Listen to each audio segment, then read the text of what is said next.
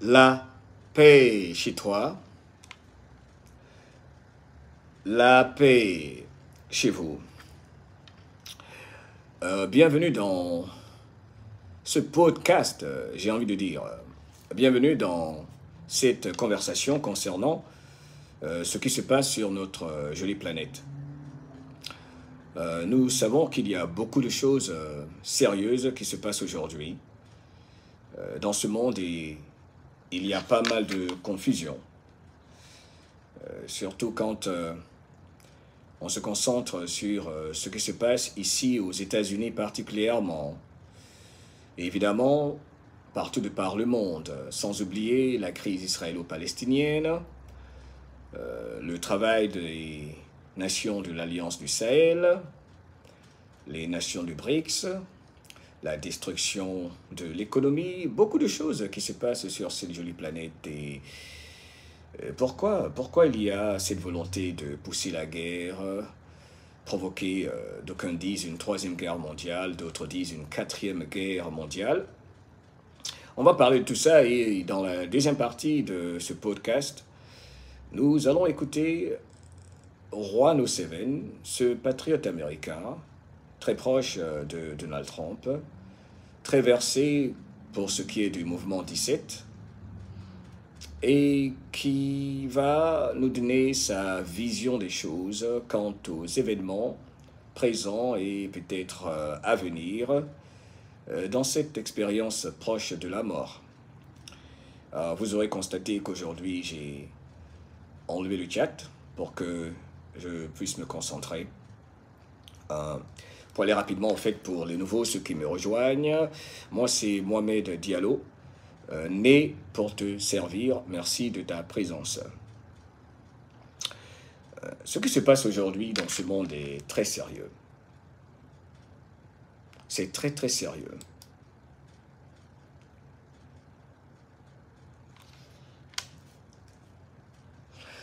En fait, je veux dire que tous les événements qui se passent, euh, que ce soit ce qui se passe ici euh, aux États-Unis d'Amérique, que ce soit ce qui se passe euh, dans la bande de Gaza, que ce soit ce qui s'est passé en Ukraine, que ce soit ce qui s'est passé euh,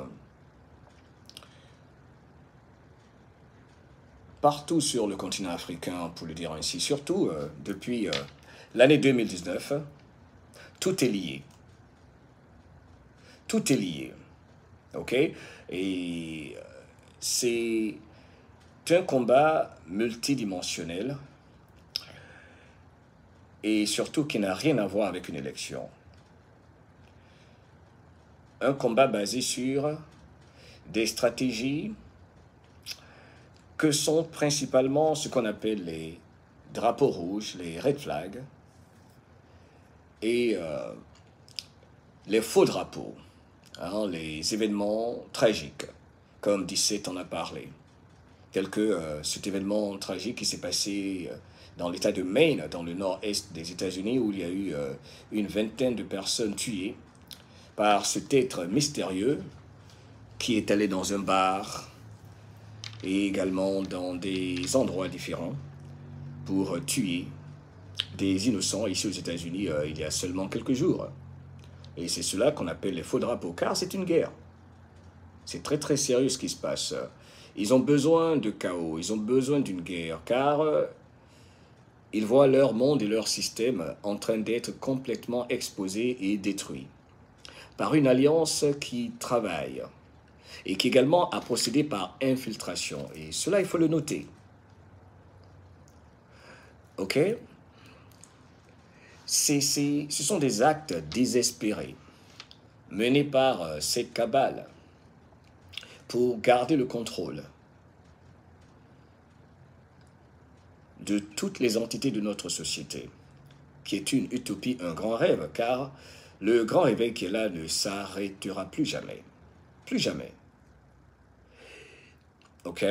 Alors le système, évidemment, aujourd'hui exposé à l'humanité entière, on sait tous repose sur des guerres constantes, n'est-ce pas? Créer des crises euh, constantes de toutes sortes, que ce soit dans le niveau, euh, dans le domaine euh, médical, sanitaire, si vous préférez, le domaine dans, pour ce qui est de la carte raciale, la carte ethnique comme ils l'ont fait depuis toujours. Et tout ce système est en train d'être exposé aujourd'hui à l'humanité, surtout l'aspect religieux pour ce qui se passe dans cette zone euh, israélo-palestinienne et toute la région du Moyen-Orient, n'est-ce pas? Mais la première chose qu'il faut comprendre, c'est que tout est relié. Leur euh, domination, leur système repose encore une fois sur ce que nous savons tous, pour simplifier, diviser et conquérir. Et c'est pour cela d'ailleurs que 17 a dit que ces gens-là sont stupides. Ils sont stupides.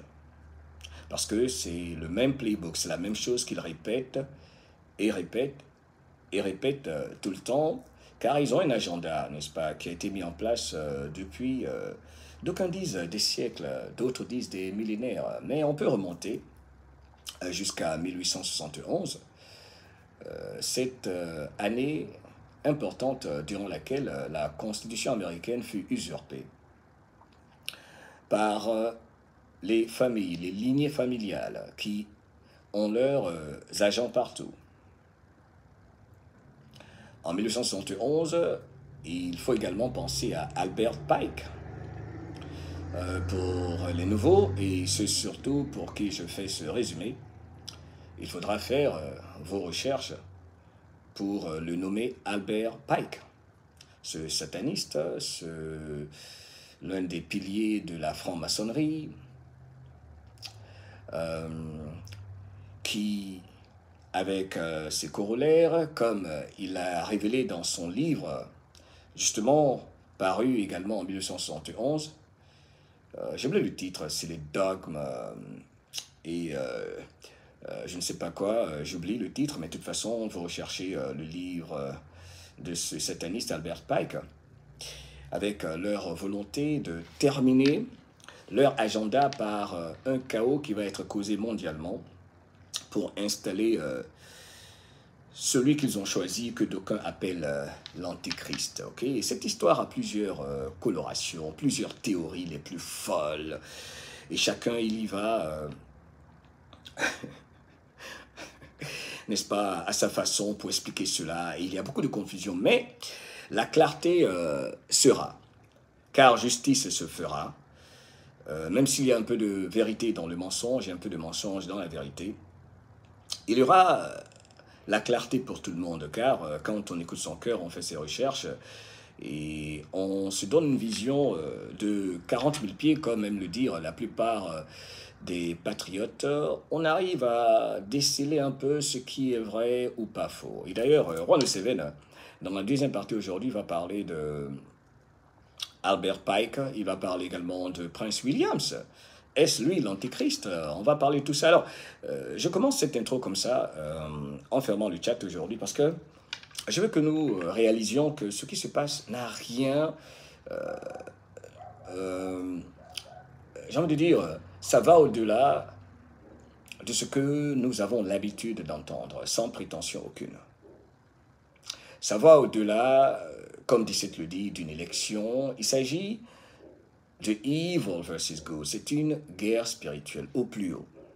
Une guerre spirituelle, ce qui se passe sur l'humanité. C'est surtout cela. Une guerre psychologique. N'est-ce pas?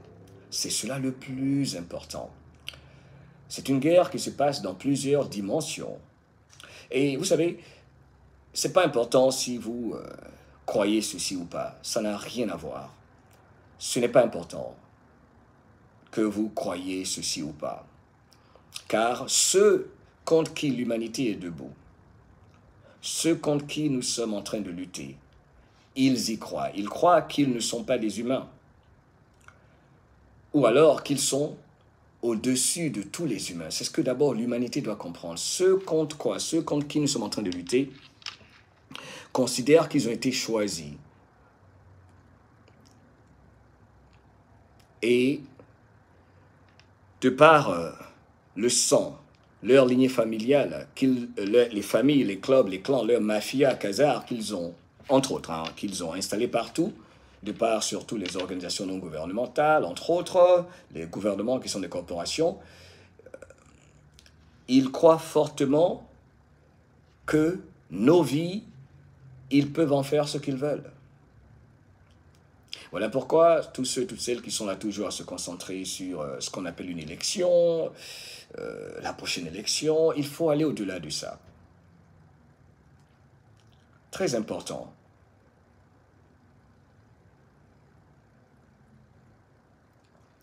Alors, il faut savoir que Donald Trump nous avait dit, n'est-ce pas, que nous sommes euh, dans la bataille finale. Tous les événements que nous voyons là, on peut le dire, montrent bien que, en tout cas, ces événements que nous voyons, l'accélération de ces événements, surtout dans le Moyen-Orient, entre autres, la crise aux différentes euh, frontières des nations de l'Union européenne, et je veux même faire mention surtout, évidemment, de la crise économique aux États-Unis, en Allemagne, en France, en Belgique, dans la plupart des nations où il y a ces agents de l'État profond, avec leur armée que représente l'OTAN, très très affaiblie, car ils n'ont plus la capacité d'opérer comme par le passé en Ukraine, qui était l'une de leurs bases arrières. Et d'ailleurs, à ce propos, l'Ukraine, Israël, euh, entre autres, hein, même le Yémen, tout cela, c'était leurs opérations, telles que l'État d'Israël qu'ils ont créé, n'est-ce pas? Et ça n'a rien à voir avec nos frères euh, et sœurs israéliens qui eux-mêmes ont été trompés. Parce que l'État profond opère des deux côtés, dans les deux camps. C'est ce qu'il faut comprendre d'abord. Et ce qui rend cette conversation difficile, Euh, c'est parce que euh, des deux côtés, il y a des pensées radicales. Il y a des pensées, euh, d'aucuns disent extrémistes, mais je ne vais pas utiliser ce terme car on accuse souvent certains groupes d'être des extrémistes, car il y en a qui se font passer pour ces groupes-là. Donc c'est tellement complexe et vaste ce sujet auquel nous faisons face que euh, chaque mot que l'on utilise doit être mesuré. Car il y a beaucoup d'émotions qui, euh, qui volent de partout. Surtout qu'il y a peu de gens qui s'écoutent. Il y a peu de gens qui s'écoutent. Peu de gens qui s'écoutent. Et surtout que nous sommes euh, le résultat, nous sommes la somme de ce que nous avons appris ou enregistré, entendu, vu depuis notre naissance, euh, de par l'environnement immédiat, n'est-ce pas, dans lequel nous sommes nés. Imaginez un enfant qui est né euh, euh, à Gaza, dans la bande de Gaza, qu'est-ce qu'il va savoir? Que vont lui apprendre ses parents? Imaginez un enfant qui est né en Israël. Qu'est-ce qu'il va apprendre? Qu'est-ce qu'il va savoir? Ce que ses parents vont lui dire, n'est-ce pas? Et du coup, les enfants qui n'ont rien à voir avec ce qui se passe subissent la manipulation orchestrée par ceux qui tirent les ficelles et qui divisent ces deux camps, qui eux-mêmes sont manipulés, exploités, tout comme euh, les immigrants, pour revenir à ce sujet-là, aux États-Unis ici, mais où il y a infiltration. Et d'ailleurs, quand 17 parle d'infiltration, il ne s'agit pas que de ce que font les méchants. L'infiltration, c'est dans les deux camps. 17 également procède par infiltration. Car euh, comment vaincre l'ennemi, il faut utiliser son book, son playbook, sa stratégie. Il faut bien connaître son ennemi. Et euh, il y a plusieurs peuples aujourd'hui euh, et encore, hein, je dis cela sans prétention aucune, qui, qui ne connaissent pas leur ennemi, qui pensent le connaître, mais qui ne le connaissent pas, qui... Il y a plusieurs groupes formés, et je ne vais nommer aucun groupe, que chacun fasse ses recherches, ok? Que ce soit un groupe terroriste ou quoi que ce soit. Il y a des groupes qui font croire à leur population qu'ils sont là pour les sauver, alors que ces groupes-là sont manipulés pour maintenir l'état de guerre. Et ça, c'est quelque chose que je vais m'attraquer, qui est très important. Ils doivent tout faire pour que la guerre perdure. Parce que la mafia khazare, faites des recherches sur cela, ne veut pas de paix. Aujourd'hui, euh, on voit bien qui veut la paix, qui ne veut pas la paix. On voit bien qui est pour la guerre, qui est pour la mort, qui est pour les tragédies, qui veut une guerre nucléaire et qui ne veut pas. On constate qu'il y a eu plusieurs provocations, par exemple. plusieurs euh, provocations, par exemple, euh, si on pense euh, à l'Ukraine, il y a plusieurs provocations qui se sont passées du côté de l'Ukraine, par exemple. Et Vladimir Poutine, Vladimir Poutine et les patriotes russes, provoqués depuis toujours, a été très subtil et a tout fait pour éviter qu'il y ait une guerre mondiale car c'est ce que veulent les autres. Euh, Vladimir Poutine, nous savons tous, de par nos recherches, surtout euh, l'audience numéro 1 ici, la plupart des patriotes, les soldats numériques qu'on appelle les Anon, s'accordent de dire, en tout cas en ce qui me concerne, de par mes recherches, de par euh, ce que me dit mon cœur, de par les observations des faits, surtout c'est cela les faits aujourd'hui, il faut se baser sur les faits, et remettre en question tout ce que tu entends, y compris ce que je dis, pour moi, Vladimir Poutine est un chapeau blanc. Euh, dans ce petit résumé, dans cette petite introduction, euh, ce que je fais toujours dans mes conversations, car il y a beaucoup de gens qui nous rejoignent, je reçois beaucoup de emails, c'est pour ça que je commence ainsi, merci de votre patience. Il y a deux camps qui s'opposent, ce qu'on appelle les chapeaux blancs et les chapeaux noirs. Heureusement que ça, c'est un t-shirt noir, pas un chapeau. Alors donc, qui veut la guerre?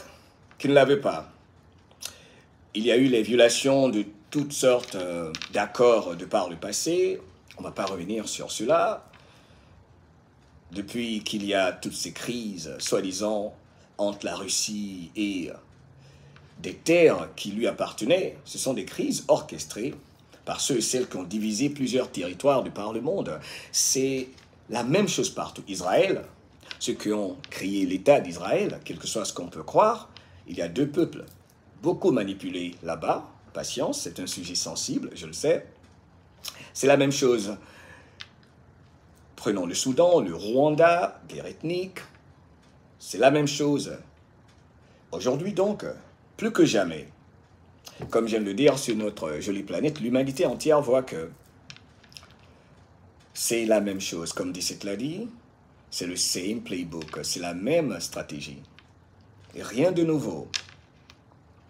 Et on se réveille donc euh, vis-à-vis de cette grande manipulation, de cette grande arnaque.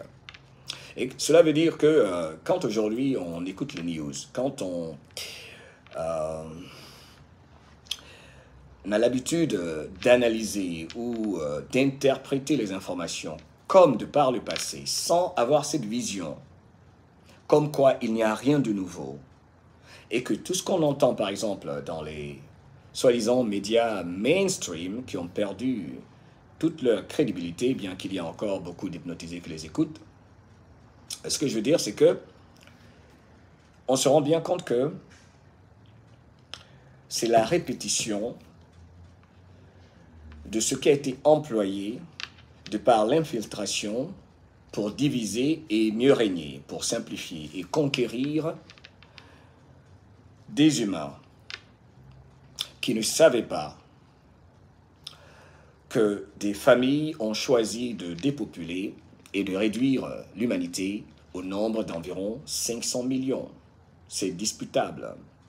Mais au même moment, il y a eu une alliance qui s'est mise en place pour opérer et également qui a procédé par infiltration. Alors, donc, quand 17 parle d'infiltration, il ne s'agit pas que de la cabale. 17 également a procédé par infiltration. Prenons par exemple euh, le cas de Elon Musk.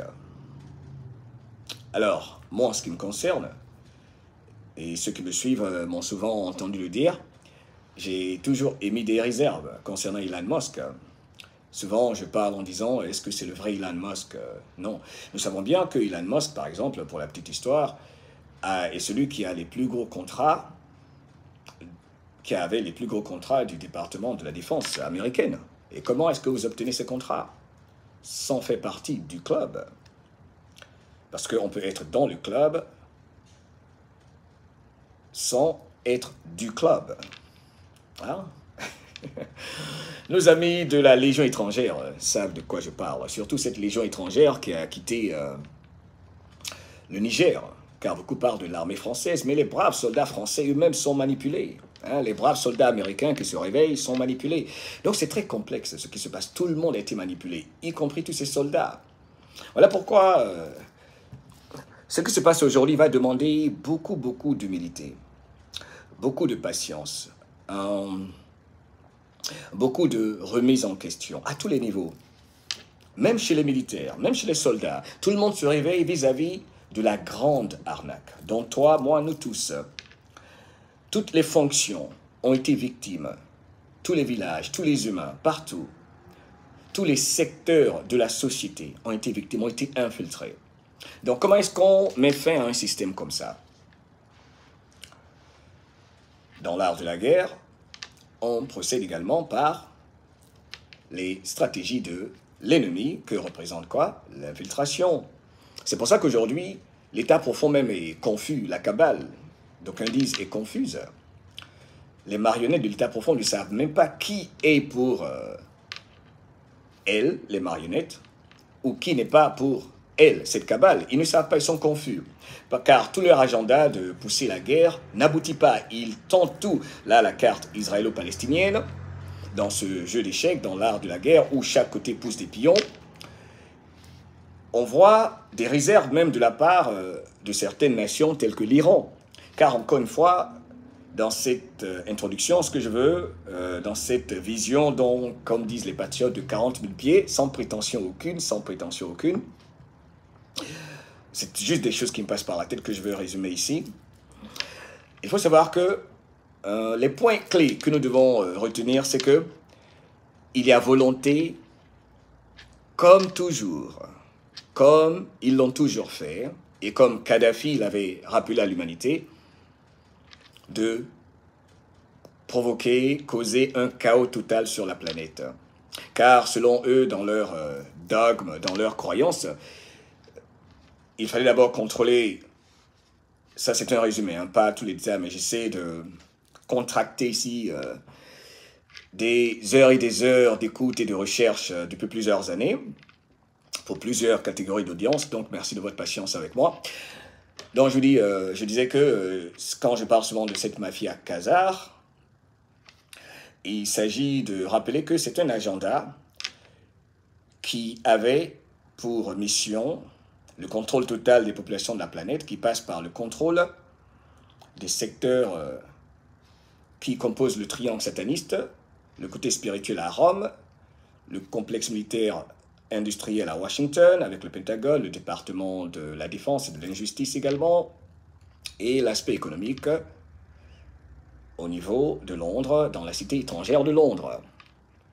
Donc tout repose par le contrôle de cela pour contrôler l'humanité entièrement et passer par l'installation de marionnettes, pratiquement, euh, particulièrement en Europe, particulièrement, euh, disons, euh, dans les nations comme la France. Ok, faites des recherches, où il y a des anti-français, où il y a des anti-canadiens comme au Canada, où il y a des anti-américains comme, et c'est aux États-Unis, et partout en Afrique, c'est pareil. Donc, on installait des gens bien choisis, recrutés, pour la plupart compromis. Et tout cela, en gros, devait passer par euh, l'Ouest, dans l'art de la division, en utilisant les immigrants, en ouvrant les frontières, comme ils font ici aux États-Unis, pour diviser les peuples, n'est-ce pas, en utilisant des concepts tels que euh, toute façon, ce n'est pas votre terre, les États-Unis. Euh, de toute façon, la France ne vous appartient pas, la Belgique ne vous appartient pas, le Canada ne vous appartient pas. Vous voyez combien de fois c'est complexe? Ils ont bien étudié leur euh, tactique et stratégie. Ils sont satanistes, ils sont mauvais, très très dangereux, pour ne pas qu'on se retrouve. Et tout cela, encore une fois, pour aboutir à quoi? À l'installation. Ok, je simplifie quelque chose de très complexe ici, ok? De leur soi-disant antichrist, l'antichrist, antichrist, je sais pas comment le dire correctement, c'est l'antichrist, je crois, en français, n'est-ce pas? The antichrist, ok? Et tout cela, il y a plusieurs théories, versions de comment devait se faire de par les livres, euh, n'est-ce pas, historiques, pour ne pas dire euh, des livres bibliques, n'est-ce pas? Salut spécialiste de la théologie, je n'en suis pas. Quoi qu'il en soit, euh, dans ce résumé, donc, je voulais juste dire que la fin, c'était pour causer une guerre mondiale qu'ils ont toujours causé, comme ils l'ont plusieurs fois fait. En fait, ces guerres n'ont jamais été réellement mondiales. C'est une guerre de clans, des guerres économiques, n'est-ce pas? Causer une guerre mondiale, et cela devait passer par l'un de leurs bastions, l'une de leurs bases arrières, qu'est la société d'Israël. Ce n'est pas euh, l'État d'Israël, des braves frères juifs, ok, et sœurs juives, manipulés. Ça devait finir par cet État qu'ils ont mis en place là-bas, dans l'art de la division et de la confusion, en créant des factions armées les soutenant des deux côtés. Et je ne vais nommer personne, mais dans tous les pays, il faut savoir qu'il y a des gens contrôlés qui ne sont pas pour la paix, qui sont pour euh, la destruction, car c'est ce que veulent ceux qui les manipulent, que ce soit en Iran, et je reste très prudent ici, ok? Euh, Salutations à tous les frères iraniens. La vérité ne sera pas pour tout le monde, il y aura beaucoup de déceptions. Que ce soit, il y a des gens qui sont fait passer pour des leaders, euh, selon mes recherches, selon mes observations, qui ne sont pas pour la paix forcément, car contrôlés par ceux qui ne veulent pas la paix. Pas pour dire que ce sont des gens mauvais, mais ils ne comprennent pas que le maintien de cette atmosphère chaotique est nécessaire pour faire avancer cet agenda de ceux qui croient à une en une euh, religion sataniste. C'est cela que les humains doivent comprendre. C'est pour ça que 17 dit que ça va au-delà d'une élection. Beaucoup de gens pensent que c'est une élection. Les élections, euh, c'est la plaisanterie. Ce qui se passe, pour comprendre ce qui se passe, pourquoi nous devons tous vivre une expérience proche de la mort, c'est parce qu'il y a beaucoup de gens y compris moi, qui ont été hypnotisés et qui pensons que ce cycle que nous vivons est normal. Alors que nous avons affaire à des êtres qui euh, opèrent dans différentes dimensions, pour le dire ainsi. Ok, Je t'invite à MDL Mystère, on parlera de ça, n'est-ce pas, dans MDL Mystère, cette page euh, que j'ai créée. Bref, alors pour terminer euh, ce résumé dans cette première partie, donc, euh, le point final de tout ce qui se passe, les agendas de piqûres, de vaccination, les agendas comme ils voulaient le faire par la 5G, n'est-ce pas Les agendas de, de toutes sortes, en passant par le contrôle de, des programmes alimentaires, l'alimentation, l'éducation, il fallait tout contrôler, n'est-ce pas? De par les soi-disant organisations non gouvernementales, dont la plus grande, par exemple, c'est l'ONU.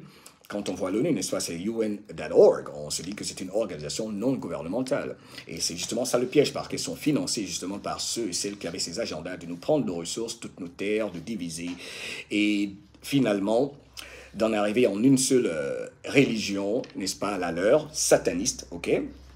Et tout cela, voilà pourquoi ils sont debout contre les religions abrahamiques. J'espère que ce que je dis a un sens, ok? Parce que je reçois tellement de emails. Donc j'ai promis que à chaque fois que je fais mes interventions, je vais les résumer pour ceux qui m'écrivent. Mohamed, quand tu parles de mais qu'est-ce que tu racontes? C'est pas sûr, mais je veux savoir, savoir ceci. Donc, je reçois beaucoup, beaucoup de lettres et vous vous connaissez, ok? Non, c'est ce que j'essaie de faire. Parce que c'est pour ça que je dis, euh, tant que vous êtes dans euh, le système euh, que j'appelle le système fast food, ok? Pour être servi rapidement, ce n'est pas la bonne place pour vous ce que je fais, je suis obligé. Et même, euh, ce qui se passe m'oblige, ok, à opérer comme ça, à essayer d'expliquer, réexpliquer, parce que c'est ainsi qu'on nous a bombardé l'esprit, nous faire croire beaucoup de mensonges en inversant la réalité. C'est pour ça que ce combat n'est pas facile. Et ça passe par la discussion, ça passe par la répétition, ça passe par la patience. Mais euh, c'est difficile quand on ne contrôle pas son temps.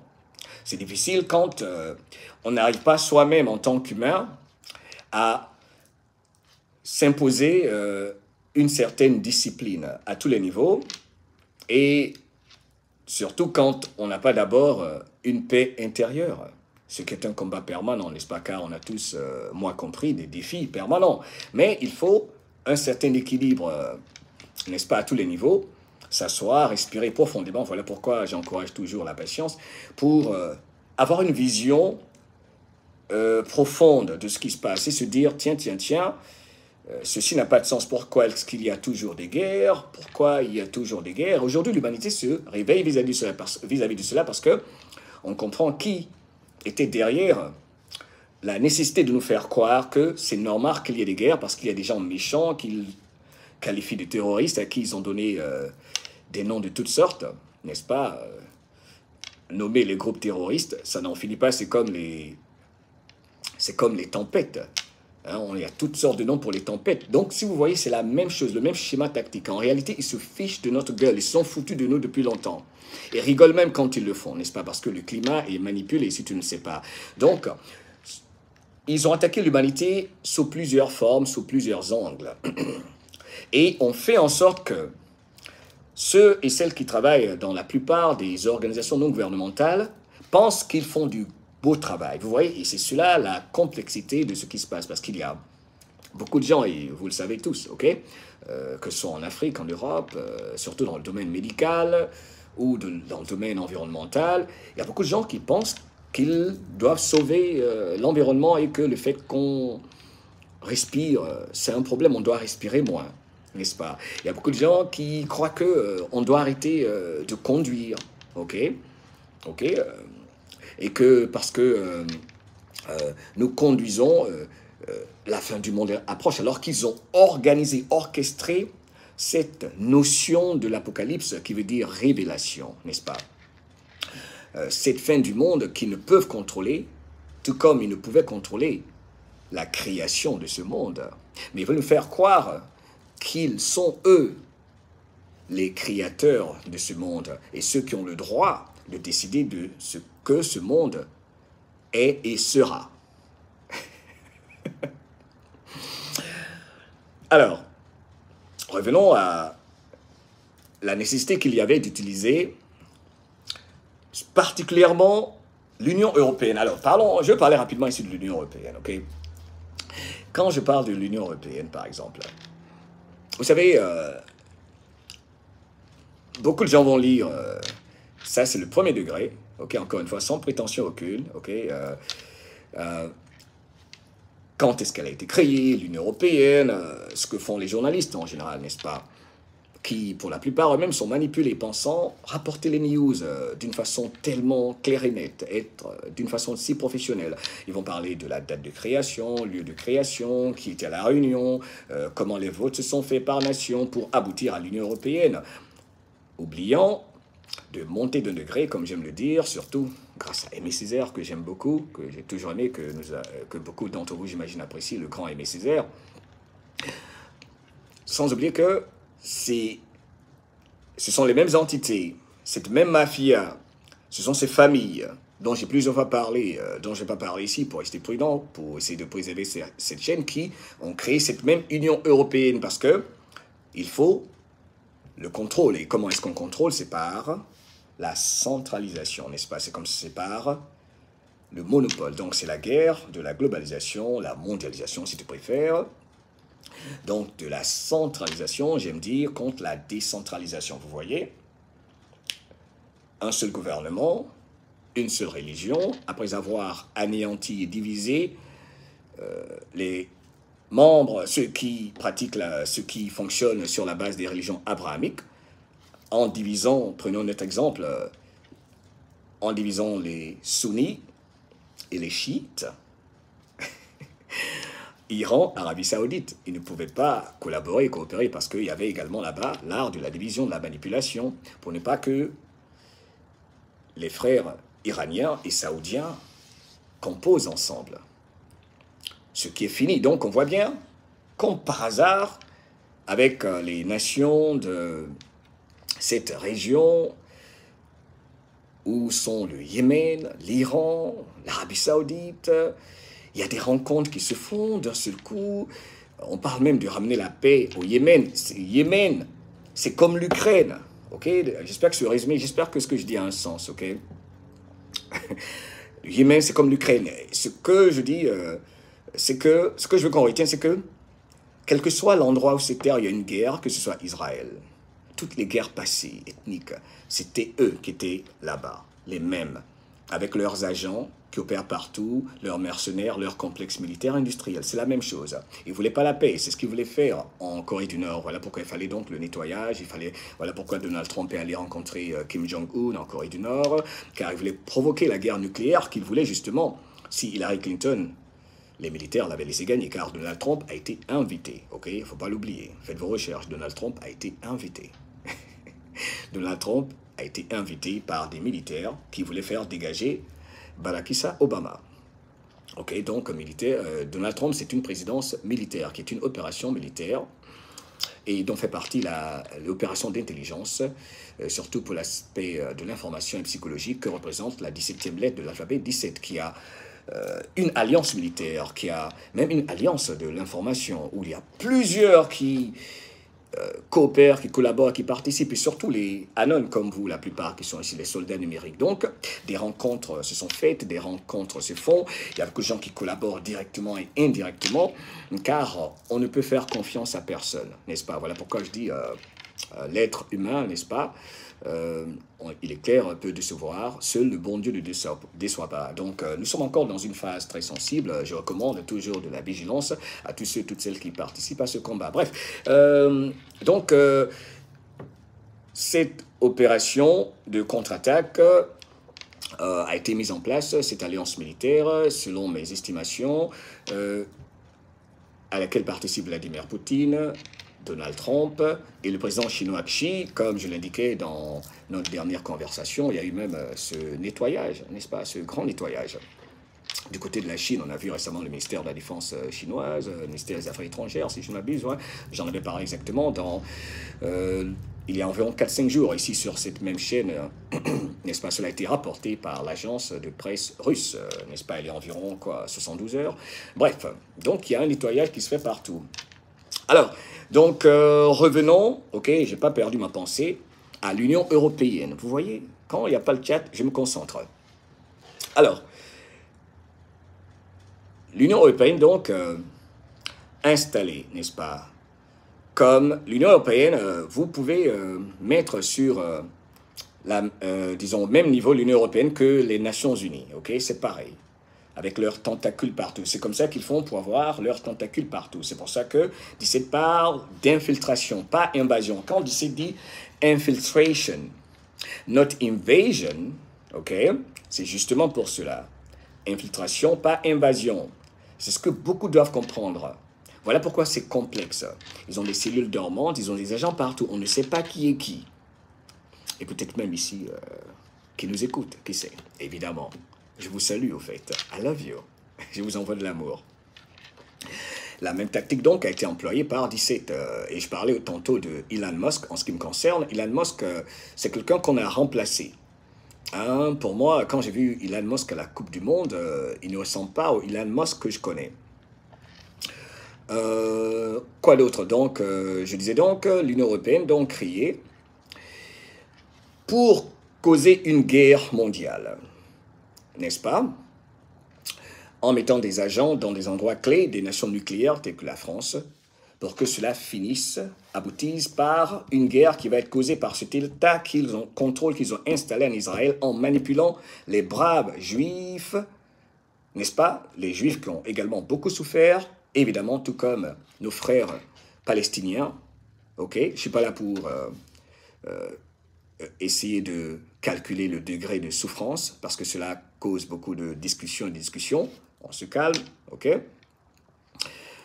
Tout ce que je veux qu'on comprenne, c'est qu'il y a manipulation des deux côtés, contre plusieurs entités mises en place, n'est-ce pas, de factions armées qui opèrent euh, euh, dans plusieurs pays euh, de cette région, hein, entre l'Iran, même il y a le Liban, ok, il y a le Liban, où il y a des groupes qui également sont manipulés. Pas pour dire que ces groupes ont de mauvaises intentions, mais il y a beaucoup de ces groupes qui ne savent même pas qu'eux-mêmes ils sont manipulés pour maintenir la guerre dont a besoin ceux qui, comme l'a indiqué Albert Pike, ce grand sataniste maçonniste, n'est-ce pas, qui vénère les Rothschild, entre autres, et les familles, les 13 familles, entre autres.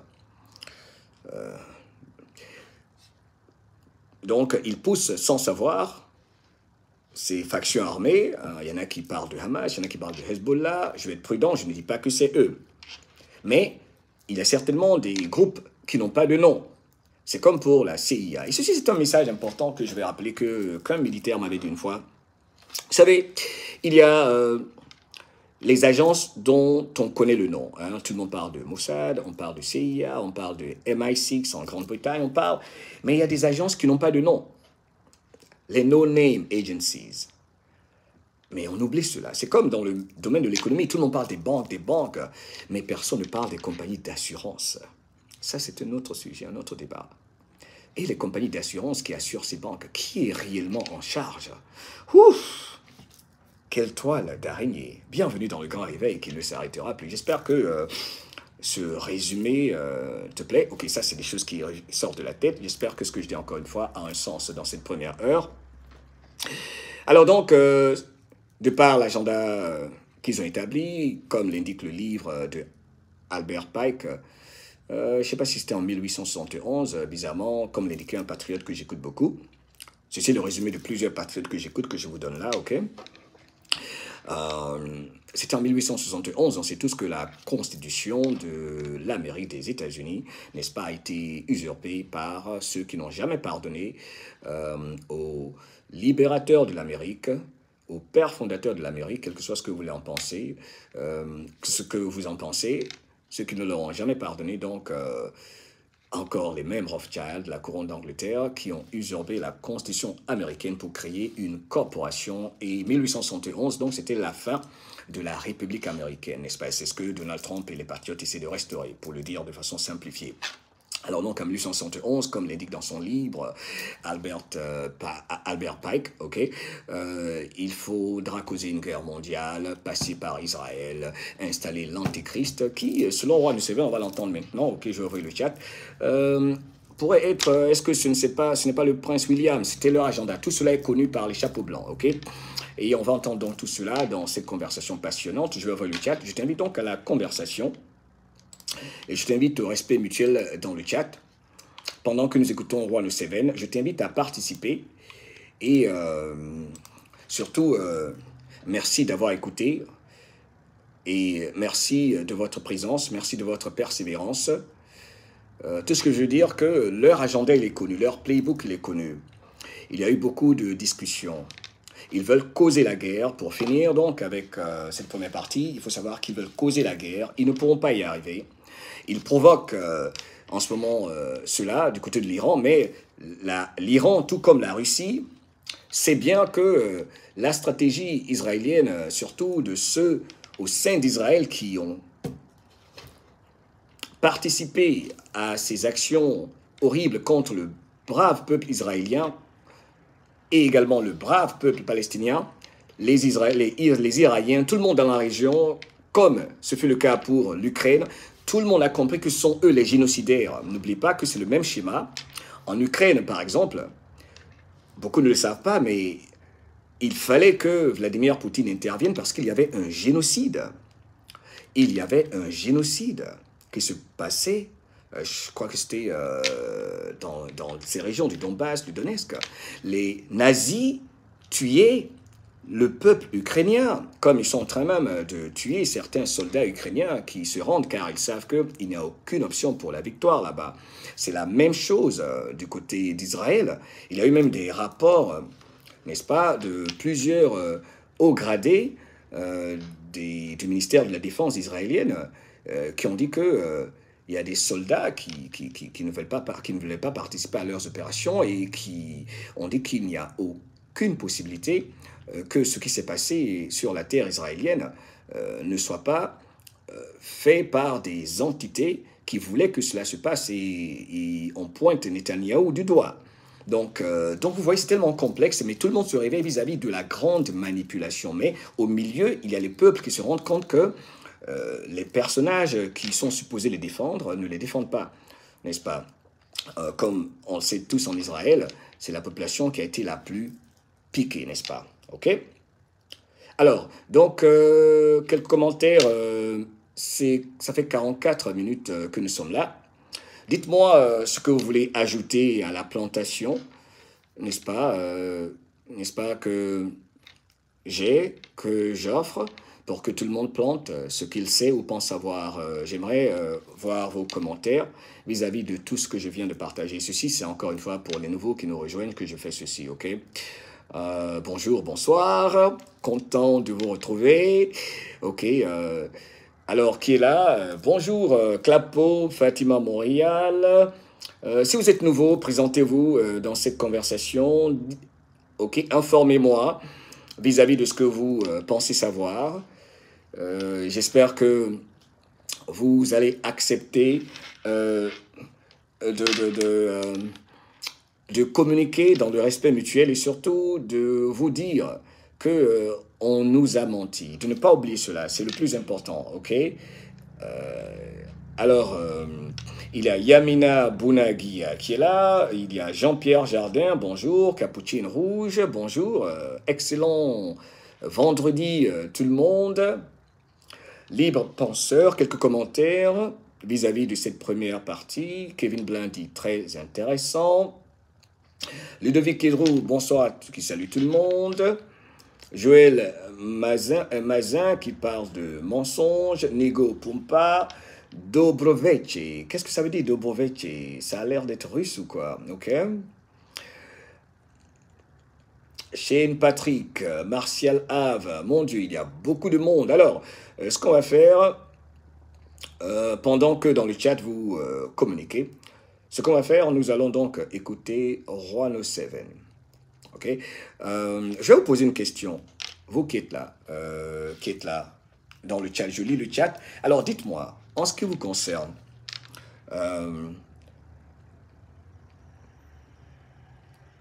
euh, pensez-vous, n'est-ce pas, qu'il puisse arriver à provoquer leur guerre mondiale Moi, je dis non. C'est ce qu'ils voulaient. Ils ont échoué, n'est-ce pas? Parce que ils, veulent, ils voulaient que les Iraniens tombent dans le piège de la généralisation, généralisation de, la, de la guerre. Voilà pourquoi ils sont allés très fort dans leurs actions en Israël. Ils voulaient provoquer une guerre, le chaos total dans cette région. C'est ce qu'ils veulent, n'est-ce pas? C'est ce qu'ils veulent.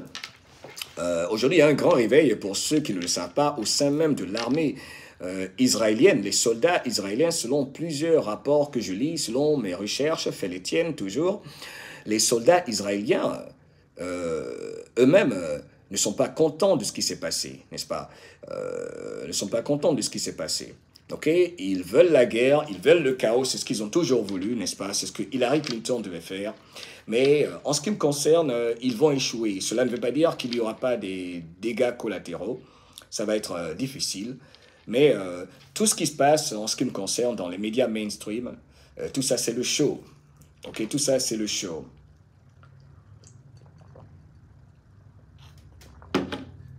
Super commentaire de Nejlou ou qui dit ils veulent, mais le vrai commandeur contrôle tout, subhanahu wa ta'ala, selon lui.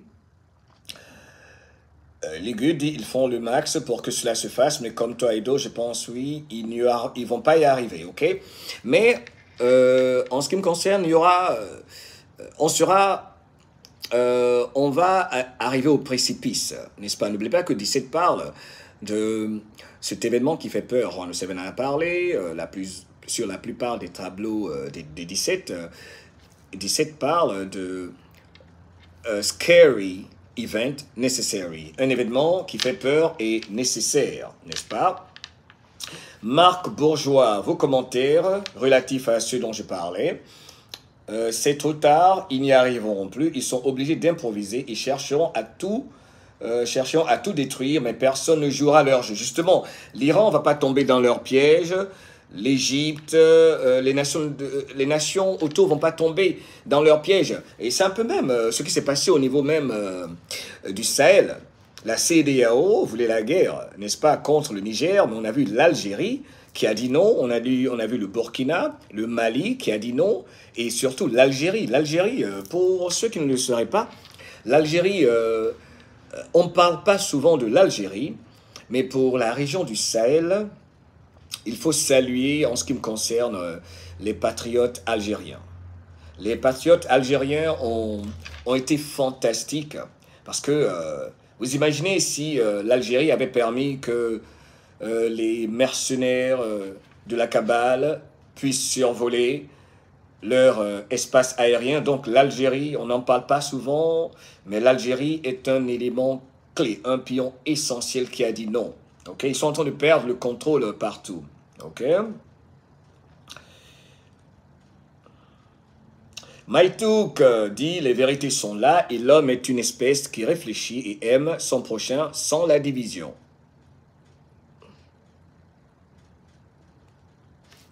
Loretta dit, ils n'ont plus de sous, ils sont ruinés et c'est leur fin. Et je vais rebondir sur ce commentaire exactement. En parlant de moyens pour financer leur guerre, ils passaient par les opérations de blanchiment d'argent, n'est-ce pas? Euh, on sait tous, hein, l'affaire d'héroïne en Afghanistan finançait beaucoup les mercenaires de par le monde, euh, comme toutes les euh, trafics, tous les trafics, tous les trafics de toutes sortes, trafic humain, trafic d'organes, trafic de drogue, que ce soit en Amérique du Sud, Colombie, Venezuela, Brésil, où ils ont tous leurs gangs, n'est-ce pas? Et tout cela a été compromis. Mais la base, la base, l'une des bases principales, franchement, c'était l'Ukraine n'est-ce pas, l'Ukraine. Donc toutes leurs opérations de blanchiment d'argent ont été compromises. Et en ce qui me concerne, ce qui se passe à la frontière américano-mexicaine ici, comme euh, ce qui s'est passé aux frontières canadiennes et dans plusieurs nations de l'Europe de l'Ouest et bizarrement de l'OTAN, euh, de l'Union européenne, si tu préfères, c'est pour mener ces populations-là au précipice.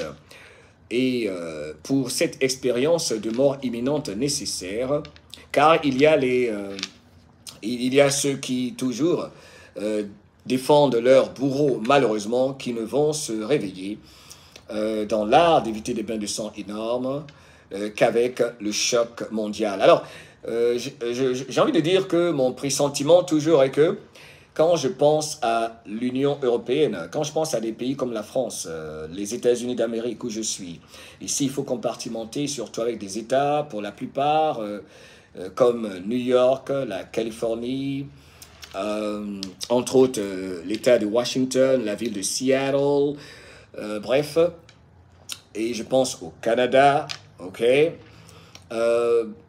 J'ai l'impression que la crise économique va s'accélérer, ça va être encore plus dur, ok. Les choses vont s'accentuer.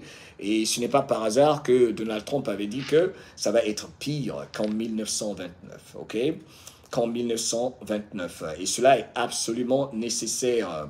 Euh, pour les États-Unis, euh, c'est mon pressentiment. Euh, ça devient économiquement serré, de plus en plus difficile. Il y a surtout sur le marché de l'immobilier, c'est terrible ici en ce moment aux États-Unis. Même pour les voitures, les gens ne peuvent même pas acheter une voiture aujourd'hui. Des voitures qui ne sont pas neuves, on les vend plus cher même que les voitures neuves. OK? Euh, Aujourd'hui, les taux d'intérêt qui sont passés de quoi? 3,5%, on est passé à 6, 7%, mais pas en droit. Pour acheter une maison aujourd'hui, si vous achetez une maison aux États-Unis, disons à 300 000 dollars, elle va vous coûter au final combien? 600 000 dollars, le double, n'est-ce pas? Les taux d'intérêt, euh, c'est flagrant. Tout a augmenté dans les supermarchés, les prix de l'essence, ça ne diminue pas. Et il y a la crise à la frontière pendant que le réveilleur qui, selon moi, Joe Biden, est contrôlé par euh, qui? Par l'Alliance. Oui, moi, c'est ma conclusion. Que pensez-vous au fait euh, de ceci? En ce qui me concerne, Joe Biden, c'est presque la fin de cette première heure, 53 minutes. Joe Biden est contrôlé par l'Alliance. Que pensez-vous de cela dans les commentaires?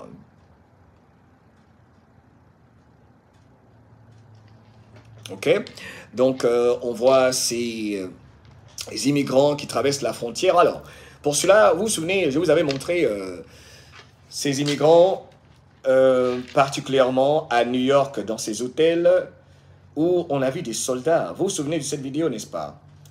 Je vous l'avais montré euh, quand j'étais en studio, où il y a ces soldats qui, bizarrement, sont là où se trouvent les immigrants. J'ai l'impression que c'est une opération bien contrôlée, ok? Car L'infiltration, c'est des deux côtés. Les chapeaux blancs ont infiltré le camp des chapeaux noirs, comme les chapeaux noirs ont infiltré notre société, la société de, euh, humaine, hein, nos sociétés partout de par le monde. Voilà pourquoi c'est complexe. Parce qu'il y a beaucoup de gens qui pensent euh, qu'ils faisaient du bien en administrant la, la pic-pic. Il y a beaucoup de gens qui pensaient ça. Ok, voilà pourquoi sur influence positive, j'insiste toujours sur la nécessité pour chacun de s'écouter, de se faire confiance, de ne pas se minimiser. Cela est très important.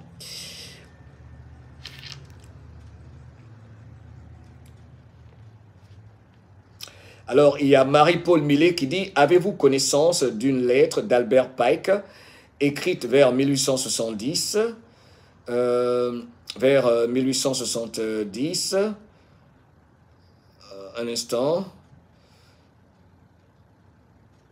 où il est expliqué comment les deux premières guerres ont été programmées et pourquoi. Euh, Marie-Paul, euh, c'est exactement de cela que je parlais. Je ne vais pas euh, élaborer sur ça.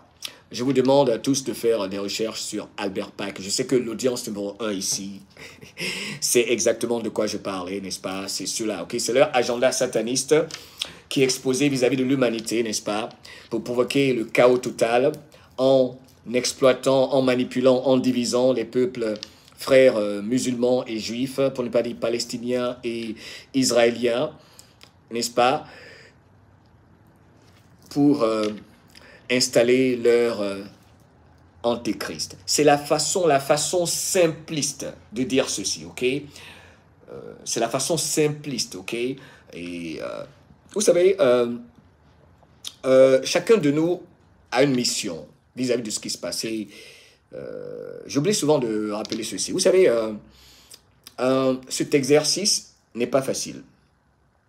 Euh, moi, personnellement, ce que j'essaie de faire, c'est essayer de simplifier ce qui est complexe. Même si je n'arrive pas à le faire tout le temps, correctement, mais j'essaie autant que faire se peut. Car c'est une guerre de l'information au plus haut, pour ne pas dire une guerre de la désinformation. Donc, il y a souvent la nécessité de ne pas oublier que dit que la vérité, ce n'est pas tout le monde qui pourra la supporter, que les plus forts soutiennent les plus faibles durant ce passage de l'obscurité à la lumière. Car ce que nous vivons, encore une fois, c'est le passage de l'obscurité à la lumière contre un culte, contre des familles satanistes, contre des gens qui croient qu'ils sont supérieurs à toi, à moi, à tous les humains, qu'ils ont le droit de vie ou de mort contre nous. Et ils le croient, c'est leur religion. Et souvent, Roi Nocéven l'explique de façon majestueuse. Ce que nous devons comprendre, où que tu sois, hein, sur cette euh, jolie planète, c'est que ces gens-là, ils croient en cela. Et que tu le crois ou pas, ce n'est pas le plus important. Eux, ils croient. Eux, ils croient. Euh, particulièrement les soi-disant familles royales, hein, euh, ces présidents, premiers ministres, ils croient fortement qu'ils ont été choisis, n'est-ce pas, choisis par leur Dieu, ok? Par leur Dieu, selon leur religion sataniste, ils ont été choisis pour nous gouverner, qu'on le veuille ou non. Nous sommes leurs esclaves. Pour eux, nous ne sommes rien. Ils sont nos maîtres. Et que si vous ne faites pas partie du club, vous n'êtes pas invité pour faire leur travail, ou vous n'êtes pas de leur lignée familiale, vous ne comptez pas, vous êtes moins qu'un humain. Vous n'avez aucune importance. Et cela, c'est le plus important. Voilà pourquoi nous, nous, personnellement, nous devons faire le travail euh, interne euh, pour éviter la division, car nous sommes tous les victimes de cette grande manipulation. Et, euh, et c'est cela qui rend ceci complexe. Voilà pourquoi il fallait mettre en place une armée de soldats digitaux, n'est-ce pas? Et il y a beaucoup de divisions, même en ce moment. Vous voyez, il y a beaucoup d'attaques contre Juan Seven, beaucoup d'attaques contre le général Michael Flynn. Il y a eu beaucoup d'attaques contre Linwood, n'est-ce pas? Il y a beaucoup d'attaques hein, entre nous. Hein. OK hein. Il y a beaucoup d'attaques, OK Mais euh, euh, puisque personne ne détient la vérité absolue, qui souvent est subjective, car repose sur ce que, pas ce que nous savons, comme j'aime le dire, sur ce que nous pensons savoir. Car savoir, c'est quoi, n'est-ce pas? Ok? Donc, euh, c'est justement cela. Comme disait Marie-Paul Millet dans les commentaires, pour Albert Pike, c'est cela. Il croit, n'est-ce pas, à leur religion sataniste, euh, qui leur demande euh, de nous imposer une religion, de nous imposer une seule façon de vivre. Pour résumer, c'est la raison pour laquelle ils doivent tout contrôler. Même dans cette région, quand on parle de la région que ce soit du Moyen-Orient en général, hein, parlons euh, d'Israël, la Palestine, on sait tous ce qu'il y a là-bas. Hein, quand on pense au Yémen, l'Arabie Saoudite, euh, ce sont les ressources toujours. Tout tombe, euh, il faut, comme on dit, follow the money. Quand on y pense, on pense aux ressources qu'il y a en Arabie Saoudite. Euh, il s'agit de cela, n'est-ce pas? Essayer toujours de contrôler, contrôler ce qui peut nous permettre de fonctionner. Ok? Nous faire croire en même temps que cela détruit le climat, l'environnement, qui se refait comme ton corps, comme mon corps. Voilà pourquoi ils doivent nous faire croire toujours qu'ils doivent nous sauver. Ok? Euh, Donc, il y a beaucoup de gens que nous pensons sont bons en ce moment, qui ne sont pas bons. Et il y a beaucoup de gens qu'on pense ne sont pas bons en ce moment, mais qui sont bons, qui font le travail. Car il y a eu infiltration des deux côtés dans cette opération complexe, car les combats continuent. N'oubliez pas les tremblements de terre euh, qu'il y a eu. Qui se souvient de cela également? Ok, là, ça, ça me revient. Il y a également eu les tremblements de terre, vous vous souvenez, euh, euh, en Californie. Qui se souvient de ça? Dans les commentaires, je lis les commentaires. Est-ce que vous vous souvenez des tremblements de terre qu'il y a eu euh, de par le passé en Californie, un peu partout il y avait une période où il y a eu beaucoup de tremblements de terre.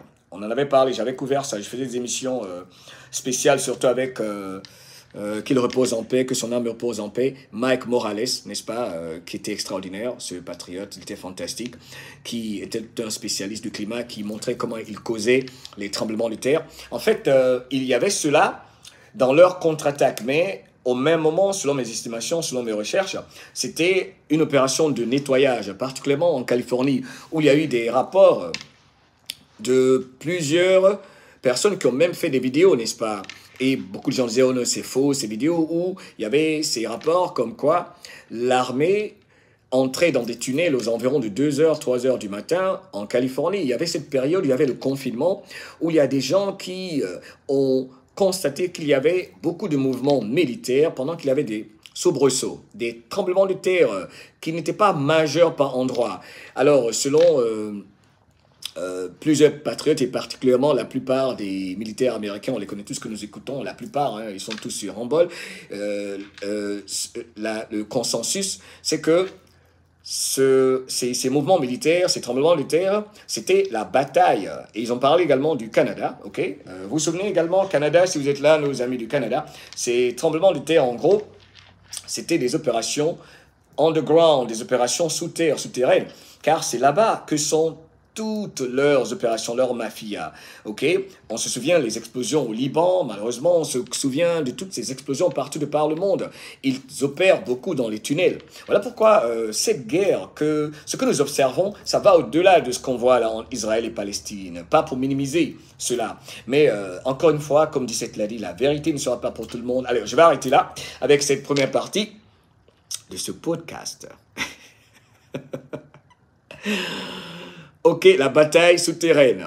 Fais tes recherches où que tu sois sur ces terres. Euh, sache qu'il y a des choses euh, bizarres qui se sont passées euh, sous tes pieds. Ok? Ok, et le monde est en train de se libérer. Le Yémen hein, est en train de se libérer. Regardez, les, les pays euh, du Moyen-Orient parlent de ramener la paix au Yémen. On a vu les rencontres avec des responsables du Yémen et ceux, je pense, de l'Arabie Saoudite, n'est-ce pas, ou de l'Iran. Euh, la paix revient dans cette région et du coup, euh, ils jouent la carte palestinienne, n'est-ce pas? Bref, donc, c'est complexe, mais on essaie, n'est-ce pas, d'expliquer cela, ok? Euh, Fala de la Guadeloupe, salut à tout le monde de la Guadeloupe. La Guadeloupe, euh, je ne peux m'empêcher de penser à Joël Ursule. À Joël Ursule, ok? Joël Ursule que j'ai eu euh, l'honneur d'interviewer, mais euh, ma chaîne a disparu. J'ai passé quoi, deux heures, trois heures de temps à parler à Joël Ursule. il faudrait que je la recontacte, hein, parce que j'aime beaucoup ma sœur Joël Ursule.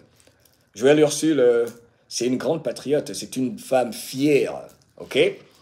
Notre conversation était fantastique. Elle est adorable. Joël Ursule, si jamais tu regardais cette vidéo, quelqu'un qui regarde cette vidéo te l'envoie, en Guadeloupe. Joël Ursule, Mohamed te salue et te fait un gros bisou. Tu es fantastique. Love you. OK? Alors, euh, oui, l'Eurovision, Pascal Loisel dit. Allez, donc ça, c'était la petite détente. On va aller donc avec euh, Juan O7. Concentre-toi.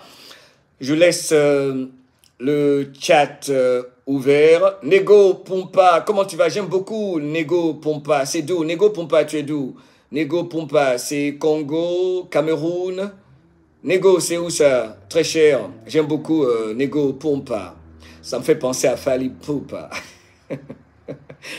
Nego, c'est tu es d'où, ok alors, euh, Roi No Seven, on va y aller directement. Il parle de euh, l'expérience proche de la mort. Il parle du passage de l'obscurité à la lumière.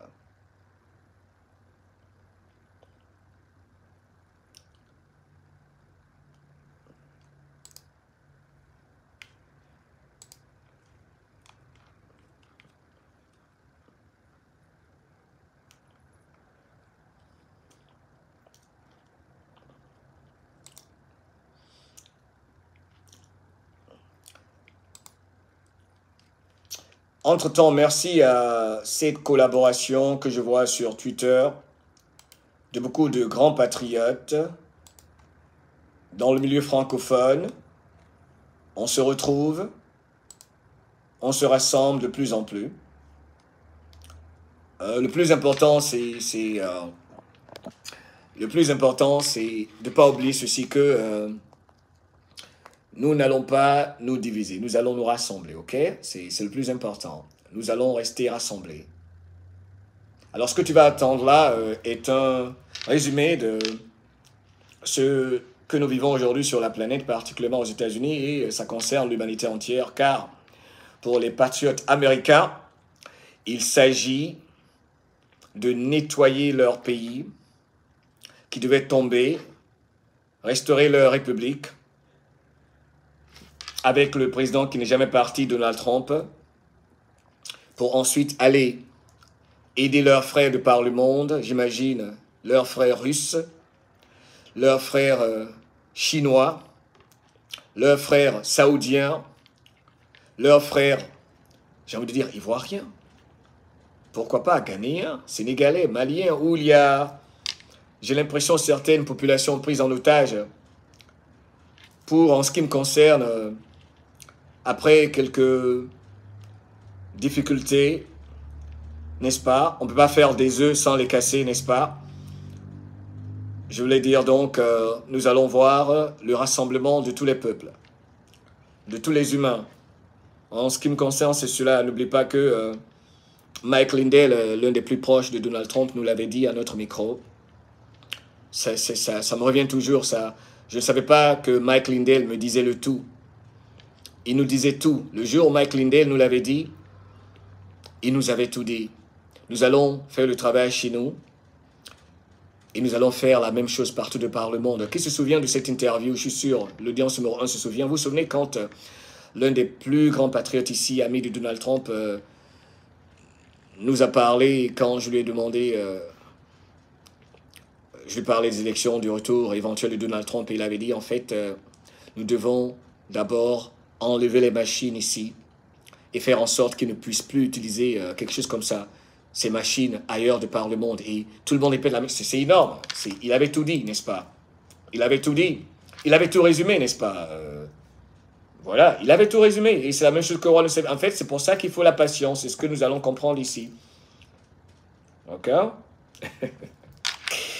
All right, let's go. I'm ready.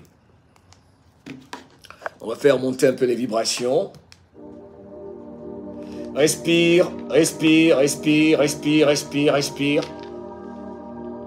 Respire avec moi, respire avec moi.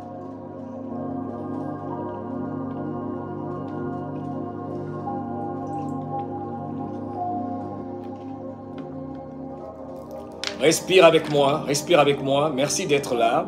Nous nous rassemblons, nous nous, nous nous rassemblons, nous corrigeons nos erreurs. Ce n'est pas facile.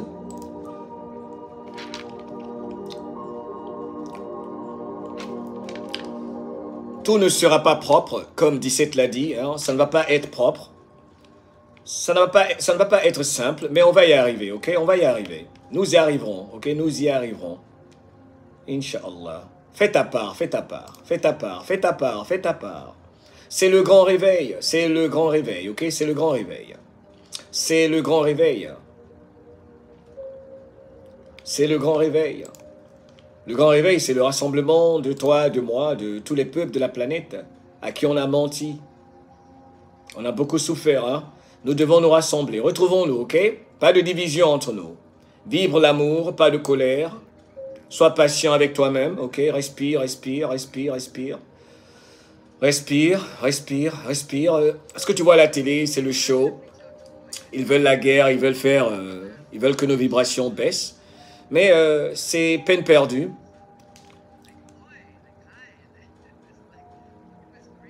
C'est peine perdue.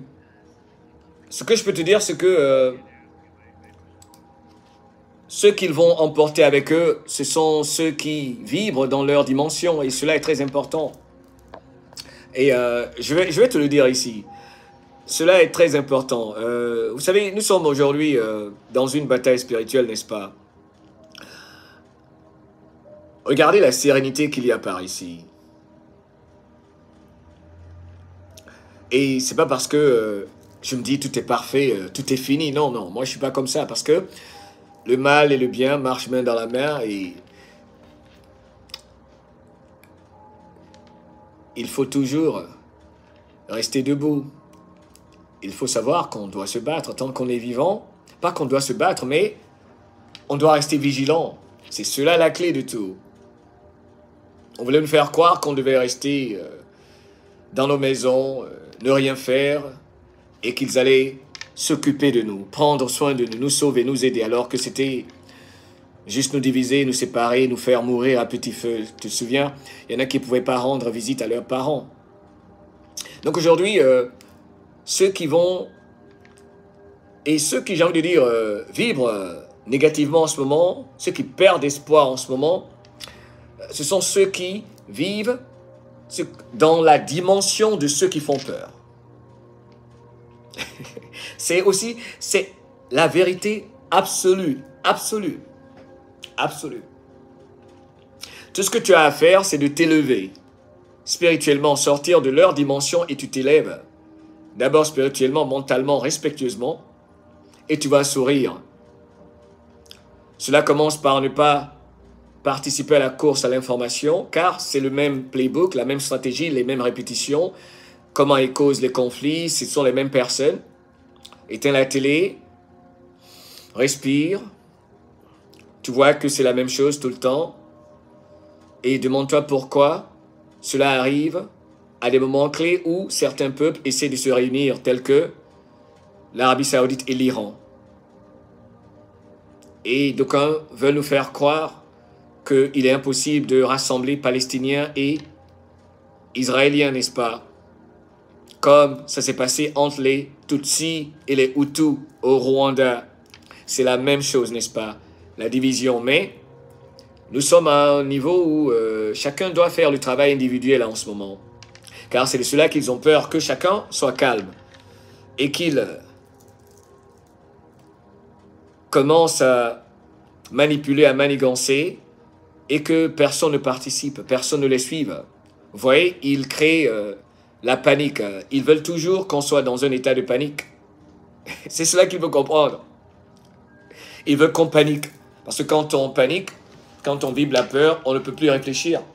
On n'est plus objectif. On ne prend pas de bonnes décisions dans l'ensemble. Et c'est comme quand on est pressé.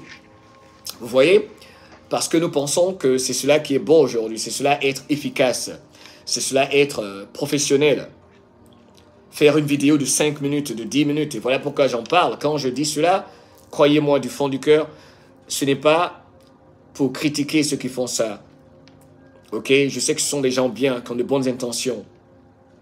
Mais tant que nous n'allons pas prendre le temps d'avoir ce genre de conversation comme celle à laquelle vous participez ici, dans la patience, pendant que tu es relax, pendant que tu te rends compte que tu n'es pas obligé de vivre stressé. On t'a fait croire que c'est normal le stress. Il y en a même qui disent, oui, le stress c'est bon. À quelques degrés près. Je sais ce qu'ils veulent dire. Vous voyez, c'est complexe tout ça. Mais ce qui se passe, ce n'est pas normal. Nous ne sommes pas supposés courir, courir, courir, courir tout le temps, parce que c'est ce qu'ils veulent, parce que quand on court, on court, on court, on est tout le temps pressé, on veut tout de suite l'info rapidement, on rate l'essentiel. On n'arrive pas à discerner l'essentiel de la propagande qui est perpétrée partout. Et voilà, tout le monde répète, répète les mêmes informations comme des perroquets, mais avec différents montages et tout ça. Et on pense que c'est ça, être informé. Alors que si nous observons, il n'y a rien de nouveau. Il n'y a rien de nouveau. Il provoque la guerre, la crise, quelle qu'elle soit, raciale, la division, il propose, il, la provoque, n'est-ce pas et, Ils anticipent la réaction de ceux qui ne contrôlent pas leurs émotions, et puis euh, la même chose continue. Parce que tant qu'on est divisé, ça les arrange, ils fument leurs cigares, ils rigolent, n'est-ce pas Donc euh, le travail aujourd'hui, nous sommes dans une époque où le travail interne, le travail personnel, individuel est important. Ok Et ne pas forcer sa vision des choses, sa pensée, ses croyances, quoi que ce soit. Parce que l'humain agit sur la base de ce qu'il croit. que ce soit quelque chose de bon ou pas, ce qui est subjectif, car chacun sait ce qui est bon ou pas bon pour lui. Vous voyez, donc, euh, voilà pourquoi c'est important de ramener chacun à lui. Et c'est ce qui leur fait peur, que les gens commencent à s'écouter à écouter leur cœur, à faire leurs recherches. Parce qu'une fois que chacun s'écoute, parce que l'humain, vous savez, à la base, l'humain, il est bon. Quand les humains commencent à s'écouter dans un esprit calme, quand l'humain, on le laisse tout seul, par nature, il veut faire du bien. Par nature, par nature, naturellement, l'humain veut aider. C'est pour ça que nous tous, quand on aide quelqu'un, vous n'avez pas vu combien de fois ça fait plaisir de pouvoir aider quelqu'un qui est dans le besoin? C'est ça, ça nous fait vibrer haut. La compassion, vous n'avez pas remarqué? Par nature, nous aimons aider, mais on fait tout pour qu'on n'ait pas le temps de se parler. Voilà pourquoi j'ai cette plateforme. Et voilà pourquoi je ne cesserai de le dire. Ce que je fais, ce n'est pas pour les gens pressés. Ce que je fais, ce n'est pas pour les gens qui ne contrôlent pas leur temps. J'étais comme ça.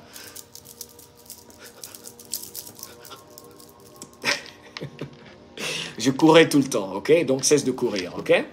Ça va te faire du bien et puis euh, c'est surtout bon pour la tension artérielle. Ça va se stabiliser, ok? Allez, let's go. Love you.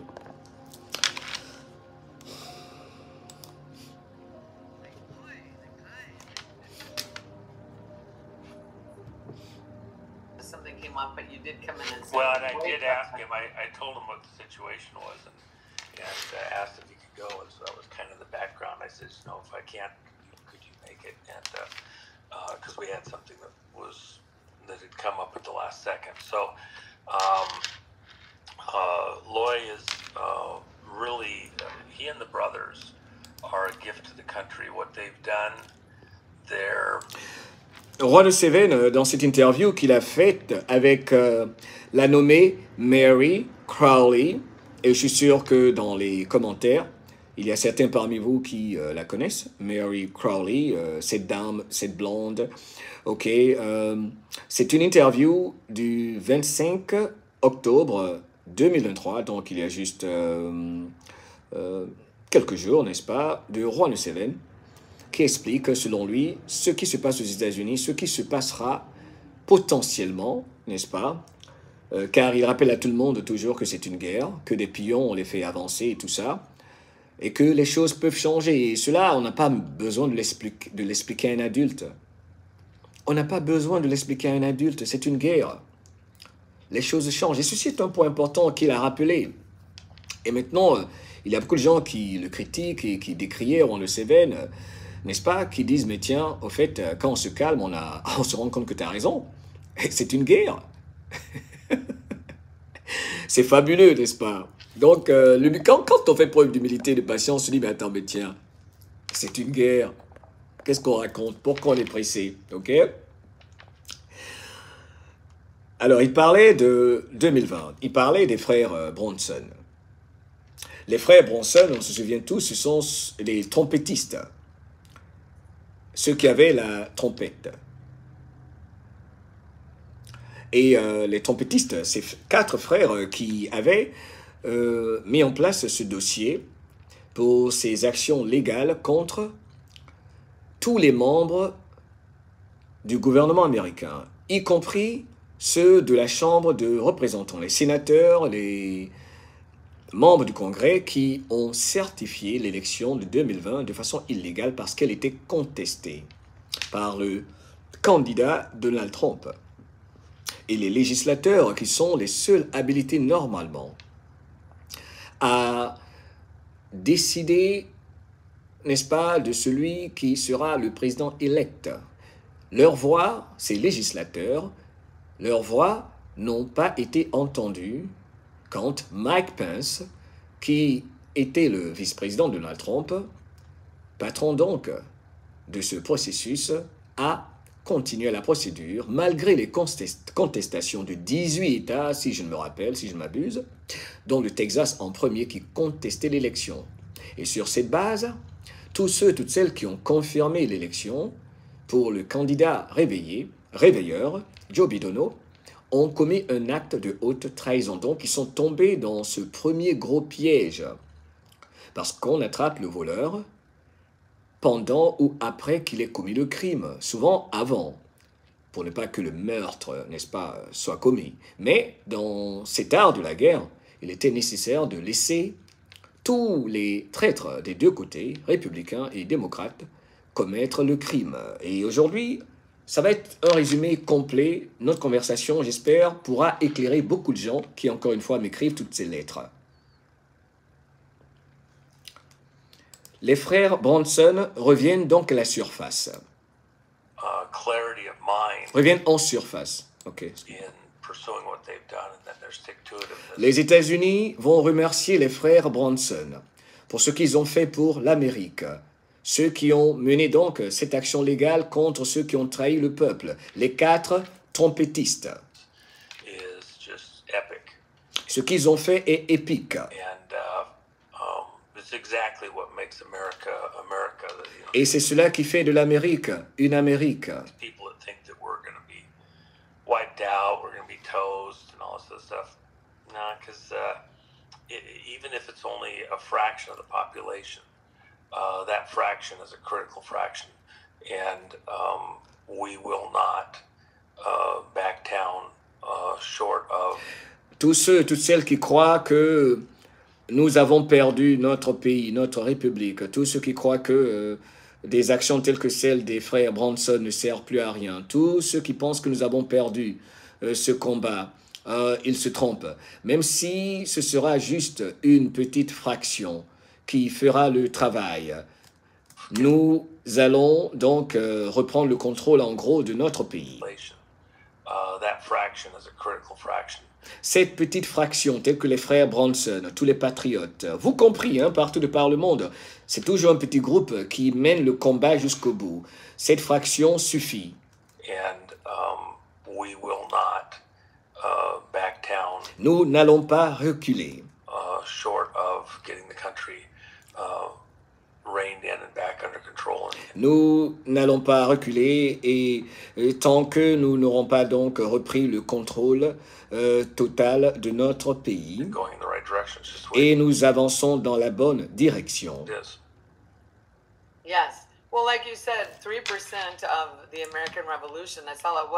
Et, et son invité rappelle que il n'y avait que 3%, n'est-ce pas, d'Américains lors de la Révolution qui ont fait le travail, on pense évidemment à 1776. Nous allons maintenant avancer à la 42e minute, car j'ai écouté ceci entre 3 euh, du matin et 6 heures aujourd'hui, ok euh, J'étais debout très tôt, ok J'étais debout très tôt, 4 heures de sommeil, mais en pleine forme grâce au Créateur. Nous, j'ai noté les parties, ok Alors, euh, Parlons de 2020, car c'est de cela qu'il s'agit. Encore et toujours, il insiste. Lui, Juan Seven. Et d'ailleurs, Donald Trump a fait un rappel dans ce sens-là récemment que je vous montrerai dans notre prochaine émission quand je serai en studio.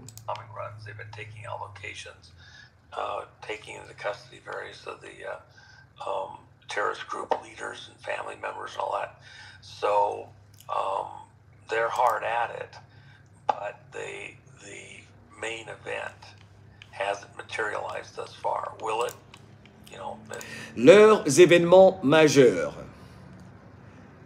En parlant évidemment de toutes ces guerres qu'ils veulent provoquer, Hein, vous voyez, hein, ils ont joué la carte palestinienne, leurs événements majeurs n'ont pas abouti. Et j'aime beaucoup dans le chat le fantastique commentaire de Marie Elbez qui dit « Vaut mieux une minorité active qu'une majorité passive ». Et au fait, encore une fois ce soir, j'aimerais vous remercier sincèrement. Dans le chat maintenant, les mêmes personnes qui m'écrivaient pour dire « Mohamed, dis à ton audience de suivre ce que tu dis. Nous sommes nouveaux ici, mais il faut que ton audience numéro un, là, suive ce que tu dis. Je vous dis, c'est comme ça qu'il le disait. Les mêmes personnes m'ont écrit et ont dit, Mohamed, tu as la meilleure audience parce que ils se rendent compte que il y a beaucoup de gens qui viennent, qui ne savent pas ce que ton audience numéro un dont tu parles sait déjà ou entendait. Donc, c'est extraordinaire. Donc, c'est la rencontre ici des audiences. Allez donc, on envoie des fleurs à tous les nouveaux qui nous rejoignent ici. C'est fantastique. Encore une fois, parce que maintenant, je vois comme Marie Elbiès, le, vient de le faire, nous participons à la conversation. La convivialité, on la connaît tous ici, mais quand euh, nous, nous devons progresser, n'est-ce pas, dans notre façon de travailler, pendant qu'on parle d'un sujet, comme Maïtouk le rappelle souvent, comme Kira le rappelle souvent, comme nos fantastiques modérateurs le rappellent souvent, Fatima Montréal, Clapo, tout le monde, il faut participer à la conversation. Voilà pourquoi il y a du live. Et je vous promets, on va encore mieux s'éclairer les uns les autres, car il y a des choses que vous savez que je ne sais pas, et c'est pour ça qu'il y a le chat. Le chat doit être effectif. Et vous savez qu'il n'y a pas... Euh, euh, enfin, vous savez que plus que moi, il n'y en a pas pour rigoler. Et vous savez que souvent, je veux même rigoler pendant que je reste sérieux. Je veux tout le temps exploser de rire parce que c'est ma nature. Mais parfois, je dois contrôler mon esprit, mes émotions pour être sérieux parce que ce qui se passe est très sérieux. C'est juste un petit rappel, mais c'est important. Merci encore une fois, OK? Let's go.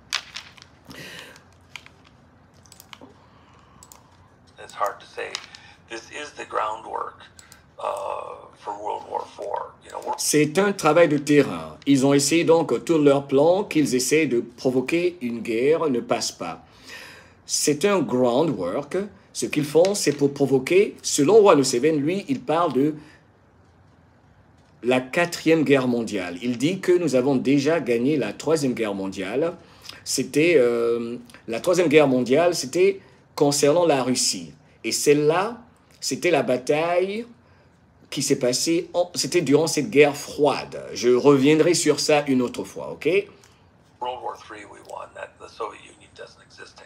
Et c'était euh, mettre fin à l'Union soviétique, ok? Je, Avec des réserves, ok? Patience dans le chat.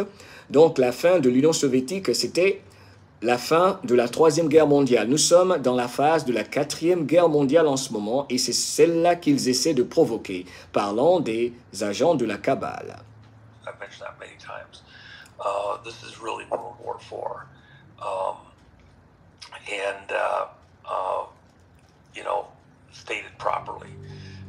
Um, uh, uh, seeing you know, from a scriptural standpoint, wars and rumors of wars, but the end is not yet. Nous entendons des rumeurs de guerre, mais au final, il n'y a rien encore.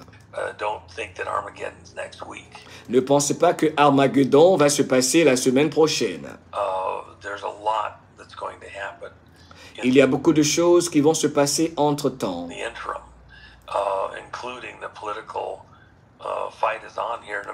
Et particulièrement, la bataille politique est engagée ici aux États-Unis.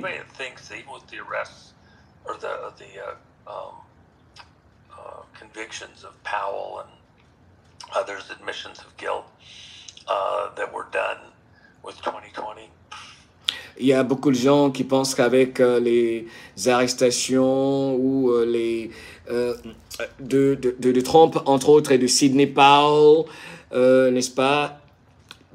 Les indictments, j'oublie le terme encore français, oh les indictments, aidez-moi dans le chat, les indictments, ça me sortit enfin. bref, les convocations en justice de Sidney Powell, beaucoup de gens pensent que c'est fini. Non, mais loin de là, c'est loin d'être fini. Les inculpations, Trudy, I love you, merci Trudy, thank you. Les inculpations de Sidney Powell, non, c'est loin d'être fini. In in their dreams, Dans vos rêves, c'est seulement terminé dans vos rêves. C'est dans vos rêves que c'est fini 2020. Done. 2020 is not over yet, 2020 is not over yet, comme il le dit, 2020, ce n'est pas encore fini. and the legal fights uh, related to that Et les batailles légales concernant 2020 sont loin d'être finies. And uh, so, as far as I'm concerned, um, you cannot hold a 2024 election in the way that things are set up right now. En ce qui me concerne, on ne peut pas avoir les élections de 2024 seul- en- avec la façon dont les choses sont en ce moment. Et là, donc, première euh, conversation ici dans le chat, ce qu'il vient de dire. Il vient de dire quelque chose d'important. Il vient de dire carrément que les élections 2024 ne peuvent pas avoir lieu. N'est-ce pas que c'est assez clair? Il nous avait déjà parlé de la pause, on se souvient. Dans le chat, euh, quelques commentaires relatifs à ceci. Ok? Il est donc, euh, il dit, impossible d'aller encore à des élections pour 2024 dans les conditions actuelles. Encore pas pour dire qu'elles n'auront pas lieu, mais il y aura la pause. Ok? Juste un petit rappel. En premier, c'est 2020, dit Teresa dans le chat. Joël Mazindi, 17 sur 17. N'est-ce pas? Ok, Joël Sans dit oui, la pause, la pause. Merci de continuer la conversation, intéressant. Oh. Parce que les, dans les conditions actuelles, on ne peut pas avoir d'élections justes, on n'aura jamais d'élections euh, euh, euh, qui ne sont pas, j'ai envie de dire, fausses, n'est-ce pas, d'élections illégales, frauduleuses. You can't seal the deal. And uh, so we'll enjoy the show.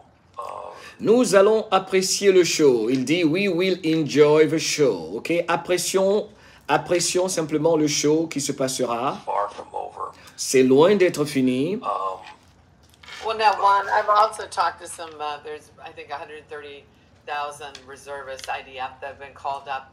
Uh, Dean Bai's son-in-law is actually on the, the front lines in Gaza. And uh, what I've been told was that there was a lot of Hamas that was actually embedded, too, uh, inside of Israel. And there was Là, elle parle d'infiltration également au sein du Hamas et vice-versa. Alors, ce que je vais faire, je vais plutôt avancer à la 44e minute, car ce qui m'intéressait ici, c'est le fait qu'il l'a dit, c'est c'est loin d'être fini 2020. things that happened. They had to go house to house to house that they had to, to go and, and route these guys out as well. What have you heard about that? yeah, it's true. I mean, you have an Arab population inside Israel. That uh, you Sure. know, there, there's a certain component of them that uh, you know it, it wouldn't be different uh, than you go here in the U.S. You've got uh, Il y a donc des infiltrations au sein d'Israël, tout comme de l'autre côté, et c'est pareil également aux États-Unis. um, groups that are really anti-government Il y a des groupes qui sont anti-gouvernement, the et on peut le comprendre. U.S. Because they're bringing in people from outside the country to fill out their ranks. But Mais ce qu'ils font, ils font venir des gens de l'extérieur pour euh, opérer pour eux, pour euh, augmenter le nombre de troupes dans leur rang. Donc il y a, entre autres, on peut comprendre cela sous la euh, nécessité de recruter de par l'immigration en faisant entrer des immigrants qui sont en fait des personnes recrutées au sein desquelles il a les infiltrés donc pour faire le travail euh, de l'État profond. Donc ce sont des cellules qui traversent les frontières de plusieurs pays. Pour résumer, il dit particulièrement aux États-Unis. Donc ça se passe également entre Israël et la Palestine. Il y a des infiltrations de tous les, euh, des deux côtés. uh,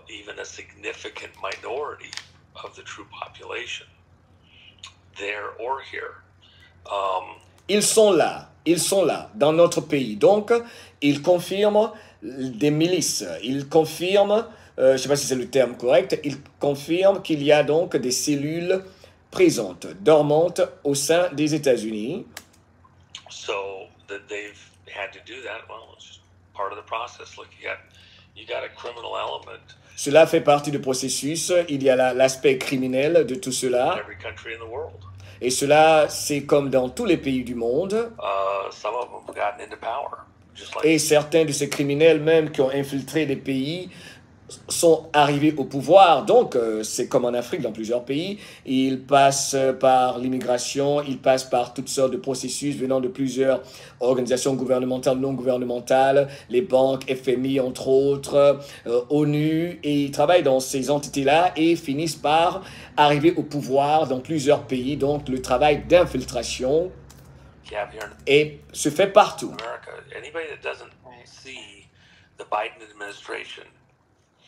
As a criminal um, uh, gang Yeah. is not paying attention. Il dit toute personne qui n'arrive pas à voir clairement que la famille de Joe Biden, Joe Biden est, une femme, est, un, est un gang, une famille criminelle et quelqu'un qui ne comprend pas les choses, n'est-ce pas, qui ne comprend pas ce qui se passe. those payoffs Surtout avec euh, tous les pots de vin qu'il a reçus, n'est-ce pas? On a déjà parlé de cela amplement, toutes les preuves qu'il y a eu contre lui et sa famille, euh, la famille de Biden. uh.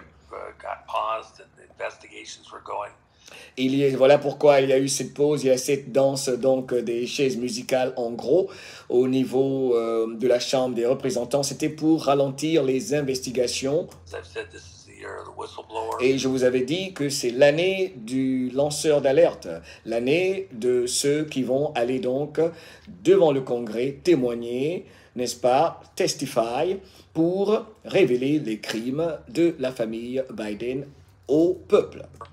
Right now, none of those uh, hearings are happening. They're paused. Where were they going? Donc, ces auditions, il y a eu une pause parce que c'est cela justement qu'ils voulaient. Mais où allons-nous maintenant euh, pour le futur euh? Uh, some of where they were going was the payoffs to Republicans. Maintenant, ce qui va se passer dans les prochaines semaines, euh, pendant qu'on s'engage à reprendre ces auditions, nous allons exposer maintenant les pots de vin reçus par les traîtres du côté républicain. Donc, ils ont exposé les crimes économiques, les pots de vin reçus par le gang des démocrates, les Pelosi, les familles et tout ça, les Romney, on en a plusieurs fois parlé, je résume un peu. Maintenant, ils disent ce qui va se passer avec la possibilité de reprendre les auditions, c'est exposer les traîtres républicains qui ont reçu des pots de vin. coming out of FTX. That's where Les pots de vin qui sont issus de la compagnie FTX, on se souvient tous euh, de Friend, de, Fried, ok, Sam Bankman, ok, le grillé, ce jeune homme euh, aux Bahamas où est basé, était basé, j'ai envie de dire, la compagnie FTX, qui également a été démantelée. Donc nous voyons bien euh, ici que euh, tout a un sens. Ils ont été complètement démunis de leur capacité, leurs moyens de s'enrichir de par leurs opérations de blanchiment d'argent qui passaient par ces entités euh, économiques, ces sociétés qu'ils mettaient en place, telles que FTX, pour euh, justement pouvoir faire et faciliter leur transfert d'argent. Bref. Some of those hearings were going. Right. C'est comme ça qu'ils sponsorisaient en gros les membres du Congrès et du Sénat, n'est-ce pas, en disant on fait des dons euh, pour soutenir tel ou tel candidat, tel ou tel sénateur. Par exemple, la compagnie Facebook l'a fait. On sait que Mark Zuckerberg, n'est-ce pas, qui est qui fut mis en charge de l'opération de la CIA que représente Facebook. Facebook n'a rien, ça n'a rien à voir avec, euh, euh, n'est-ce pas, l'intelligence d'un soi-disant Mark Zuckerberg. C'est Facebook est une opération de la CIA. Ok, faites vos recherches. Donc c'est pareil pour FTX dans toutes les compagnies qu'ils mettent en place et sponsorisent. C'est comme ça que leurs opérations de blanchiment d'argent donc euh, euh, se passent en disant nous allons faire des dons et cela impose donc à ce candidat à qui ils vont donner des milliers, pour ne pas dire des millions de dollars, de faire leur travail tel que centraliser le tout, l'économie, les technologies, n'est-ce pas, et contrôler les économies de la planète, assoiffer les populations de la planète, appauvrir les humains, appauvrir tout le monde, nous voler euh, nos petits commerces, fermer les petits commerces comme ils l'ont fait durant le Cocovido et ouvrir les grandes surfaces comme si, on se souvient tous de par le temps, le virus faisait la différence entre les grandes surfaces et les petites boutiques ou les euh, petites moyennes, euh, les petites entreprises, euh, la petite boulangerie ou la petite ferme de grand-père ou de grand-mère. Donc c'est le même agenda toujours. Okay, well, those Republicans that didn't want Jordan in there les républicains qui ne soutenaient pas Jim Jordan, ok, on se souvient tous Jim Jordan, je pense euh, le, sénateur de l'État de, Ohio, je crois que c'est Ohio, n'est-ce pas? C'est Ohio aussi, Kentucky, c'est Ohio si je ne m'abuse, euh, euh, je verrai plus tard. En tout cas, le sénateur Jim Jordan, qui avait reçu, n'est-ce pas, le soutien de Donald Trump pour être le remplaçant de McCarthy, pour être le chef de la Chambre des représentants, euh, il y a eu ces traîtres des deux côtés qui ne voulaient pas qu'il euh, soit le nouveau chef de la Chambre parce que justement, il ne voulait pas que ces investigations continuent, ces auditions continuent pour exposer les traîtres. Going to the payoffs from uh, the Republican side of the FTX il ne voulait pas qu'on sache l'argent qu'ils ont reçu de FTX. Donc la chambre est prise au piège. C'est énorme. Voilà pourquoi il dit enjoy the show. Ils sont tous en train de se bouffer là entre eux en ce moment. C'est extraordinaire. Okay. Uh, there's uh, quite a bit in there. And by the way, uh, Gal Duft, uh, uh, a lot uh, out of Israel, Israeli national U.S. citizen. Um, who gave all the information several years ago to Congress about the payoff money on the China side, uh, China Energy, uh, not just to uh, Biden, Biden crime family, but to other crime families, political crime families. Okay, and that was coming. That was Et en fait, ce qui est arrivé, pourquoi il y a cette danse des chaises musicales, ils ne savent pas quoi faire, il y a ce chaos qui est un show, ils ne savent même pas quoi faire, c'est parce qu'en fait, ce qui arrive aussi, euh, ce sont les crimes des autres familles. On a vu pour la famille Biden, maintenant, il s'agit des crimes des autres familles. Les Pelosi, il avait parlé des Romney, donc euh, c'est extraordinaire. Biden crime family, but to other crime families. Il y a les autres familles criminelles. Euh, political crime families. Les familles criminelles euh, politiques. Okay. And that was coming. That was next on the uh, chopping. C'est ce qui est sur l'agenda prochain. And uh, so having the House um, in pause, uh, stopping from those hearings going forward.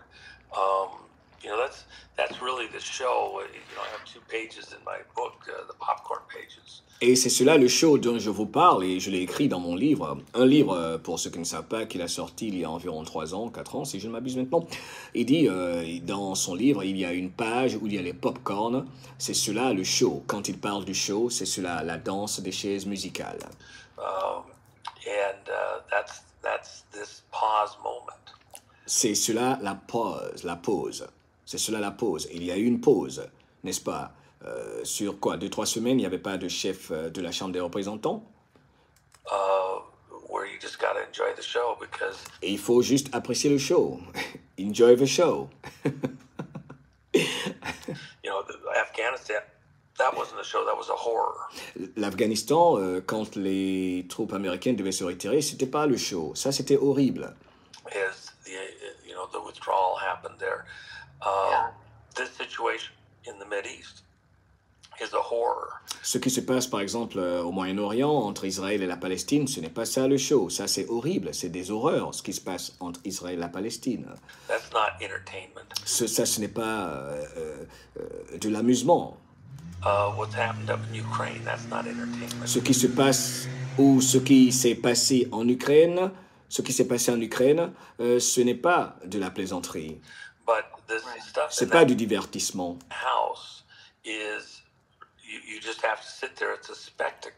Mais ce qui se passe à la Chambre des représentants, c'est un gros spectacle. Asseyez-vous simplement et appréciez le spectacle. Um, and even the threat that Trump would become speaker. Uh, you know, you've got a budget crisis uh, coming up because uh, uh, we don't have a, uh, budget. Uh, the, the government shutdown comes again in another, you know, 27, 28 days. Um, you've got Même le seul fait euh, de brandir la menace comme quoi Trump va être euh, le prochain euh, chef de la Chambre des représentants, c'est le show, tout ça, n'est-ce pas? C'est un spectacle. Quand... euh, uh, quoi d'autre? Uh, continuing escalations in the Mideast. We just uh, blew up a nuclear bomb in, uh, N'oubliez pas que récemment, ici aux États-Unis, euh, pour parler des choses sérieuses, euh, nous avons fait un test, euh, n'est-ce pas, dans l'État du Nevada.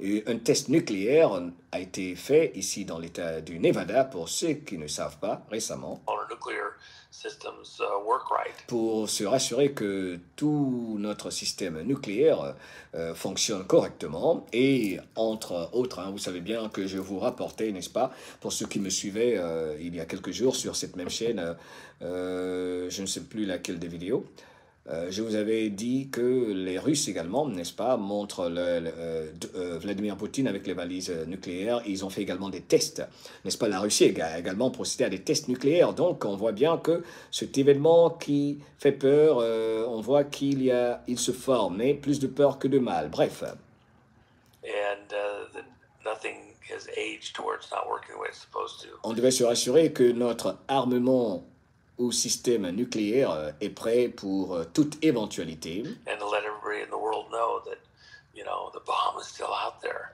et faire savoir à tout le monde que, hey, nous avons toujours euh, cette capacité-là ici aux États-Unis. Um, uh, we have dark moments ahead as a country. Nous, il y a des moments obscurs, sombres, qui vont arriver dans ce pays. Des moments sombres vont venir dans notre pays. And um, it will be a gripping period of time. Ça va être des moments difficiles où il faudra s'agripper. Il faut, il- où il faudra s'agripper. This twilight zone that we're coming into. Ce sera comme être dans un twilight zone, Nous ne sommes pas encore totalement dans cette euh, phase-là, mais nous allons de l'obscurité à la lumière, from light to dark. Nous allons de l'obscurité à la lumière. Et qui dit ça, n'est-ce pas que c'est 17 qui dit toujours, nous allons de l'obscurité à la lumière. C'est le passage de l'obscurité à la lumière qui va passer par une période sombre, difficile. With all of the insanity that's going on in the politics, and, avec euh, toutes ces choses folles qui se passent euh, dans le monde politique. uh, you, you haven't even seen the monetary crisis that's coming yet. Et vous n'avez même pas encore vu la crise monétaire qui arrive. Et je rappelle entre autres, euh, n'est-ce pas, que Donald Trump nous a prévenu et a dit que ça allait être pire que 1929. Donc c'est ce qui se trame. Vous voyez, c'est un peu donc la même chose. Um, we're about to uh, dish up the uh, first major counterpunch. Nous sommes tout près de livrer le premier coup de la contre-attaque. Nous sommes tout près de délivrer, d'activer, d'agir avec le premier coup de notre contre-attaque. But that's not the end either. Mais ce ne sera pas la fin. And as that happens, it's going to shock uh, all of the systems, both sides. Et quand ce coup-là va arriver, ça va choquer tout le système. Et ça va choquer tous ceux et tous ceux, toutes celles qui croyaient que rien ne se passe, que rien n'arrive. Ceux qui pensent que nous sommes en train de perdre, c'est fini, c'est terminé, ceux qui perdent espoir. Enjoy the show. Enjoy the show, enjoy the show. Alors là, je m'arrête 5 minutes parce que là, c'est énorme ce qu'il vient de dire. Dans le chat, vos commentaires rapidement, réaction, réaction rapidement. Euh, Deux ou trois réactions par rapport à ce que vous venez d'entendre. Euh, Je ne vous ai pas oublié dans le chat. Ben Ben, des commentaires en rapport avec ce que nous venons de d'entendre, ou à nous dire. Ben Ben, ceci est un mal pour un bien. Quelques commentaires. Euh, merci de participer à la conversation. Je lis vos commentaires. Là, j'ai le chat, ok, devant moi. Euh, un bien pour un mal. Ok, euh, Monique a dit j'ai hâte pour ceux qui ne me croient pas. Et qui d'autre dans le chat euh,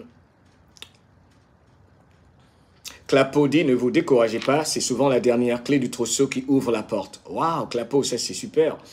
Euh, c'est un super commentaire. Euh, les guidances d'Aïcha dit Prions pour que ce passage soit adouci pour les guerriers de la lumière. Vous voyez, c'est intéressant cette conversation parce que je vous dis oh, les infos, tout, tout ce qui se passe, nous allons vers comme la destruction totale de l'économie euh, dans ces nations, dans ces États, j'ai envie de dire comme le Canada, la France, euh, surtout ceux qui ne reçoivent plus euh, l'énergie de la Russie, surtout après euh, la destruction des pipelines Nord Stream.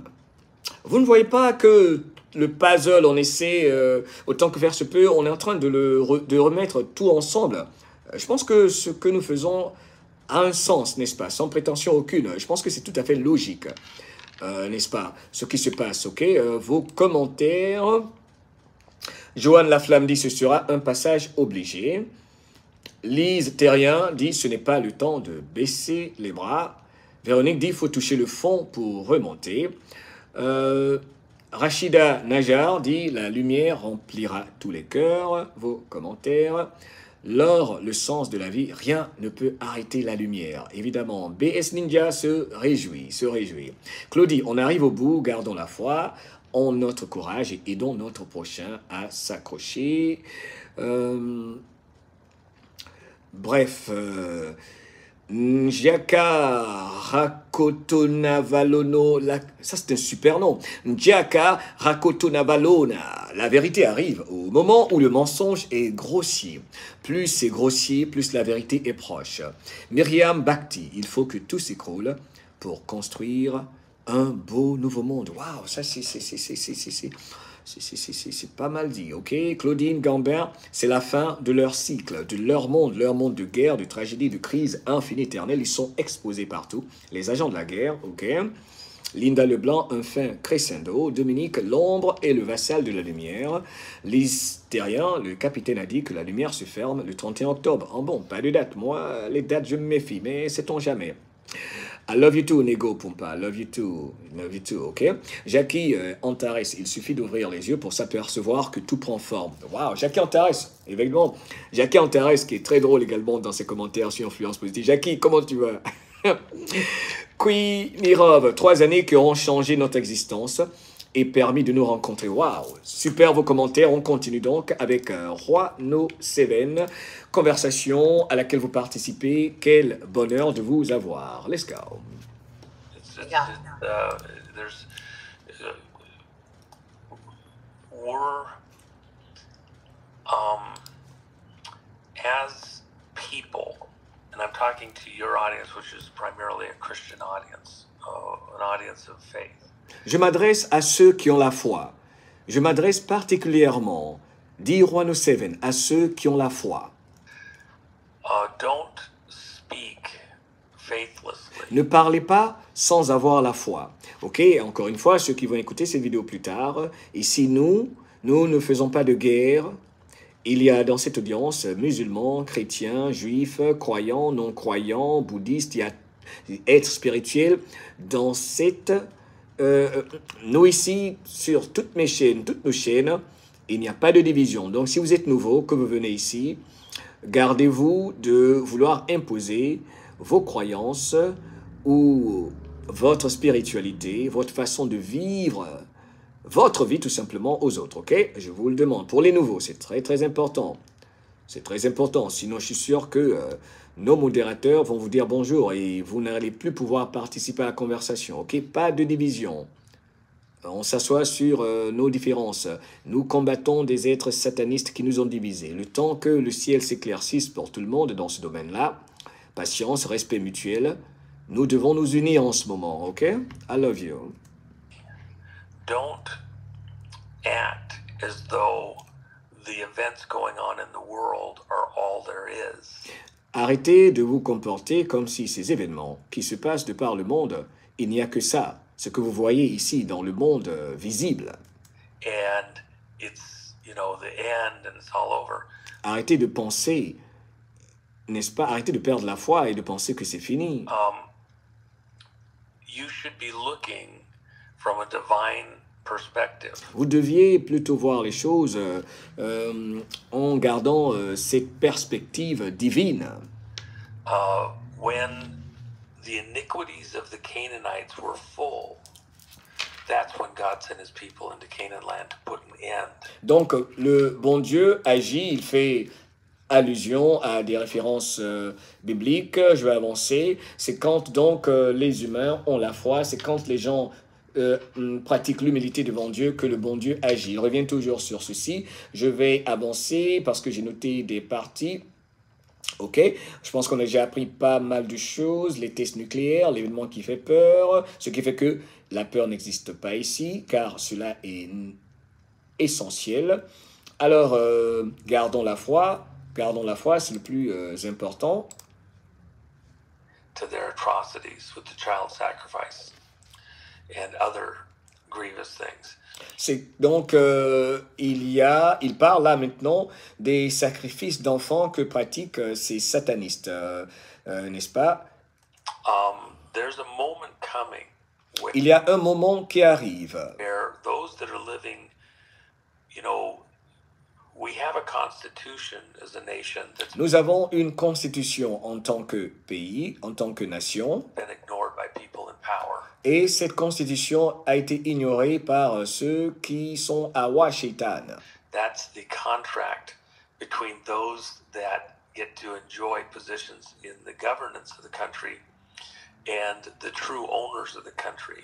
C'est le contrat qu'il y a entre ceux qui occupent les postes à Washington, Washington dans la corporation, et euh, ceux qui les contrôlent, donc ceux qui sont dans l'ombre qui les contrôlent. uh, uh, with the citizens with whom the contract is, who who actually that that this country belongs to. But Et également, le contrat comprend les citoyens, euh, le peuple auquel cette nation appartient réellement. prior to that, there was covenants made between the pilgrims who came here to populate this country uh, and God Himself, and they were memorialized in monuments and remembered that way.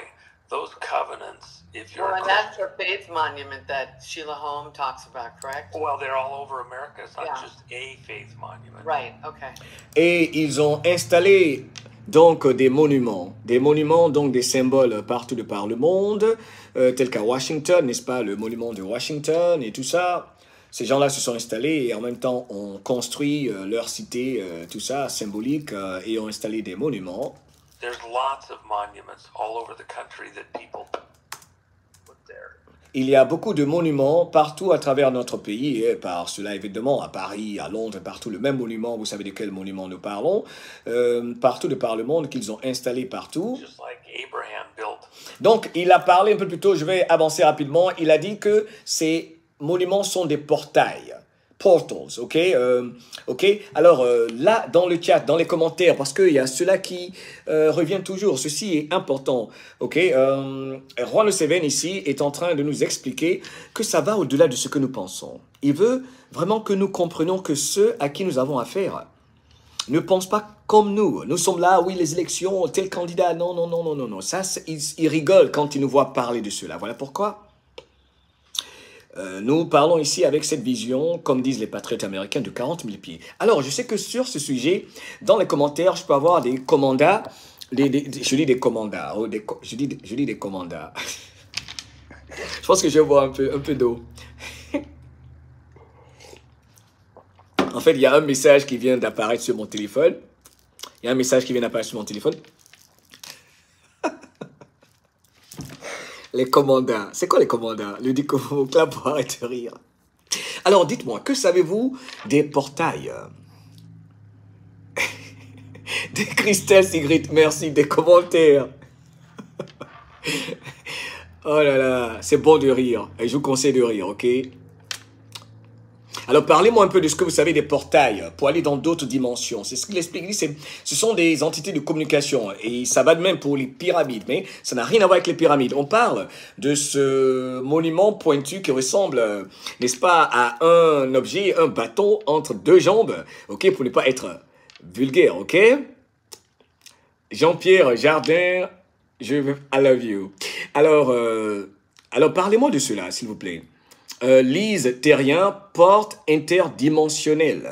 Ok, je veux qu'on apprenne les uns des autres ici. Vous qui êtes là, nous sommes près de 2000 personnes, sans compter ceux qui sont sur Odyssée, VK. Salut à tout le monde, au fait, j'oublie souvent, ok euh, salut à tout le monde sur VK, sur Odyssée, sur Telegram, euh, sur toutes les autres euh, plateformes où on nous suit. C'est un honneur de vous servir. Merci infiniment. Et merci à ceux qui euh, partagent, surtout celui qui partage les vidéos là sur une page Odyssée. Merci infiniment. I love you. On se soutient, on est ensemble. I love you. Merci à tous et toutes celles qui partagent. OK? Alors, euh, Jean-Pierre Jardin, justement, l'Obélix, vos commentaires. Joël Son, l'invisible n'est pas vide. portail énergétique, Samia, porte des étoiles, Cécile Fanny, c'est des portes peut-être. Rachel Rachou, comment tu vas? Ben Ben dit monde de l'invisible et portail à mon humble avis. Ok. Nono, accès à d'autres dimensions leur permettant de gérer le passé, présent et futur. Sissi Afrita, c'est le monument avec une équerre et le compas, signe maçonnique, selon elle. Isabelle Tani, comment tu vas Isabelle? Il y a plusieurs des... Il y a plusieurs de ces portes des étoiles un peu partout dans le monde. La dernière vue était en Irak. Intéressant. Lors, le sens de la vie parle de téléportation. On parlera de tout ça dans MDL Mystère. C'est passionnant. CV 741, le CERN, sous le lac le, Léman, essaie de créer un portail. Peut-être que c'est pour ça qu'ils font leur vente aux enchères pour entrer dans leur portail, ok? Et les différents arcs, ils ont plusieurs arcs partout de par le monde. Vous avez remarqué, ils ont des arcs. L'arc du triomphe, l'arc de ceci, ici, comme à Saint-Louis, il y a un arc. Je pense que c'est dans le Missouri, ils ont des arcs partout.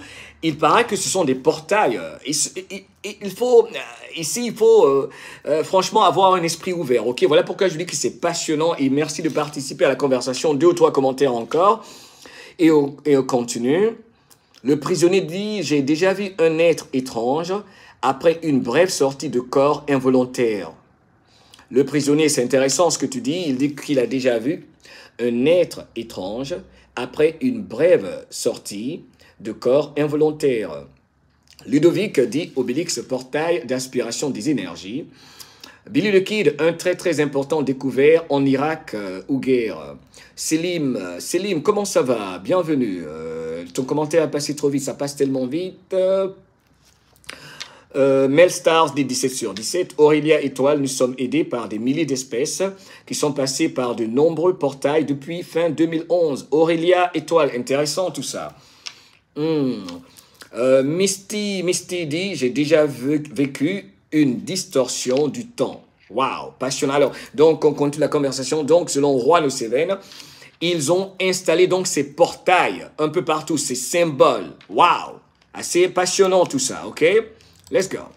Um, altars or monuments to memorialize certain events. Ils ont installé, ils ont donc construit des monuments et euh, pour euh, euh, commémorer certains événements. Des événements qui sont passés entre donc, euh, je sais pas, un certain groupe de personnes et le bon Dieu.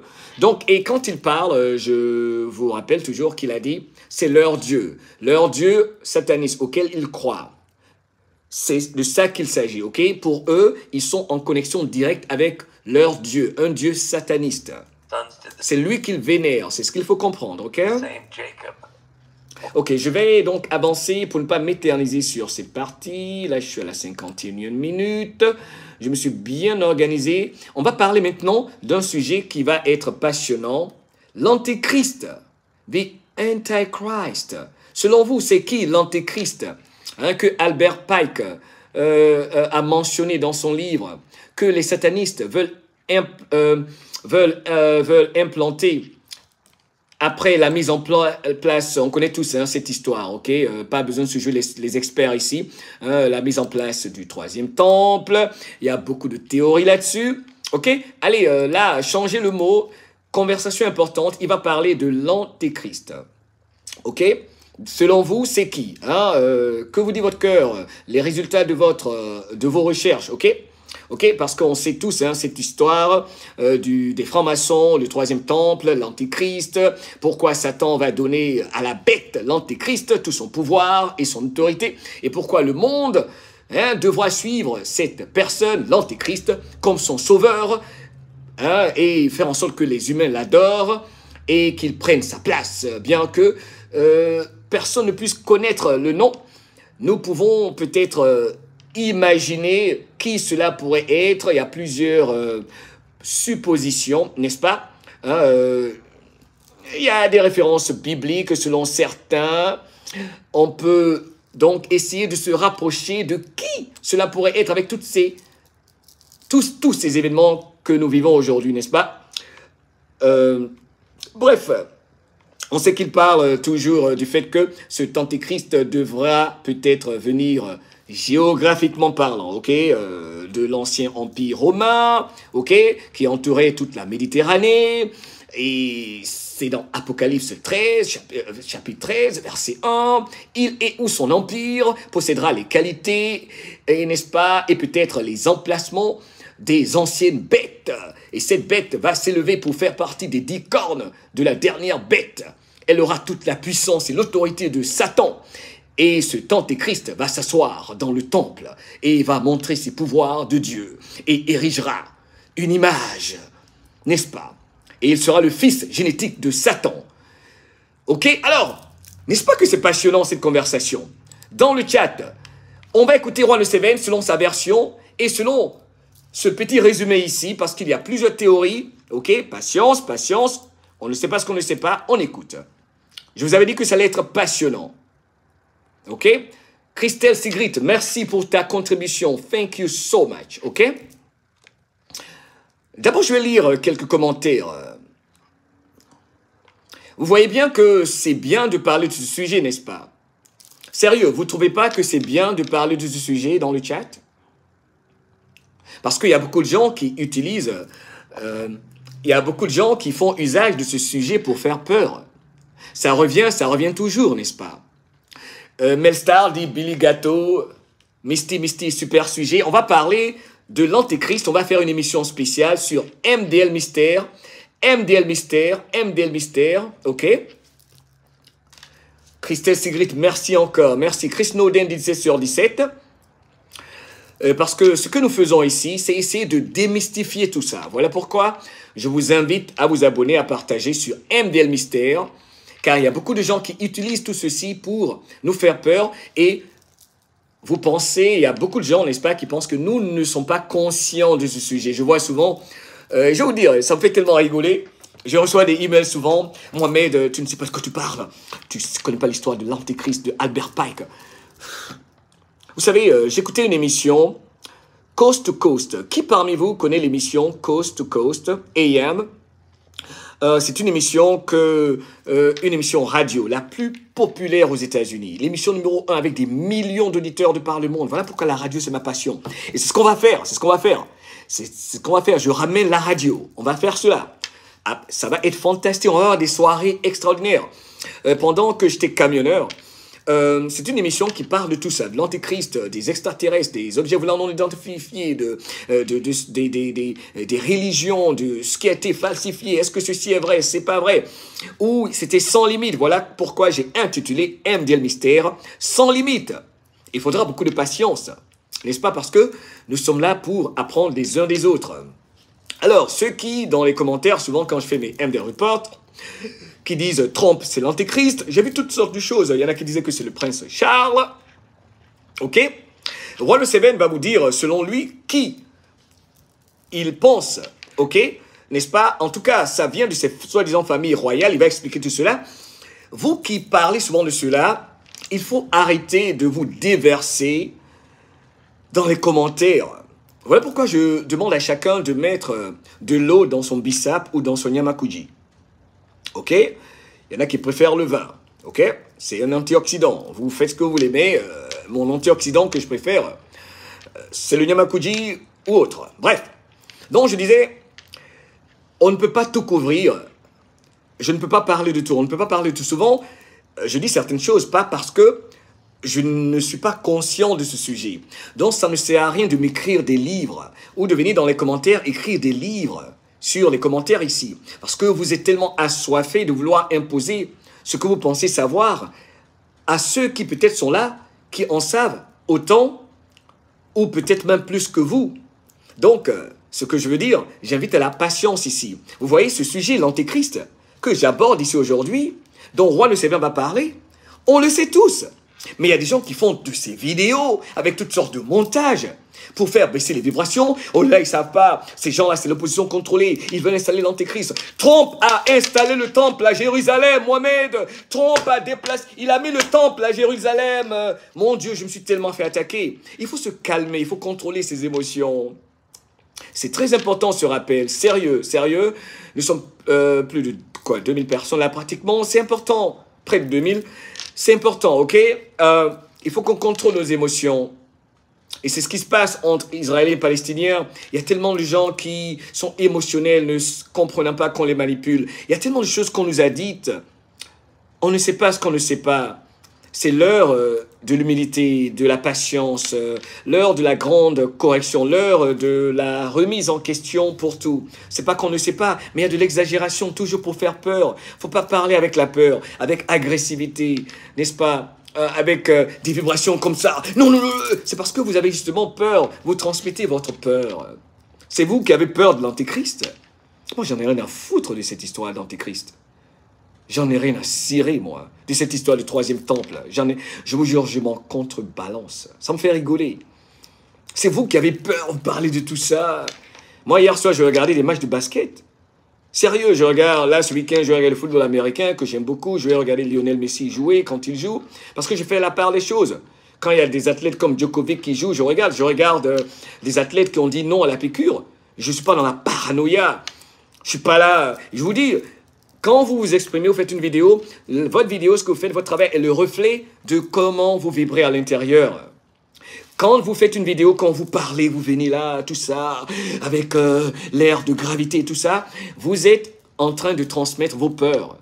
Ceux qui savent, savent. Audience numéro 1, vous comprenez ce que je dis, surtout les, euh, ceux qui euh, vibrent très haut, on se comprend, 17 sur 17 ici, vous transmettez vos vibrations parce que la majorité de l'humanité vibre dans la peur. Et l'objectif de 17 et votre serviteur, moi en tout cas en ce qui me concerne particulièrement, c'est de te dire, n'aie pas peur.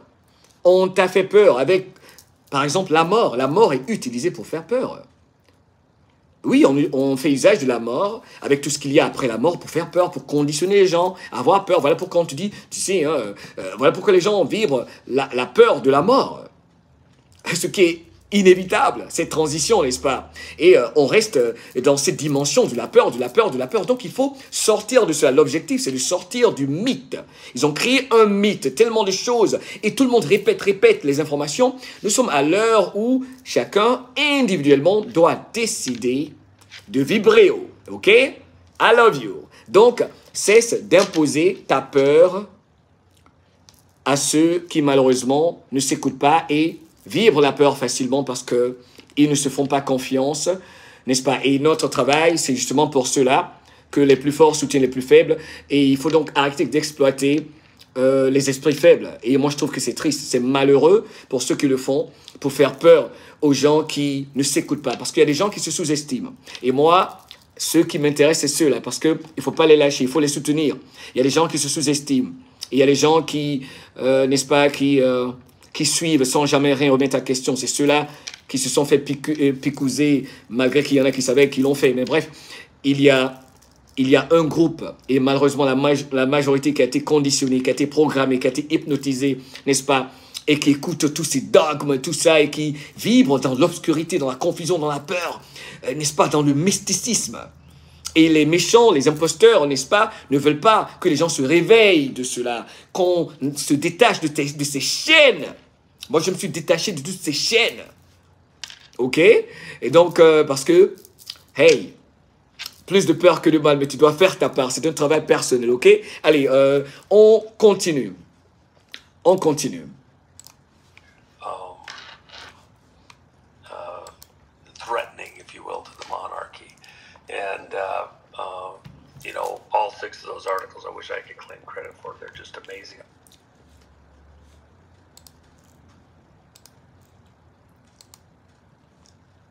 Un instant, s'il vous plaît.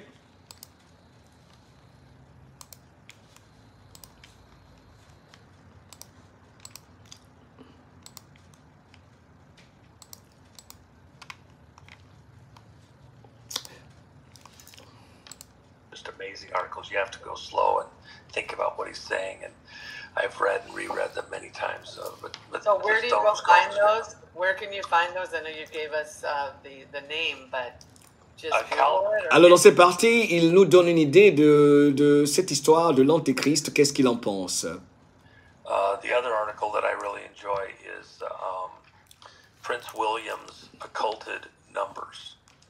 Uh, Il nous parle de prince, du prince William. Ok, euh, prince Will, Wi- euh, euh, Wi- Williams, ok, Euh, un instant.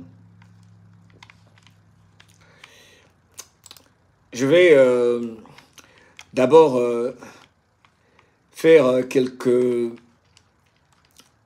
petites. je, vais, mettre en place quelques petites références par rapport à comment il est né, Prince William, qui il est, pourquoi il faut faire attention au Prince William. Il ne dit pas que c'est lui l'Antéchrist, mais il dit, il nous rappelle tous que nous devons faire attention à Prince William. Il va nous expliquer quelque chose ici. Chacun en pense ce qu'il veut.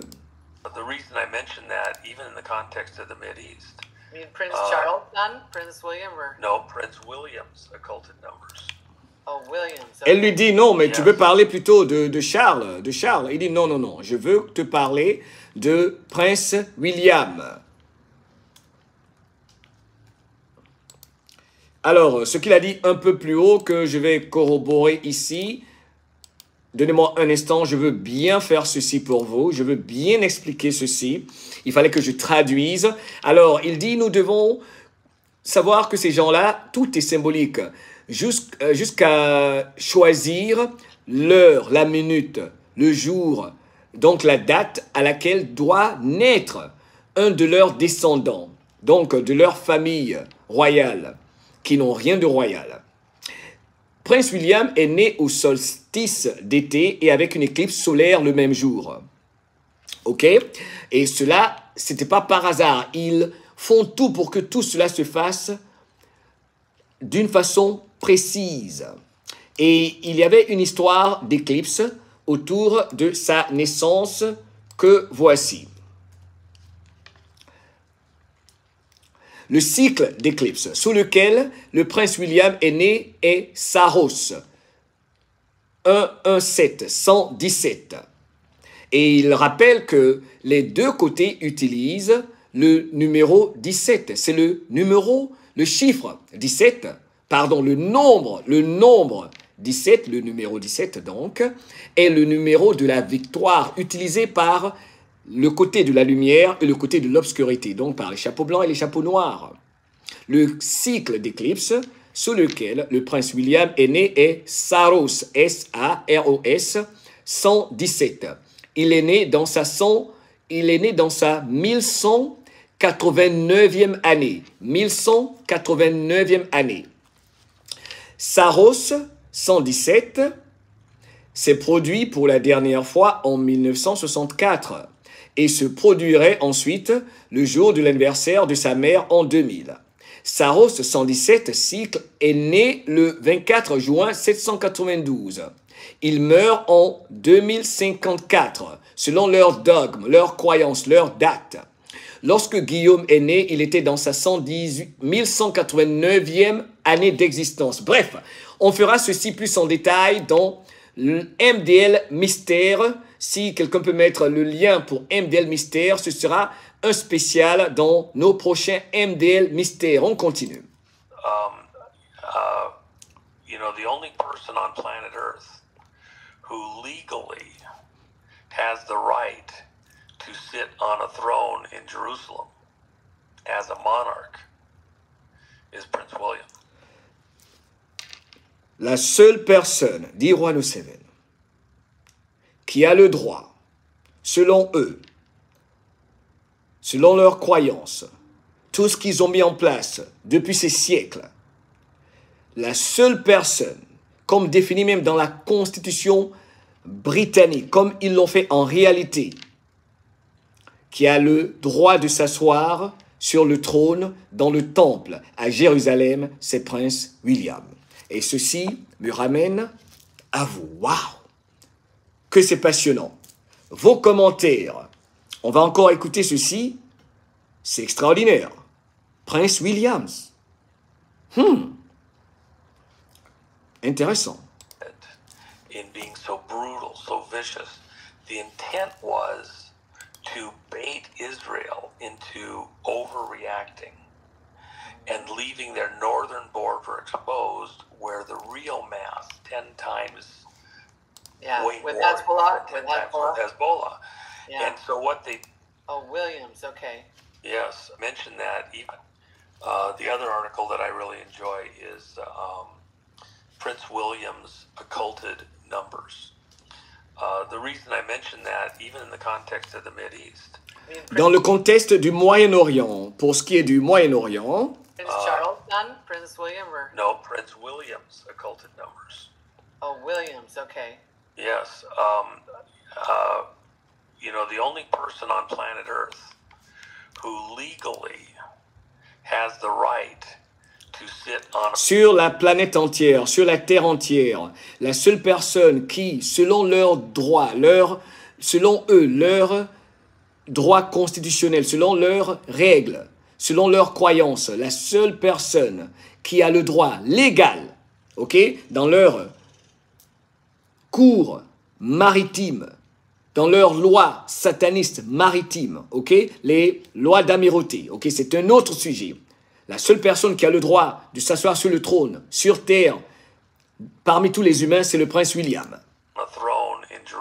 Dans- sur le trône à Jérusalem, as a monarch comme monarque, is Prince William. c'est Prince Williams, ok? Alors, c'est cela qui a été déjoué, ok? Il explique ce qu'il devait faire, ce qu'il voulait faire, ok? C'est cela. Et c'est la raison pour laquelle il y a eu toutes ces confusions avec euh, quand euh, Donald Trump est allé là-bas, c'était cette guerre parce que c'est ce qu'il voulait faire sur la base de leurs croyances. Vous voyez pas, outre pas que c'est passionnant ceci, il y a un peu plus d'éclaircissement. Alors là, je reviens à vous dans les commentaires n'est-ce pas? Ils avaient tout prévu, n'est-ce pas? Ils avaient tout calculé, c'est ce qu'ils voulaient faire, c'était l'intention première, ok? Fatima Montréal nous rappelle la date de conception calculée par rapport à sa date de naissance, la date. Exactement. Bien dit Fatima, thank you, love you. Euh, Rosemary Julien, c'était bien ce qu'une dame numérologique a expliqué et la géométrie donne le même résultat. Christelle Dubreuil, la plupart des gens ont plutôt peur de vivre. N'ayez plus peur de vivre. Vos commentaires, on se concentre, s'il vous plaît, dans le chat, on se concentre.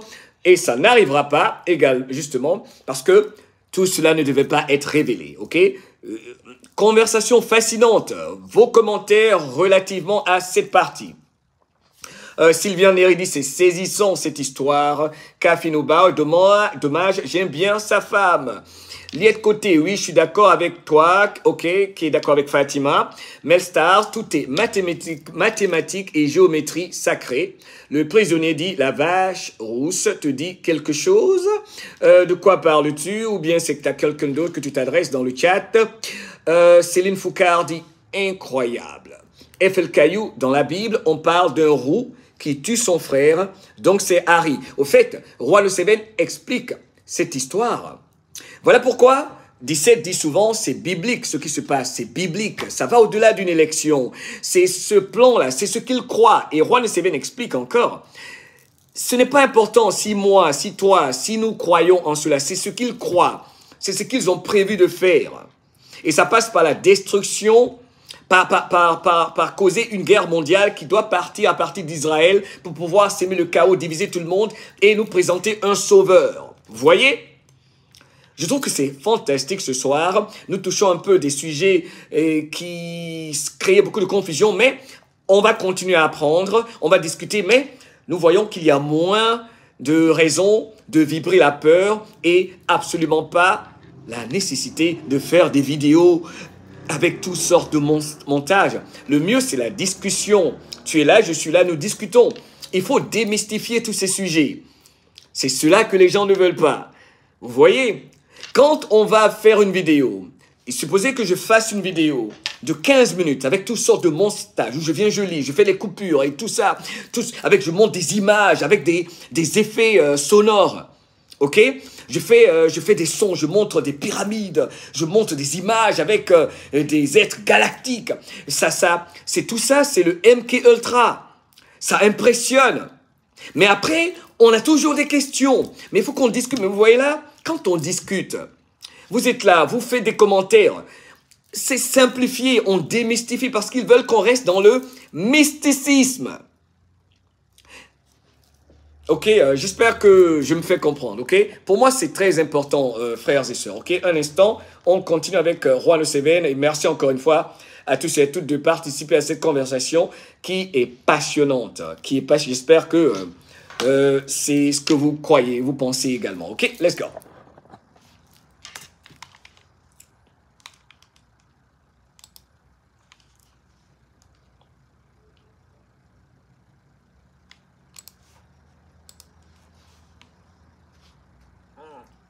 and that's because of the way that uh, Palestine uh, was a British uh, occupied area. N'oubliez et cela légalement, il n'y a que le prince William qui puisse s'asseoir sur ce trône comme monarque à Jérusalem. Et pourquoi? N'oubliez pas que la Palestine était contrôlée par l'empire britannique. Cela est tout à fait logique. back when the uh, uh, Balfour Declaration was created, which uh, the uh, uh, House of Lords allowed property to be bought Et cela sous l'impulsion des, des, des, des zionistes, ok? Les zionistes, c'est ça quand on dit les, les, les zionistes, les sionistes, ok? Et ce terme fait qu'on vous attaque souvent, je l'utilise en traduisant. Vous qui allez venir ici plus tard, dès qu'on dit le terme sioniste, vous vous érigez, vous vous enflammez, ça ne marchera pas sur moi, ok? Donc il dit euh, par les sionistes, n'est-ce pas, euh, les Rothschild qui ont mis ce plan en marche, qui l'ont activé donc dans ces zones israélo-palestiniennes.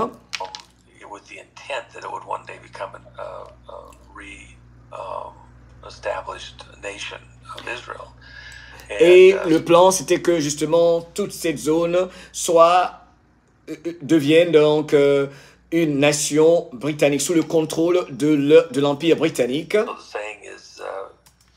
Un instant. with the intent that it would one day become an uh, uh, re-established nation of Israel. Pardon, avec l'intention d'en faire, donc de faire de la Palestine une nation israélienne. And uh, so the saying is uh, that God set aside the land for the people, and then He uh, set aside the people for the land. Which is what Et voilà pourquoi ils ont dit que c'est Dieu qui a mis à part cette terre, qui a réservé cette terre à ce peuple. uh, in World War II in 47, they came down and declared themselves a nation. Et voilà, après la Deuxième Guerre mondiale, ils se sont déclarés une nation, ils ont provoqué cette guerre. Donc on a compris que toutes ces guerres qu'ils ont causées, c'est aller vers l'aboutissement final de ce plan, écrit dans ce livre d'Albert Pike euh, aux environs de 1871, pour installer l'Antéchrist. On a simplifié cette histoire ici. Nous continuons. Donc je vais avancer parce que c'est hyper long pour ne pas nous éterniser ici. Je vais aller à... Je vais voir un instant. Je pense qu'il y a nécessité d'aller maintenant hum, après cette histoire d'Antéchrist. Maintenant, revenons à ce qu'on pourrait voir arriver aux États-Unis et le reste du monde dans les semaines, les jours qui viennent. The, the uni- unique thing here is that America is at this critical moment L'Amérique est, en- à un carrefour, euh, à, une, à un moment critique en ce moment. the piece that they've never been able to fully get a hold of. That's why they have to either destroy us L'Amérique est la pièce du puzzle, la pièce de leur plan qu'ils n'ont jamais plus, qu'ils n'ont jamais pu contrôler. Uh. Ils n'ont pas pu diviser l'Amérique. Donc euh, prendre le contrôle de l'Amérique pour euh, achever leur plan sataniste, pour ainsi dire. uh, or fight us. And America, uh, what the divine component here is, is that uh, I believe that um, God is moving in America. Parce qu'il y a cet aspect divin également en Amérique. Et Dieu, justement, il y a l'aspect divin pour ce qui est de l'Amérique. Et Dieu est en train de faire sa part dans ce combat. Et Dieu va agir d'une façon unique. Et le peuple de Dieu sera à l'avant de ce combat. Ils ne seront pas à la queue, ils ne seront pas derrière dans ce combat. And through this, the key in America is justice. Et à travers cela, la clé ici, c'est la justice. So when you see the first La clé, c'est la justice. La clé pour l'Amérique va passer donc par cette justice. Voilà pourquoi j'ai intitulé notre conversation Justice sera faite. On avance. Et il va le dire d'ailleurs plus haut. glimmers of the shades of light Donc il faudra que la justice soit livrée. Et sous l'apparition de lumière, donc pour effacer l'ombre et faire apparaître la lumière. Alors je vous rappelle les nouveaux, Roi de Seven, c'est comme ça qu'il parle. Il parle en code, tout comme Donald Trump passe des messages codés parce que c'est une guerre. L'ennemi écoute, il parle comme ça, il faudra décoder ce qu'il dit, mais ce qu'il dit là est assez clair, n'est-ce pas? C'est assez clair, ok? Donc, euh, il a enlevé l'ombre, in the shade of... Et, euh, euh, et on va voir donc des lumières apparaître, quelque chose comme ça. On peut traduire ça de plusieurs façons, ok? On n'a pas besoin d'être trop euh, carré ici. coming upon the Russia, Russia, Russia crowd. Donc il a la lumière qui va être faite sur l'affaire du Russia, Russia, Russia. Donc ça encore, ce n'est pas fini. C'est pourquoi ils avaient accusé Donald Trump d'avoir, n'est-ce pas, euh, euh, collaboré, coopéré avec la Russie pour s'imposer au pouvoir, ce qui était loin d'être le cas. Comme ça a été prouvé d'ailleurs. The injustices that were done in the first Trump administration. Il y aura la lumière sur toutes ces injustices qui ont été faites à l'administration de Donald Trump. and before, with all of those lies, that's now ripe. We won't get to the election stuff immediately. We will get to the Russia, Russia, Russia. Nous n'allons pas en arriver aux élections immédiatement. Nous allons d'abord devoir passer par cette affaire de Russie, Russie, Russie, Russia, Russia, Russia, the Russia Gate. stuff. And then that will lead to other things. But Et cela va nous mener à autre chose. we're going to go through a lot of drama Nous allons traverser beaucoup de choses dramatiques, ok? Nous allons faire face à beaucoup de drames, de choses dramatiques. uh, here as a nation. Ici, en tant que nation, When you have all these weeds that have been planted in amongst the good seed, quand vous avez toutes ces feuilles mortes, donc qui sont installées, il veut dire euh, à Washington, euh, quand vous avez tous ces traîtres, il dit those weeds, n'est-ce pas Toutes ces, euh, toutes ces feuilles mortes, n'est-ce pas Ces, ces gens-là qui sont installés à Washington, ils sont maintenant prêts pour la récolte. Ces feuilles mortes, nous sommes prêts à les ramasser, à les récolter. C'est ce que je voulais que vous entendiez, vous avez vu dans le titre. They are now ready for harvest. Il est temps, donc c'est la saison de la récolte. Je veux que vous entendiez cela encore. when you in amongst uh, the good seed, they're ripe now for harvest. And we're going to pull up all of them and then separate them. And justice will be done. And those that are on the right side of history are going to be preserved. And we're going to get back to the right place in the country. Waouh, c'est énorme ce qu'il a dit alors. Il dit, il, il dit encore une fois, donc nous avons ces mauvaises herbes, n'est-ce pas, qui ont été plantées parmi de bonnes graines. Nous avons toutes ces mauvaises herbes plantées parmi de mauvaises graines. This will be done here as a nation. When you have all these weeds that have been planted in amongst the good seed, they're ripe now for harvest. Maintenant, c'est l'heure de la récolte. Maintenant, ces mauvaises, ces, ces- ces- ces mauvaises euh, plantes, il est temps de- d'en faire la récolte. Et nous allons les faire ressortir tous. Et nous allons les séparer. And justice will be done. Et la justice sera faite. And those that are on the right side of history are going to be preserved. Et ceux qui sont du bon côté de l'histoire seront préservés. And we're going to get back to the right place in the country. Et nous allons revenir à la bonne place, au bon endroit, dans notre pays. Uh, 2020 isn't over yet. 2020, ce n'est pas fini. And that that's fighting words. It, Et ce ne sont pas juste des mots, ce sont des mots de combat. literally, it shakes those that have been doing evil and uh, Et cela fait trembler, quand on le dit que 2020 n'est pas fini, cela fait trembler ceux qui font le mal et ceux qui ont des ambitions euh, diaboliques, satanistes. uh, to the bone. Et cela jusque dans leurs os. It makes their Well, bones Juan- rattle. even even as you brought up in um, South Dakota when you zoomed in, uh, you know the when Charles Finney was an attorney and he was, uh, you know, went around and he they would have people go in the town before and pray, and uh, you brought this up that when he went. The first altar call he gave was the fact that he would tell them to repent of being a Freemason, and Mhm. then he'd give an altar call where they accept, accept Christ. Remember, he was a Mason. At what time? Là, il va parler d'un ancien franc-maçon qui est revenu du bon côté, ok? Un ancien franc-maçon qui s'est reconverti. Je vais avancer euh, plutôt la conversation pour cette dernière heure. Euh, on va parler, on va entendre Juan Le Céven maintenant euh, parler. Euh, attendez, je pense que je peux vous faire entendre ceci quand il parle du culte de Albert Pike. Ok? Euh, Pourquoi pas? Attendez. of uh, Lucifer, and he had to make a choice, and that was the divide in the road. He had to choose uh, a scriptural life and not this other secret handshake operation.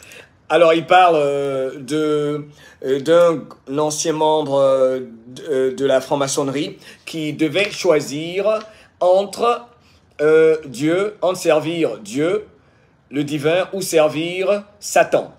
Ok? Et c'est quelqu'un qui, il dit, a rejoint les chapeaux blancs, qui était à une rencontre à laquelle lui également euh, était présent, mais par Zoom. Ok? Une rencontre comme ils le font souvent ici avec les patriotes. Je vais avancer à autre chose. Euh, Donnez-moi euh, un instant. Voilà. Let's go. Um, Now, Ron, that in regard to the steeples, Yeah. the steeples, I heard you say this that a lot of the churches that had the steeples that was in sig- that was a significance uh, of the Freemasons uh, being at the church. Is that correct? Well, the the steeple, if you look, it's like the monument in Washington D.C. What is the Washington monument symbol. really? It's a phallic Yeah. symbol, and it's because it's as important to this Luciferian cult as the cross is to Christians. Il faut savoir que pour euh, les membres de ce culte sataniste, le monument de Washington, l'obélix, n'est-ce pas, qu'on retrouve un peu partout, est autant important pour eux que nous nous accordons de l'importance à la croix, n'est-ce pas, à la croix pour les chrétiens. Il dit, c'est, il faut comprendre cela, qu'on le veuille ou pas. Si nous accordons de l'importance à la croix, eux, c'est la même importance qu'ils accordent à l'obélix. Um, if you go, look, it doesn't matter what you think; it's what Et ce que vous pensez n'a pas d'importance. Ce qui est important, c'est ce que eux ils pensent. C'est ce que eux ils croient. Ce à, en quoi ils, ce à quoi ils croient. C'est leur religion, c'est leur culte. Uh, they believe that uh, uh, within a number of these cults, not just the Masons, and a number of Et il ne s'agit pas que des francs-maçons. Il y en a plusieurs autres. cults, that uh, original sin was that Eve Ils croient, eux, que Yves, subhanallah, il dit que Yves a eu des... Alors, je vais être très très prudent ici, ok? Je vais être très prudent. Il dit que ceux-là, ils croient. Il dit c'est ce qu'ils croient, c'est pas ce que nous nous croyons. Il nous explique ce que ces gens-là croient. Ils ont été infiltrés, c'est leur croyance, que eux, ils croient que Yves a eu des rapports sexuels avec Satan. Alors, ça, c'est quelque chose que je dis comme ça, subhanallah, subhanallah, astaghfirullah, mais je ne sais pas ce que je ne sais pas. C'est ce qu'ils croient, eux. Vous voyez? Et il faut beaucoup de patience quand vous êtes dans nos lives. Parce que nous, nous n'avons pas peur d'aborder ce genre de sujet ici. Donc, je vous demande de la patience. Pas d'attaque personnelle. Je traduis, nous sommes là pour apprendre les uns des autres. Mais la conversation est ouverte, ok? N'oubliez pas, à la vérité ne sort pas pour tout le monde. Je ne sais pas pourquoi. Mais c'est très sensible comme sujet.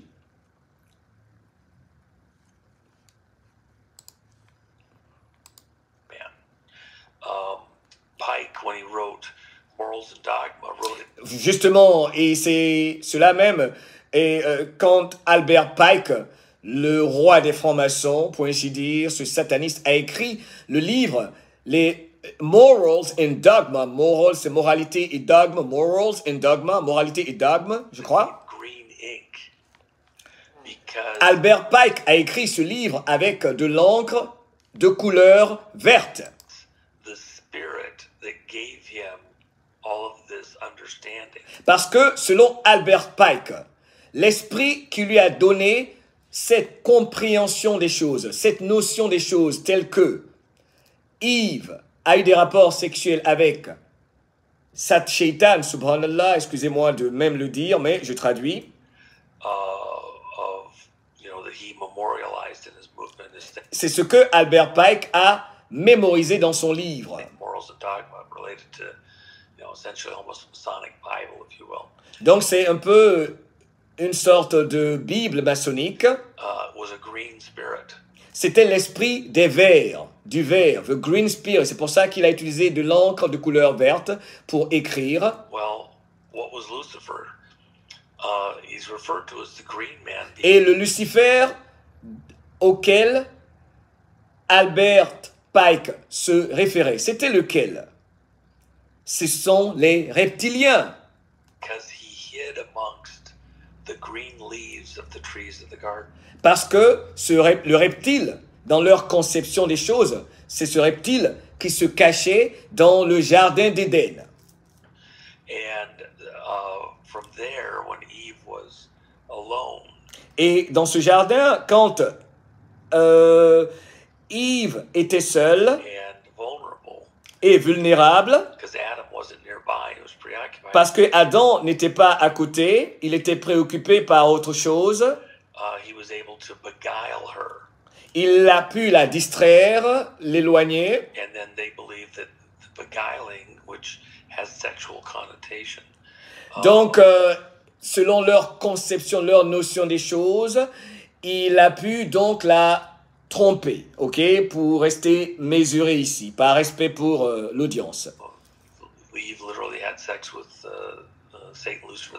Donc, euh, selon eux, leur croyance folle, que vous le croyez ou pas, c'est ce qu'ils croient, que Yves a eu des rapports sexuels avec Lucifer, le diable. Voilà pourquoi ils croient qu'ils sont des descendants de Lucifer. Mary's baby all over again. And she became pregnant, and then she went and taught Et donc, elle est tombée enceinte. C'est leur croyance purée.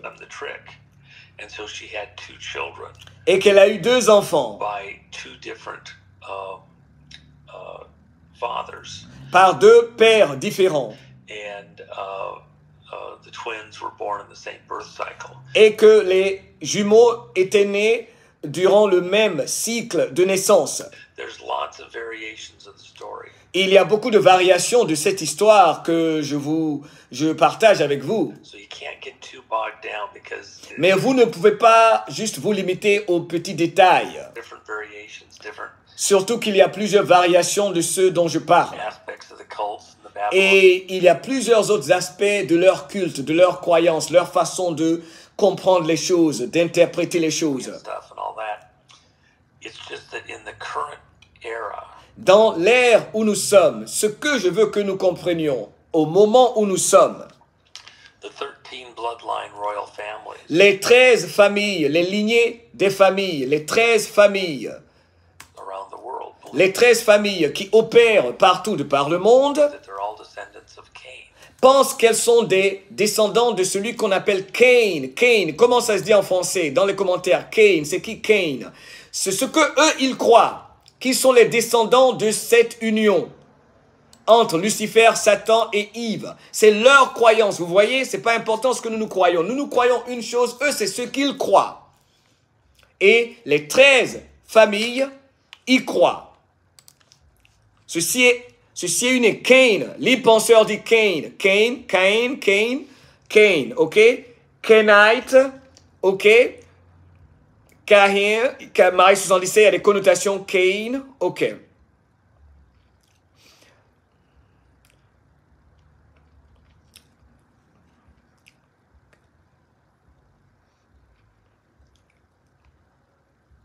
Ok, nous continuons la conversation. And that Cain uh, is their father. Et ils considèrent que Cain est leur père. Um, and Cain's father was Satan, Lucifer, the devil. And Donc les 13 familles pensent que Cain est leur père, n'est-ce pas? The Babylonian stuff and all that. It's just that in the current era, the 13 bloodline ro- Alors je vais résumer, je vais résumer. À l'heure actuelle, nous devons simplement comprendre, sans nous concentrer sur les variations, les différentes versions de cette histoire, et il fait bien de le préciser. Il rappelle à tout le monde, ne nous concentrons pas sur ce que chacun sait ou pense savoir de cette histoire. Il y a plusieurs versions, mais il veut que nous sachions que c'est ce que eux, ils croient. On doit se réveiller, c'est comme ça qu'il fonctionne. Et que sur cette base, en ce moment, sur cette planète, les 13 familles qui contrôlent, qui travaillent ensemble, qui ont créé toutes ces entités de par le monde, croient en cette histoire et ce qui va suivre. Les familles royales, partout de par le monde, les familles royales de par le monde pensent toutes qu'elles sont des descendantes de Cain. Et que Cain est leur père, Um, and Cain's father was Satan, Lucifer, the devil. himself. et que le père de Cain est Satan, Lucifer, le diable lui-même. So they all have the same mother Et donc, ils pensent tous qu'ils ont la même maman, uh, and father, and it's not Adam. And when you look in the et ils pensent que le père- leur père, ce n'est pas Adam. Uh, in, in the Donc, wow. Books of Moses, uh, Genesis, it lists the children of Adam, but it doesn't. Et vous voyez, dans même certaines références bibliques, il parle euh, de Genesis, et qu'on liste les descendants de Moïse. Cain. On parle, euh, un instant, Uh, in, in the five books of Moses, dans les cinq livres de Moïse, uh, Genesis, it lists the children of Adam, but it il y a la liste des enfants, des descendants de Adam, doesn't include Cain. Qui n'inclut pas Cain. Uh, and if you look at the original words, Et si vous vous référez aux mots originaux, originels si vous préférez, the argument is from the priests. I mean, the you know the Jewish priests les arguments qu'avancent les, prêtres juifs, Many of them say, you know, Rabbis. La plupart des rabbins disent ce, ce qui suit. that- that they they say that those words, when you look at them, interpret them properly. I mean, this is open to discourse and discussion, but Et cela est disputable, n'est-ce pas? Discutable, si vous préférez. um, uh, Eve, yes, she knew Adam, and then she had a child. Les, la plupart des prêtres juifs, donc rabbins, il dit, interprètent ceci en disant que Yves connaissait donc Adam, Well, she knew Adam after she was beguiled. That it was the mais elle a connu Adam après avoir euh, rencontré, donc après euh, ce qui s'est passé entre elle et euh, justement Lucifer, Satan.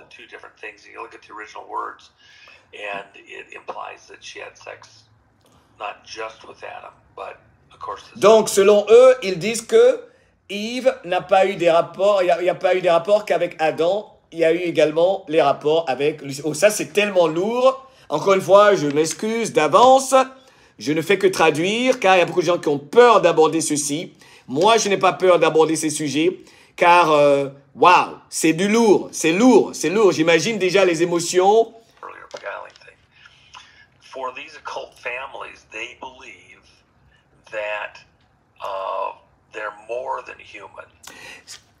Il faut savoir que ces familles royales, ces gens, les membres de ces groupes, toutes ces familles, et pas seulement royales, toutes ces familles, croient qu'elles sont plus que des humains. Ce ne sont pas simplement des humains, mais des êtres supérieurs. Why would you make a statement? Mais au-delà, ok, donc des, êtres- des descendants du serpent, ok Du serpent. like that? Because was Lucifer, Satan, devil, who uh, enticed Eve to sin, and then Est-ce Lucifer, le diable, qui a poussé Yves à commettre des fautes, à pécher Adam to join in? et a invité Adam à les rejoindre? Um, was he part of that earthly creation? Where did he come from? Christ said Était-il, faisait-il partie de cette phase de la création?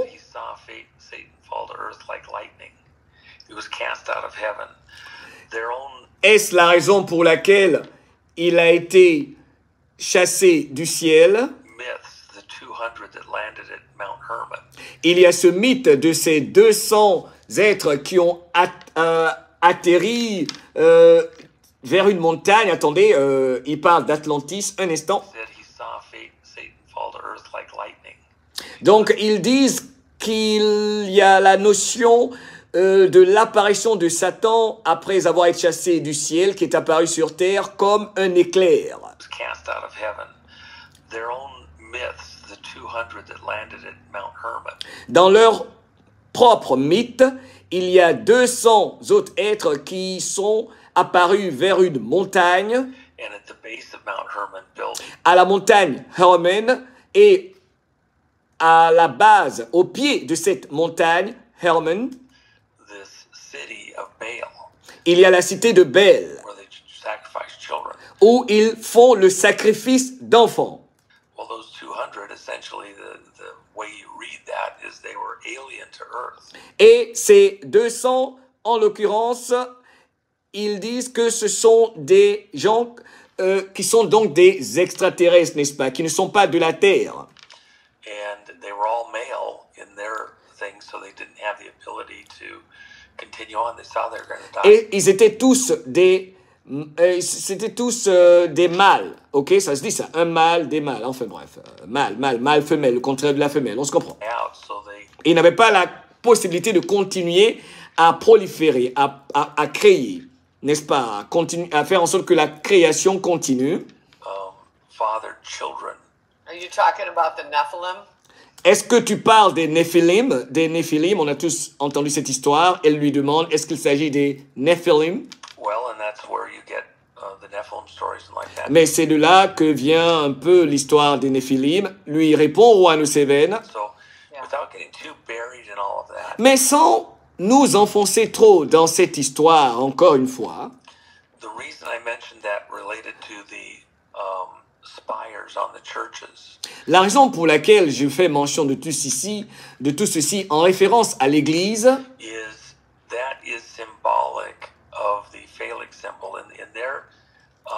cela est symbolique. Donc, dans leur monde, dans leur conception des choses, dans leur croyance, c'est comme ça qu'ils croient. C'est ce en quoi ils croient. C'est l'histoire en laquelle ils croient. uh. Dans leur religion, ils estiment qu'ils sont sauvés que par la voie sexuelle. C'est le sexe qui va les sauver. Et pourquoi c'est cela leur porte de sortie, le sexe? Parce que leur père, Lucifer, a été chassé du ciel et que et justement à cause d'un acte sexuel. Adam Adam, lui, il était sous la bénédiction divine. God gave the earth and everything that's in it to Adam and his Le bon Dieu a donné la terre et tout ce qui la contient à Adam uh, et à toutes ses graines. God said, "This is yours, Adam, uh, Le bon Dieu a dit à Adam, cette terre, elle est la tienne. forever and ever. It's for you and your Elle est pour toi à jamais. À toi, tes enfants, tes petits-enfants, donc toute ta descendance. as an inheritance." It it foresaw that Adam would have children before even Eve even showed up. Et donc, euh, ce qui nous fait penser que Adam avait même des enfants avant même l'apparition de Yves. So Eve was anticipated when God said, "Your your offspring." Adam's running around the garden looking all over for anybody that's like him, and he doesn't find anything. He complains to God. Donc, Adam était dans le jardin et disait, mais je ne vois personne qui me ressemble dans le jardin. Il a donné des noms à tous les animaux et à toutes les plantes. Mais il ne voyait rien qui lui ressemblait à lui, Adam. no flesh, no animals like him anywhere Il ne voyait aucun animal qui lui ressemblait, aucun être, je préfère dire, qui lui ressemblait. Dans le jardin.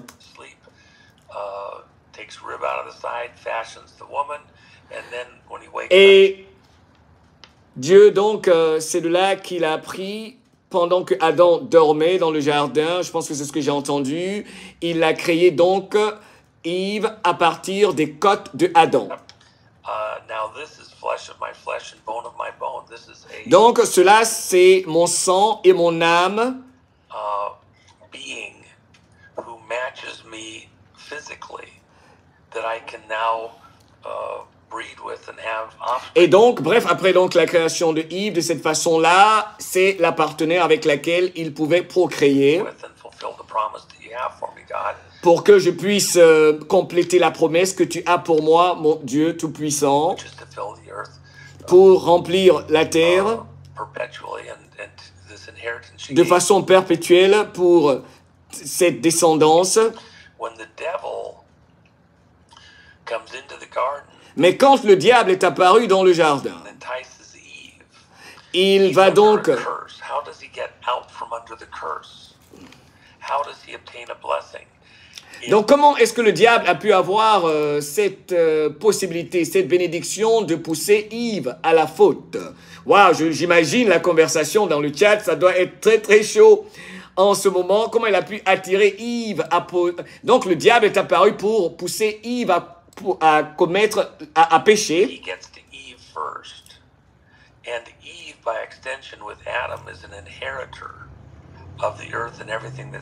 Yves, par extension vis-à-vis de Adam, est également euh, l'héritière de tout ce qui est sur ces terres également. the. Uh, Et en fait, même au-delà de la Terre, dans tout l'univers. uh, he can he can upset, put God in a catch twenty two. So when when Cain is born, he has the blessings of perpetuity to have offspring and to receive the blessing through Adam, but through Eve, the mother. Donc Cain, quand euh, il a eu la, la naissance, donc euh, la naissance de Cain, il avait des bénédictions qu'il ne pouvait recevoir que de Yves, parce que Yves donc était en corrélation avec Adam. Waouh, c'est complexe cette affaire. Not directly from Adam, because Adam isn't his father, but Right, but because has she's the bone of his bone, because she's bone of his bone. That's right. And. Okay. Et donc il y avait un peu cette corrélation, ce rapport, ce lien entre Cain et Adam, de par le fait que Cain est le fils de Yves. Est-ce que vous avez déjà entendu tout ceci? C'est énorme tout ça. Ma tête chauffe. and within what they believe, Et c'est ce qu'il croit. Alors, c'est très important. Je reviens à l'écran ici. Je reviens à l'écran. Ce qu'il est en train de raconter, il dit que c'est ce que ces familles royales croient, ok? C'est ce que les 13 familles principalement. Je reviendrai sur cette histoire de ces 13 familles, n'est-ce pas, qui nous ont tous manipulés, ont changé tellement de choses. C'est ce qu'ils croient pour imposer leur antéchrist, pour imposer leur façon de vivre parce qu'ils pensent qu'ils sont des descendants de Satan. Vous voyez donc, ils doivent faire des sacrifices d'enfants. Voilà pourquoi ils pratiquent le sacrifice. Ça ne leur dit rien de tuer des enfants. C'est énorme ce soir. Ok, euh, donc euh, d'avance, euh, ok, pardon si ce que vous entendez blesse certaines personnes ici, parce que c'est important, parce qu'il y en a qui, quand ils entendent ça, se disent, mais Mohamed, pourquoi même est-ce que tu parles de ça? Il faut arrêter de, de ne pas vouloir entendre ce genre de choses.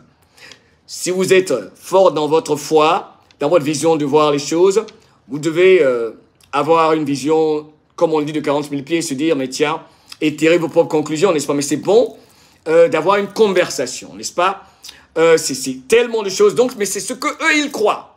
Voilà pourquoi ils opèrent comme ils opèrent. Voilà pourquoi les guerres, ça les arrange. Voilà pourquoi tuer. Voilà pourquoi ils font le sacrifice humain. Vous avez vu tous ces enfants qui disparaissent partout de par le monde. Voilà pourquoi il faut arrêter de dire pourquoi ils font ça? C'est ce qu'ils font, le sacrifice humain. Ils tuent les gens, ils sacrifient l'humain. Ceci est très important pour comprendre ce que nous vivons. Voilà pourquoi 17 a dit, la vérité, ce n'est pas tout le monde qui l'acceptera ou qui la comprendra. Ce ne sera pas pour tout le monde. Ok?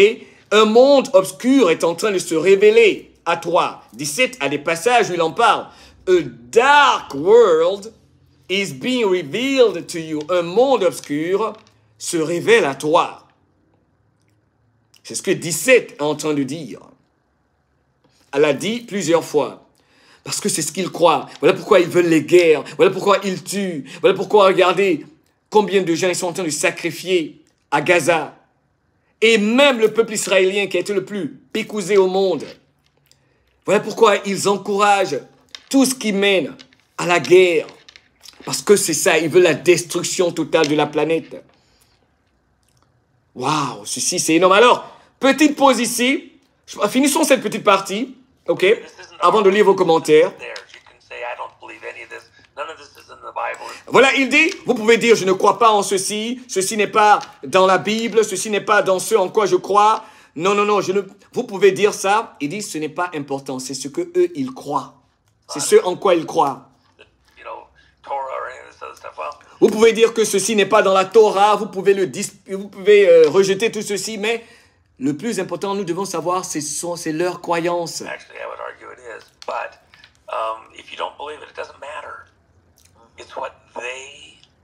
Ce qui est important, c'est ce que c'est le fait que eux ils le croient.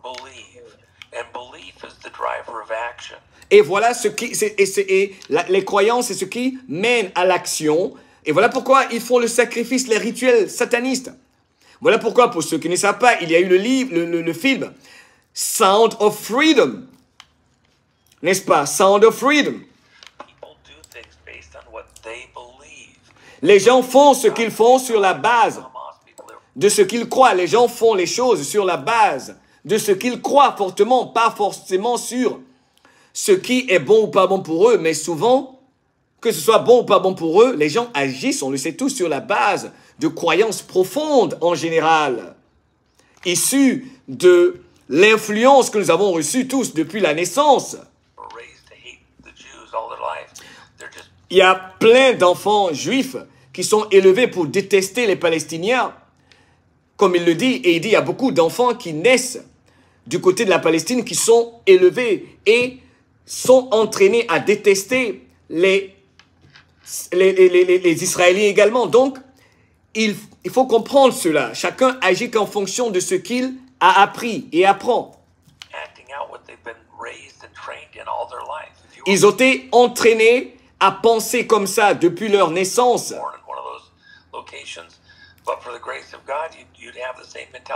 Si vous êtes né dans, euh, soit en Palestine ou en Israël, vous aurez la mentalité de la majorité des gens qui vous influencent. Et c'est la même chose au sein de ces familles royales leurs enfants, leur progéniture, ils croient tous qu'ils sont des êtres supérieurs, qu'ils sont les descendants de Lucifer, de Satan. Voilà pourquoi ils pratiquent le satanisme. Voilà pourquoi ils font le sacrifice d'enfants, parce que leurs ancêtres les faisaient. Ils continuaient cette pratique, ils l'ont cachée dans les grottes et partout, il faut le comprendre. C'est énorme, je trouve, euh, ce que le roi de Séven est en train de partager ici. J'élabore un peu, parce que j'ai écouté plusieurs autres dialogues, émissions, y compris mes propres recherches. Je vous encourage euh, au respect mutuel dans la conversation et surtout plus tard, ceux qui vont regarder cette vidéo ici dans les commentaires, respect mutuel, ok? Aucune attaque personnelle ne sera tolérée. Merci infiniment.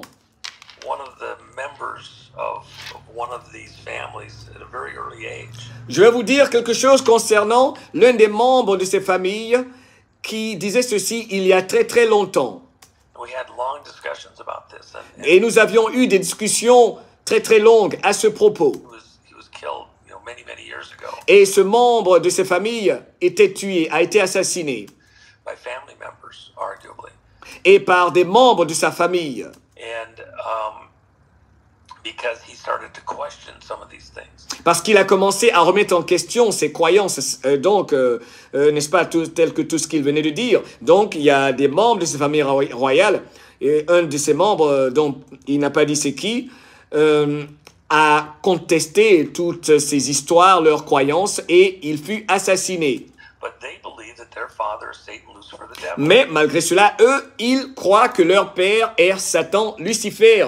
Donc, euh, ce membre influent de, qui faisait partie de cette famille, de ces familles royales, de ces 13 familles, fut assassiné parce qu'il a rejeté euh, ce genre euh, de théorie. and they choose to um, honor that father because they Et ils ont choisi, eux, d'honorer ce père, Lucifer. Parce qu'ils croient encore une fois qu'ils sont plus que des humains. Ils ne sont pas que des humains. Alors, ce n'est pas pour dire qu'ils sont supérieurs à ce qu'ils pensent, mais ils pensent qu'ils ne sont pas que des humains. Ils sont donc moitié humains, moitié autre chose. Il va en parler. Uh,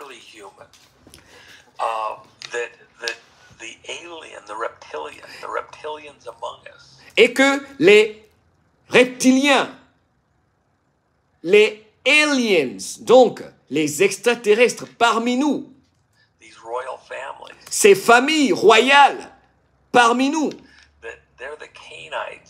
Ils sont les Canaanites, Canaanites. Je sais pas comment on le dit en français. Donc, les descendants de Cain sur la terre. Donc, les représentants de leur père, Lucifer. Cain, descendant de Lucifer.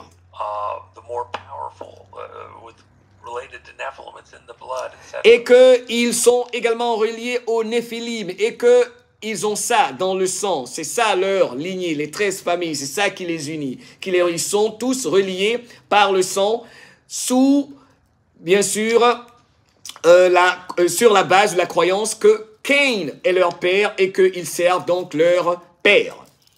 and they believe Et ils croient fortement qu'ils vont gagner, remporter cette bataille entre donc Satan et Dieu. Et elle dit, c'est de là justement que vient tout ce trafic humain et tout ça, n'est-ce pas? Laisse-moi finir. Ce qui me plaît pas avec elle, elle adore interrompre. Et là, il lui a dit, tais-toi. Elle aime toujours avancer, elle adore interrompre. So the the myth that's the governing myth here is the myth Je reviens au mythe qui existe ici. Il parle de Washington, le gouvernement ici, qui gouverne ici. Il veut parler de ce qu'il croit. Le mythe qui existe à Washington et repose sur l'histoire de Osiris, Osiris. J'espère que c'est comme ça que ça se dit en français, Osiris ou Osiris. Et que la maman Isis, Isis de Osiris, and there's variations on the myth, you know, il y a des variations concernant ce mythe. by Zeus or whatever and, and had children, twins and like that. And so uh, it's Osiris and um, Set.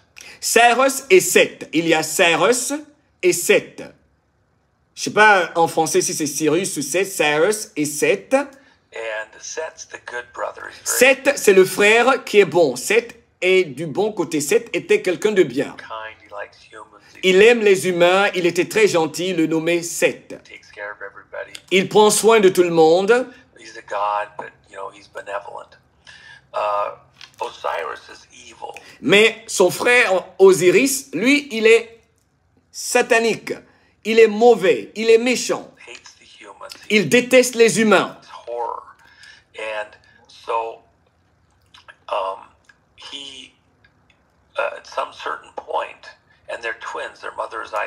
Et ce sont des jumeaux.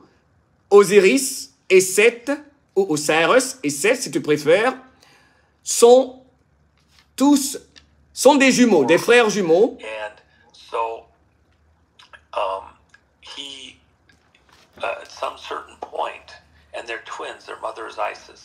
Leur maman, c'est encore une fois Isis, la maman de Seth et Osiris. Leur maman s'appelle Isis ou Isis. You hear these names, you know why? Alors, dans les commentaires, avant que je continue, dites-moi comment prononcer ceci correctement. Ok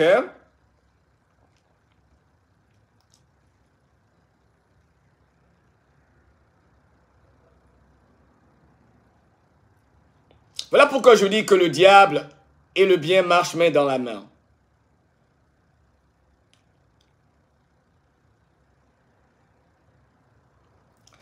Débré Monique dit Enki, Enlil et Ea Anunnaki. Ok. Allez, je vais continuer, ok?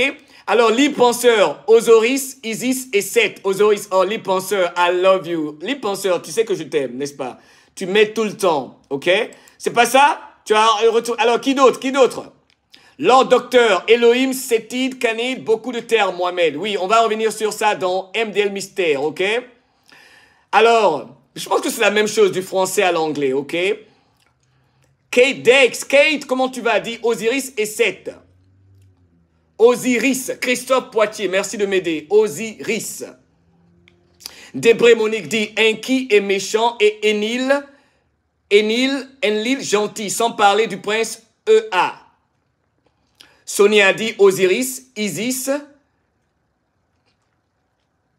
Donc on a compris. On a Osiris et Seth, les frères jumeaux, enfants de Isis. Et vous ne trouvez pas que c'est bizarre? Comment s'appelle la branche d'Al-Qaïda? Isis. Sérieux, comment est-ce qu'ils ont nommé l'une de leurs branches terroristes? On a Al-Qaïda, Boko Haram. Vous vous souvenez de ISIS? ISIS? Dans les commentaires, vous voyez combien de fois c'est profond. Alors, Juan Seven nous rappelle toujours que justement, il se réfère à des noms bibliques, tout ça, pour mettre la vérité, comme ils le font dans les films hollywoodiens, devant nous. Vous voyez, n'oubliez pas ce groupe terroriste qui s'appelait comment? ISIS. Comme Isis, la mère de Osiris et de Seth. N'est-ce pas? Wow Let's go. Why do we have ISIS out there as a terrorist group and all that? They're hiding in plain sight. By the way, the Statue of Liberty is ISIS. Je vous rappelle que la statue de la liberté, c'est la mère de Osiris et de Seth. Isis ou Isis en français.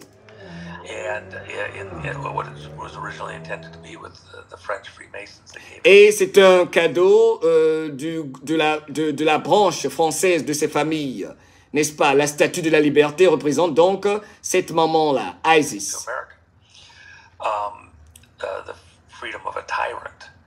So La liberté, mais plutôt la tyrannie. Uh, Set, the good brother, Seth, le frère qui est bon, qui est positif, qui aime les humains,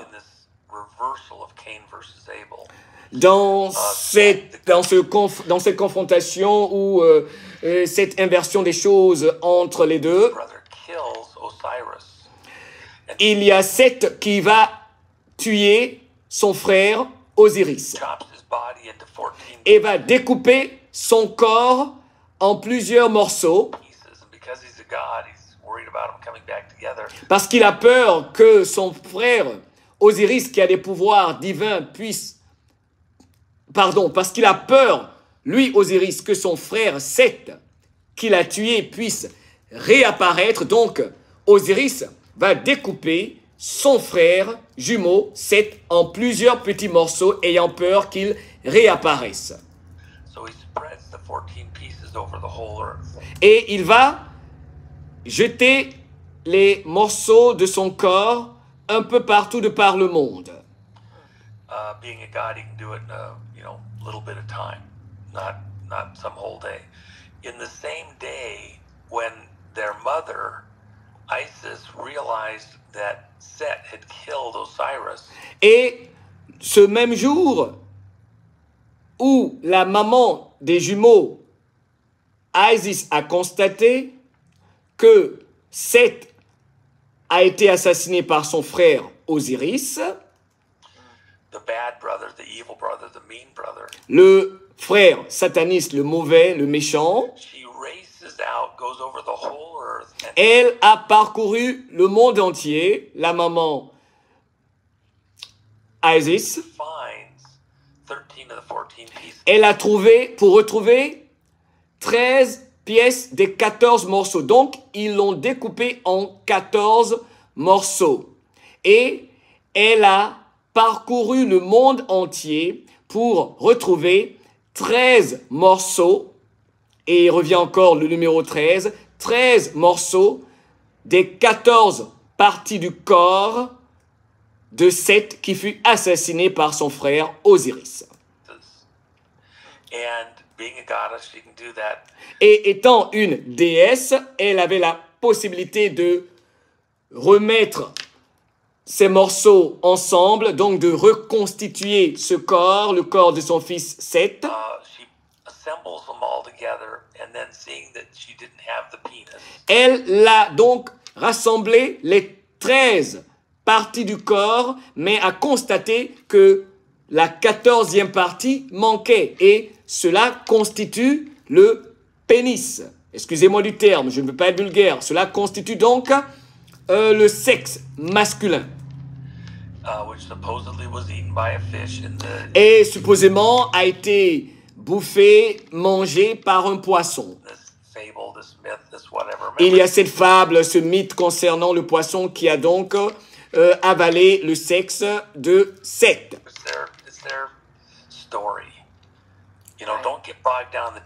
Je veux vous dire une chose. Encore une fois, ne vous concentrez pas sur les détails de l'histoire. C'est ce qu'il croit. Il nous raconte ce qu'il croit. Voilà pourquoi le monde est dans cette confusion. C'est comme ça qu'il fonctionne. Au fait, où est le vrai pape?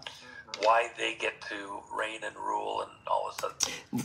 Je veux vous faire comprendre que c'est à cause de tout ceci qu'ils se comportent comme ils se comportent. Ils font ce qu'ils font. Ils agissent comme ils agissent et se disent qu'ils doivent tout contrôler. uh, she fashions a penis out of stone. Donc, selon leur croyance, Seth a eu son sexe remis à sa place par sa mère, Isis, qui a donc fabriqué son sexe, qui lui a fabriqué un sexe. Why they get to reign and rule and all this other stuff. So uh, she fashions a penis out of stone. Elle a donc fabriqué un nouveau sexe pour son fils à travers de pierres, en utilisant des pierres. and attaches it to the dead corpse. Et elle a attaché euh, cela au corps qui était mourant, au corps, pardon, euh, n'est-ce pas, qui était sans vie, sans vie. assembled together. And then in this magical mystery, Et dans cette magie et tous ces mystères, she has sex with his corpse. The mother, elle a eu des rapports, je m'excuse encore une fois, patience, âme sensible, elle a eu des rapports sexuels avec ce corps sans vie. Donc c'est l'inceste là carrément, n'est-ce pas the dead corpse of the son. I mean, how much more twisted and evil can you get? How much more Satan? Elle dit, mais, et, et Juan Seven nous rappelle maintenant, vous voyez combien ils sont fous, combien de fois leur, leur esprit est sataniste et malade, comment vous pouvez croire à ce genre de choses? C'est ce qu'ils croient. Ils nous racontent ce que nous ne savons pas. Ou que beaucoup ne savent pas. Car peut-être parmi vous, il y en a plein qui savent euh, tout ça déjà. yeah, but it's their myth.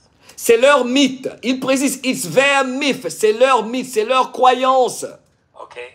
And then magically, miraculously, she has a child. Now, Et donc, euh, selon eux, magiquement et miraculeusement, un enfant est ressorti de, cette, euh, de, ce, de ces rapports sexuels. Remember, uh, the. Voilà pourquoi il croit, il dit, voilà pourquoi il faut que nous comprenions que tout est basé sur le sexe pour eux, l'inceste, tout est normal dans leur vie. Voilà pourquoi même ils veulent nous faire croire qu'un homme est une femme, une femme est un homme. Toutes sortes de folies.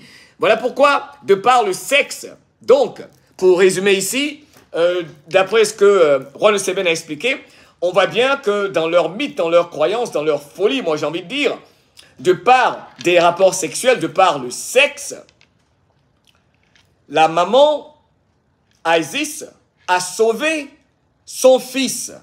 Et un enfant est même né de cette relation, issue d'un sexe qui fut reconstitué à partir de pierre qui a été rassemblé, collé, recollé à ce corps qui était mort. Et un enfant en est né. They are crazy.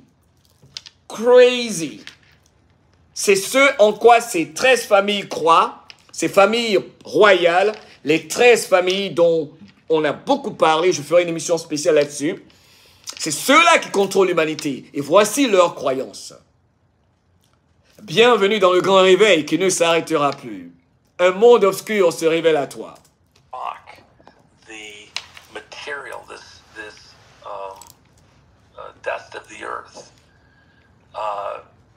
it's it's carved into a stone dildo. It's like we make silicon chips out of sand, uh, glass, um, and we talk about a biological life form that we are, and then we talk about silicon life forms, literally Alors, je vais arrêter avec cette histoire. On continuera cette partie dans MDL Mystère. On continuera cette partie dans MDL Mystère. J'espère que certains pourront partager euh, le lien pour MDL Mystère ici. Je vais voir si je peux même retrouver le lien. Je vais mettre le lien. On continuera ça dans MDL Mystère. Alors, la partie, on va faire la dernière partie avec maintenant l'expérience de mort imminente. Je suis sûr que c'est ce que beaucoup parmi vous attendent. L'expérience de mort imminente. L'expérience de mort imminente. Dans la plupart des nations où les agents de la Kabbale prennent en otage leur peuple, et il y a des nations en Afrique,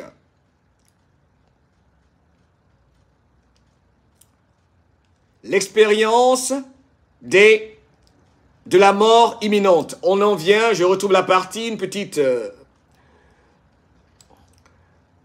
une seconde, s'il vous plaît, ok? Une seconde, donnez-moi une seconde. J'essaie de partager le lien de MDL Mystère. Merci beaucoup, Maïtouk m'a devancé. I love you, Maïtouk. Thank you so much.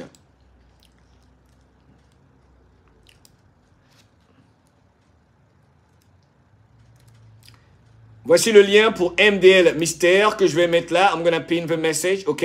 Alors, merci de continuer à m'envoyer vos photos, vos vidéos de vos expériences bizarres, personnelles, à la voix de l'Afrique, protonmail.com.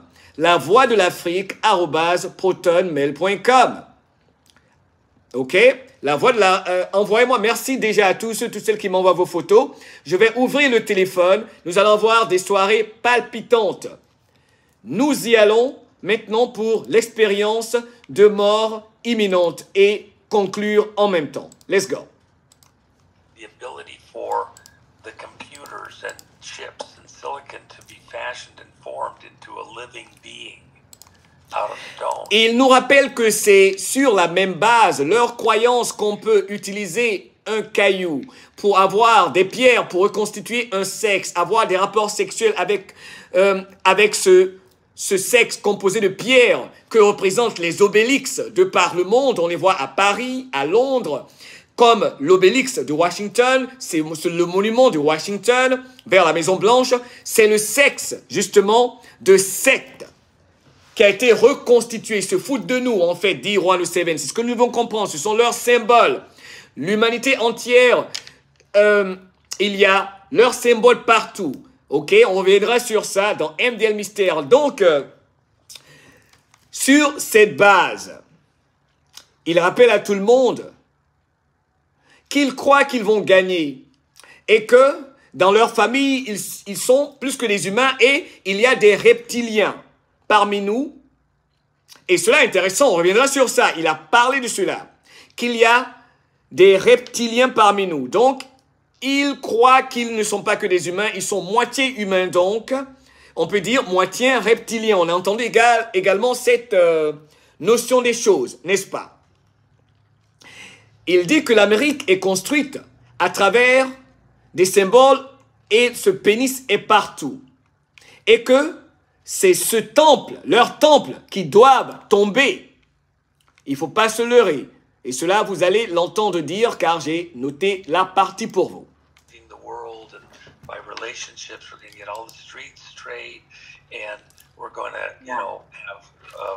Foundation in government. It's going to be wonderful. We'll build it all in stone. It'll last forever. And we'll memorialize it with stone, put a tower. Look, what's America? America's federal city uh-huh. has an occult sign as its centerpiece. America, as it's being run by this federal city, is built around La cité de Washington, la cité, la cité de Washington est construite euh, autour de ces symboles, de ce culte, de cet occulte, si je peux le dire. Washington est construit autour de ce gros euh, sexe masculin. Nous sommes tous des adultes ici. Par contre, nous sommes tous des adultes ici, ok? Euh, je vous demande pardon pour ceux qui sont inconfortables quand je dis sexe ou pénis, ok? Mais nous sommes tous des adultes ici. Merci.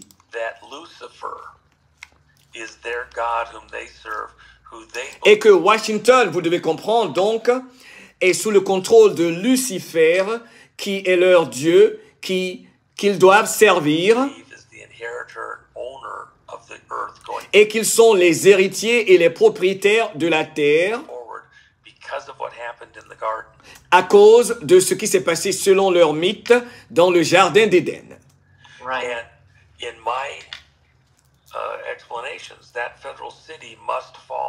Et cette cité doit tomber.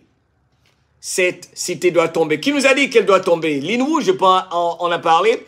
Et cette cité de Washington doit tomber. Yes. Because it's violation of the covenant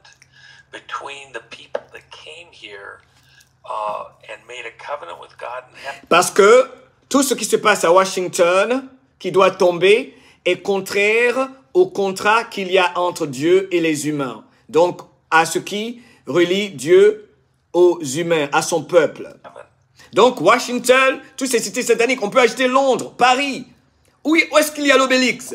Allez, dans les commentaires rapidement, où est-ce qu'il y a l'Obélix? Dans les commentaires.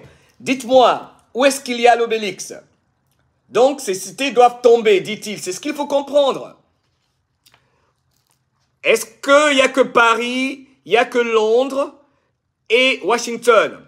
Le Portugal, Maria Salvador, ou quoi d'autre? Dans les commentaires. Le Vatican, le Vatican, justement, j'allais oublier. L'Égypte, l'Égypte. Marianne dit place de la Concorde à Paris. Roselyne dit à Rome. Le pénis est partout. Joël 100, Vatican, c'est oui, euh, on l'a dit. Un instant, autre chose. Monique Grapignon dit Vatican, Anne Remy à Paris, Washington, Égypte. Gapté dit Istanbul. Chris Chris, Bruxelles. Jackie Antares, Londres. Oui, à Paris. Cécile Fanny, Eik en province. Melstars, Montréal, Canada. Gold, Nkuris ajoute, ajoute l'Italie.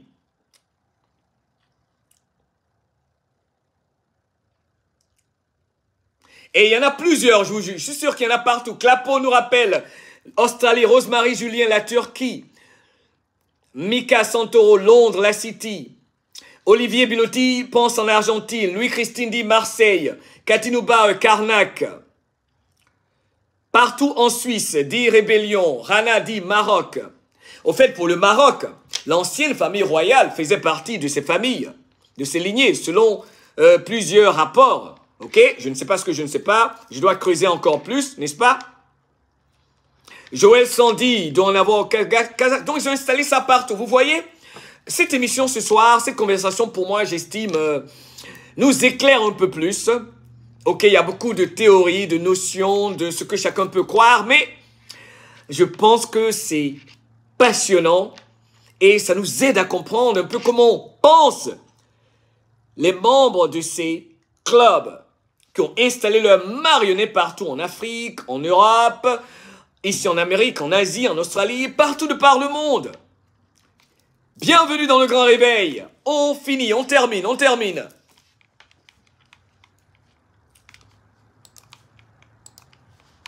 Dedicating this land to the service of God and to the fulfillment Donc ces idées doivent tomber pour dédier cette terre, n'est-ce pas, au service pour Dieu. of his promise to Abraham, Pour que la promesse faite à Abraham, n'est-ce pas, soit accomplie, Isaac, and Jacob, and to Adam, à Isaac, Jacob et Adam, pour que les promesses divines, donc faites à Abraham, Jacob, Isaac, soient accomplies, y compris Adam, as a blessing out through the eternity et cela à travers, et cela pour l'éternité. here of a physical world. The blessing to Abraham was of a Et cela même doit se passer ici, avant dans le monde physique ici, Yes. And a spiritual seed as all the stars in the heaven. Okay? We haven't even come close to a small portion of the sand of the seashores. We will Nous ne sommes même pas proches de ces événements dont il parle, que nous allons voir. En gros, c'est cela qu'il dit. Je vais avancer un peu rapidement, n'est-ce pas? Rapidement. Mon Dieu, que c'est passionnant. Je vais aller à 1h28 minutes parce que j'ai noté cette partie que je voulais que vous entendiez. J'espère que vous vous régalez ce soir. Sérieux. Et je sais que vous vous régalez ce soir. Waouh. to speak there and gate spirits in to help her win this election. That is a gate of hell. That archway is a gateway. Alors, ils parlent de leurs arcs qu'ils ont partout. Ils ont installé des arcs partout. Il dit ces arcs dont ils parlent sont des passages. Des passages pour, selon eux, euh, il dit, pardon, ce sont des passages vers l'enfer, dans leurs croyances, dans leurs mythes. Alors, les arcs également, dans les commentaires, ok, là c'est important de marquer une pause. Vous avez vu les arcs qu'ils ont un peu partout, les arcs qu'ils ont? Ils ont des arcs. On a, on quoi? L'arc du triomphe. Il dit, là, vous voyez cette sorte d'arc. Il il y a l'arc du triomphe à Paris. Ok Il dit, ce sont des passages pour eux. Des passages. Ils ont ça dans toutes les cités. Il y en a même un très grand ici aux États-Unis. Ok? Sonia, bon rappel, il réplique tout à Las Vegas, Tour Eiffel, le Sphinx et tout ça. L'arc du triomphe, les arcs. La défense à Paris, Bruxelles, beaucoup d'arcs. Voilà pourquoi il y a des arcs. Quand ils construisent, ils doivent mettre un arc. Ce sont des portails. Ce sont des portails. Ce sont des portails. Berlin, Paris, comme à Disney. Et on passe, nous savons pas, nous passons dans ces portails sans savoir. C'est, hyper profond ce qui se passe, ok? Il y en a partout des arcs de triomphe. Oui, il y en a partout, ok? Let's go. When we talk about the scripture, we talk about the politics in America coming against Il dit ce que nous devons savoir, nous parlons de politique. Mais en réalité, nous, nous, ah, non, en réalité, il s'agit de ceux qui, justement, contrôlent ces portes, ces arcs, un peu partout, comme il a dit, c'est dans toutes ces cités, euh, qui donnent accès à l'enfer qui donne accès à l'enfer. Il dit, ce sont les gates of hell. Hell, c'est l'enfer. Gate, n'est-ce pas? The gate. Donc, ce sont les portails de l'enfer. It's one of those archways. That's what's been brought to America. Et c'est cela qui a été transposé également ici aux États-Unis et dans d'autres pays partout de par le monde. that is what we're coming up against. Et c'est ce contre quoi nous sommes debout. And that symbology with this penis monumental. Et cette symbolique, particulièrement avec ce pénis qui est à Washington et ailleurs, c'est un monument pour Lucifer.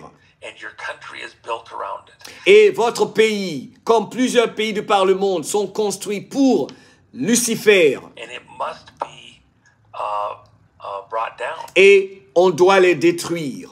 On doit les détruire. Voilà pourquoi, 17, les militaires parlent de quoi? Nettoyer le marais. Il ne s'agit pas d'une élection. Il ne s'agit pas d'une affaire d'élection. Ce que nous vivons est biblique, historique. Ça va au-delà. C'est la bataille entre l'obscurité et la lumière. Ces cités doivent être détruites. Yes. Well, and let's segue, and we close out today because I have another show to do. But let me tell you, this segues really good into this. Um, the, it's a showdown, and I'll let that I out from. Donc, c'est une confrontation, dit-elle. Nice to know. Backwards riding. And Well, uh, let, and- let me just add one little teeny tiny quick thing. sure. In the occult, they love their mirrors. They love Et il rappelle que nous devons savoir qu'ils adorent les miroirs. Donc les miroirs sont des portails. Alors, ça c'est intéressant. On a souvent vu dans les films les miroirs, n'est-ce pas? Les miroirs, ils utilisent les miroirs pour faire beaucoup de choses bizarres. Qui a entendu parler du Ouija board, du Ouija board dont je parle, euh, que j'écoutais beaucoup euh, quand j'écoutais Coast to Coast, les Ouija boards. Il dit, ils adorent utiliser également les miroirs comme portail, les miroirs. Les miroirs, donc, les arcs sont leur portail, le- les pénis sont leurs, euh, n'est-ce pas? Donc les miroirs sont également des portails. Il dit qu'ils aiment les miroirs également, les miroirs.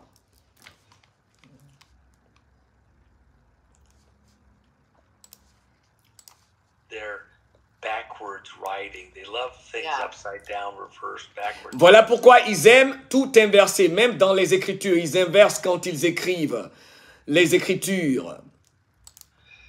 For them, we see Yeah. it as one, two, three, and the starting of a new uh, move of God in what's happening in, in America and the country. They see it as three, two, one. Il faut savoir que nous voyons 1, 2 et 3. Eux, ils voient 3, 2, 1. Action. Wow. Talk about terrorizing. Okay, Wow. we're going to be doing some terrorizing. Parce qu'il s'agit de terroriser. Et il en rit. Il s'agit de terroriser. Donc, tout ce qu'ils nous disent, en gros, nous devons penser le contraire de ce qu'ils nous disent. as we take back the gates of hell Et donc, pendant que nous sommes en train de reprendre le contrôle de ces accès à l'enfer, de ces arcs, de leurs portails, nous sommes pendant donc que nous reprenons le contrôle de ces gates of hell. Ok? Je vais euh, essayer de vous donner euh, gate of hell, donc les grilles. Ok? C'est les portes, en tout cas les portes d'entrée de l'enfer. Nous sommes en train de reprendre le contrôle de leurs portes d'entrée vers l'enfer. Nous sommes en train de les, de les détruire. Vous allez bien, il va le dire. they see it as three take back the gates of hell Nous reprenons le contrôle de ces portails, de ces accès à l'enfer.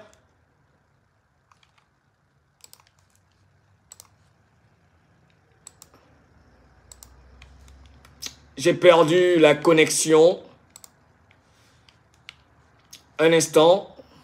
C'est la fin, nous sommes à la fin. and which I know what they mean for me. Two two three. Uh, it's going to be okay dollars coming. They love things Yeah. upside down. Refer in what's happening in in America and the country.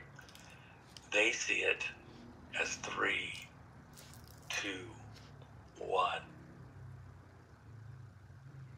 Talk about terrorizing. Okay, Wow. we're going to be doing some terrorizing as we take back the gates of hell. Alors, donc, je reprends. J'ai retrouvé la partie. Je l'avais perdue tout à l'heure, excusez-moi. Pendant que nous reprenons le contrôle de ces portails, de ces accès à l'enfer, des portes d'accès à l'enfer, et pendant que nous les détruisons complètement, smash them, nous sommes en train de les détruire. Ces portails qui donnent accès aux démons, à leurs démons. access to God's people and to America. And just like in the time of Ezekiel, Et comme au temps d'Ézéchiel, all those monuments, tous ces monuments, pillars, ce sont des piliers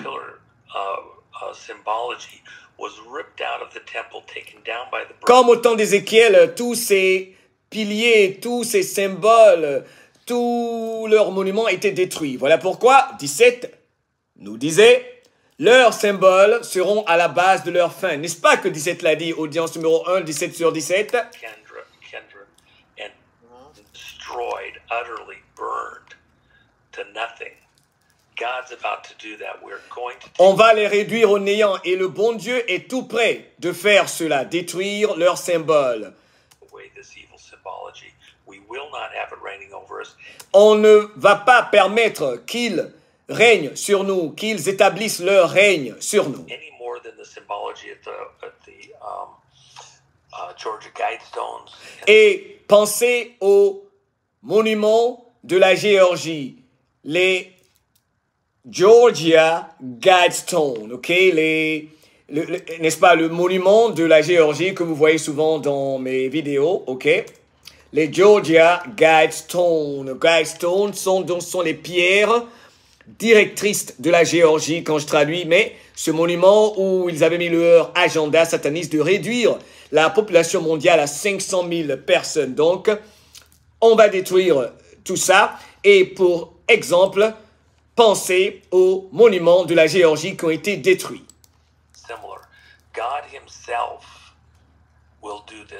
Et le bon Dieu lui-même va le faire. Donc, parlant des autres symboles qui restent à détruire, leur cité et tout ça. as God's people, will see. I'll know that we have made a huge impact in America when I start seeing steeples taken off of churches or those buildings. Et le bon Dieu saura notre part dans ce combat quand il verra l'humilité euh, venant de son peuple. that were built with joint use in mind being abandoned and new built, and they don't have any of that symbology on them anymore because God's people understand the meaning and significance of these uh, ritual things in their Et les hommes de Dieu, le peuple de Dieu, c'est exactement ce que représente leur symbole midst and won't have any part to do et leur mythologie et tout ça. Et nous n'allons plus permettre cela, nous n'allons plus avoir cela. Wow. Well, amazing. You know, this is. I felt Waouh, God tell me fascinant, fascinant, dit-elle. Alors, euh, l'expérience proche de la mort à 1h38 minutes, on s'approche de la fin. L'expérience proche de la mort, on écoute. Que va-t-il se passer en Amérique et particulièrement partout où l'État profond s'est rétracté? Il y a des pays en Afrique qui, j'ai l'impression, sont pris en otage. Il y a des pays en Europe qui, j'ai l'impression, euh, sont pris en otage, mais temporairement. Il y a des cités aux États-Unis, n'est-ce pas, dans l'art d'éviter la guerre civile, qui, où il y a des populations comme à New York, San Francisco, je, pense à Paris souvent, hein, hein, c'est mon intuition, comme Montréal, Québec, le Canada. Il y a des endroits où il y a, la, il y a le face-à-face final euh, qui va se faire. Que pourrait-il se passer? J'ai l'impression que ça va être la même chose. Et d'ailleurs, il l'avait dit que ce qui va se passer en Amérique, c'est la même chose, par exemple, pour le Canada. Et je me dis, je me dis, la même chose pour certains en- certains endroits qui ne sont pas encore libérés. On écoute. God will, you know, protect them, save them, get them through something. A child, uh, a mother will consecrate the child to God if they'll save them or give them one in the first place. this is a consecrating moment. There's something about that Nous vivons donc en gros un moment de consécration. L'Amérique va être très très proche, très très proche de son extinction. Extinction, est-ce que c'est ça? C'est ça, non? Va être complètement détruite. Je pense que c'est la même chose, n'est-ce pas? L'Amérique sera très très proche d'être complètement détruite. Yeah. By all human perception, look, we're coming Et cela simplement de par notre perception. C'est ce que nous allons croire, donc. to a very trying moment. It- It's not a bad hair day. Ce ne sera pas la fin, mais ça va être vraiment quelque chose, il insiste, de très très dur. Ça va être euh, une expérience euh, qui va nous secouer. Ça va nous secouer. C'est une expérience proche de la mort. Ce n'est pas un mauvais jour pour ses cheveux. Ce n'est pas genre euh, quelque chose de complètement mauvais. C'est pas la fin du monde. It's a near death experience. C'est une expérience proche de la mort. C'est, pardon, une expérience de mort imminente. Je préfère le dire ainsi, donc, c'est beaucoup mieux. C'est une expérience de mort imminente, mais pour la grâce divine, pour que tu connaisses, connaisses ta place, pour que chacun connaisse sa place dans ce monde, done. d'ici que tout soit fini. We're coming to that kind of a harrowing, Nous sommes en train donc d'aller tout droit vers ce moment. gripping, Ce moment où il faudra s'accrocher, il faudra s'agripper. S'accrocher, je crois que c'est plus correct. Gripping moment, ok? Je dis s'agripper, je sais pas si ça a un sens, excusez-moi, ok? Gripping moment, gripping moment. Un moment saisissant. Merci dans les commentaires de m'aider. Donc ça va être, c'est un moment où il faudra euh, s'accrocher. Un moment saisissant. a full all out, you know, war where people Un moment qui ressemble à une sorte de guerre. in that kind of combat often do times do consecrate God if you get me? Mais durant cette période qui ressemblera à une période de guerre, on va voir des gens qui vont revenir donc vers Dieu, qui vont se consacrer à Dieu. Um, Well, And- and that's why, I- and I'll let you finish. That's why it says in Second Chronicles seven fourteen. This was he was talking to God's people, not to you know the unbelievers. Or if my people called by my name will humble themselves, pray, seek my face, and the last. Et ils parlent maintenant, euh, tous les deux, de si les peuples, les gens deviennent de plus en plus humbles. Donc l'humilité va être obligatoire. On a déjà parlé de ceci. Ça va passer par un moment d'humilité pour tout le monde. Et Dieu va se montrer à ce moment-là. Et si les humains s'éloignent de leurs péchés euh, qui n'ont aucun sens, euh, n'est-ce pas Euh, Tel que vouloir faire passer, j'ai envie de dire, un homme pour une femme, une femme pour un homme. then I will hear from heaven Et je vous entendrai depuis le ciel et j'interviendrai.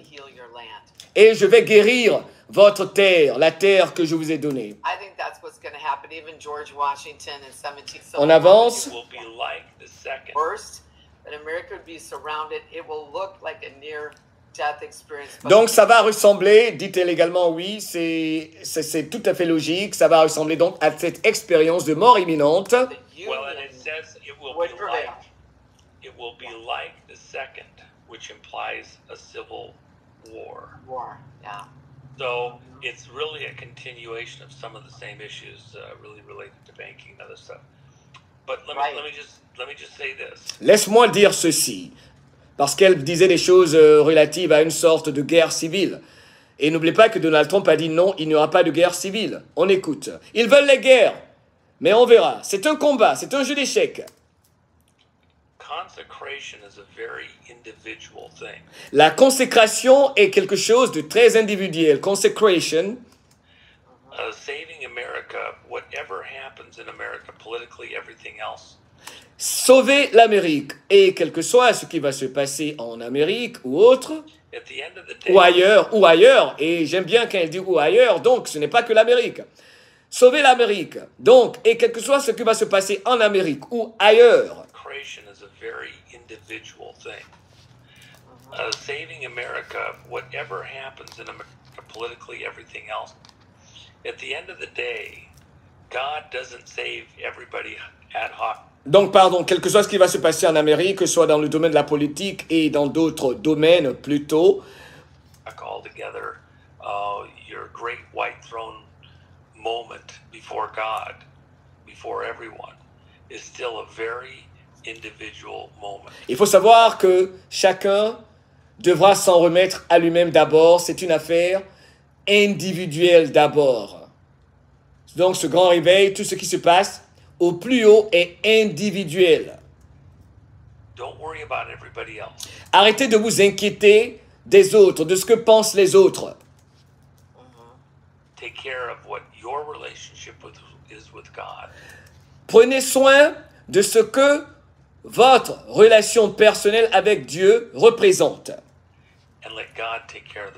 Et laissez le bon Dieu s'occuper du reste. Donc faites votre part.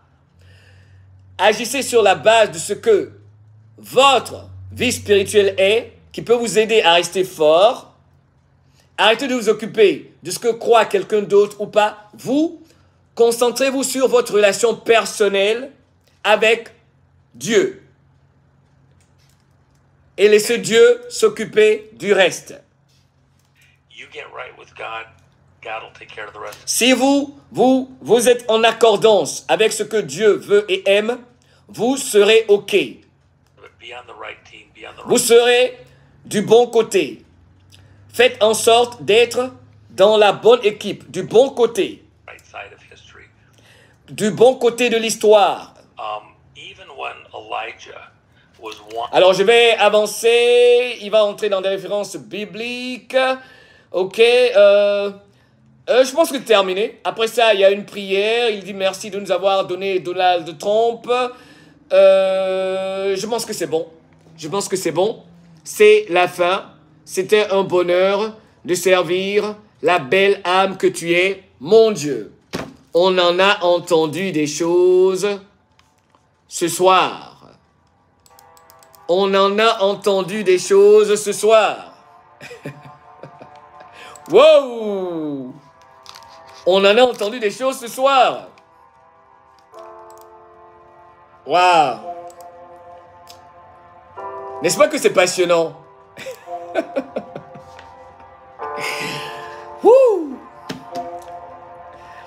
Alors, on va faire un débrief un autre jour.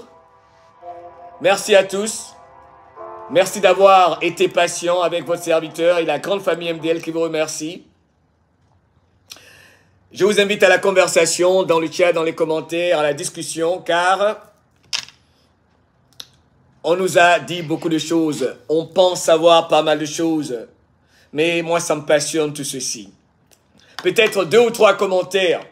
Ok, qui peut résumer? Je pense que pour la fin, qui peut résumer? Qui peut résumer tout ce que nous avons entendu? Qui peut résumer tout ce que nous avons entendu? Qui peut résumer tout ce que nous avons entendu? Je veux, je veux entendre. Qui peut résumer tout ce que nous avons entendu? Dans le chat. Qui peut résumer? Je lis, j'attends, je veux voir les chats. Qui peut résumer tout ceci? Je cherche que je cherche, je veux un commentaire pour résumer tout ce que nous avons entendu aujourd'hui.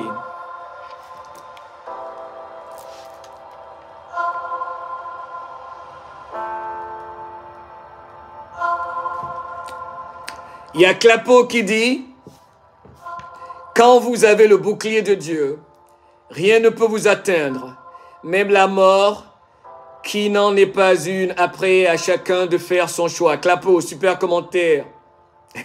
Kafinou Bauer, je pense que tu as tout dit. Impossible, il y a trop de choses. Mika Santoro dit Moi je peux, mais ça va prendre 10 lignes. Alors Mika, est-ce que tu peux mettre ça dans les commentaires? Plus tard Ok, je vais laisser les commentaires ouverts.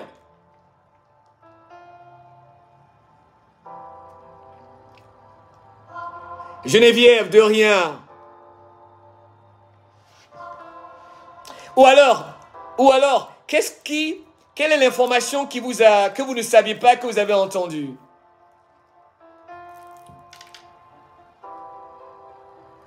Gapté, de rien. Au fait, je vais vous dire que Roi 7, il y a des spéculations comme quoi c'est un être galactique maintenant. Il y en a qui disent que ce n'est pas JFK Junior maintenant, que c'est quelqu'un qui est, qui est d'une autre dimension. Que pensez-vous de ça? Sérieux, sérieux. Et ça court beaucoup euh, le milieu des patriotes. Il y a des gens qui disent que si seulement vous saviez qui est Roi Seven.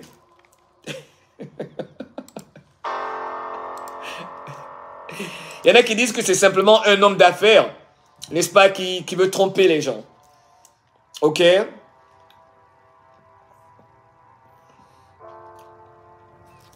Deux ou trois commentaires.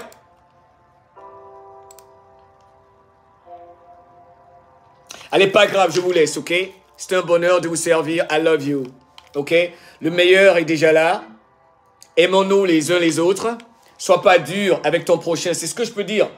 Le mieux pour moi, c'est que euh, on ne doit pas être dur les uns avec les autres. Sois pas méchant avec toi. Ok? Souris. Crois-moi, c'est, c'est pas facile pour, euh, toi, pour moi, pour euh, tous les humains. Et ceci est important. Jamais oublié de dire ceci. Excusez-moi, j'ai fait quelque chose là devant vous. Il y a beaucoup de gens qui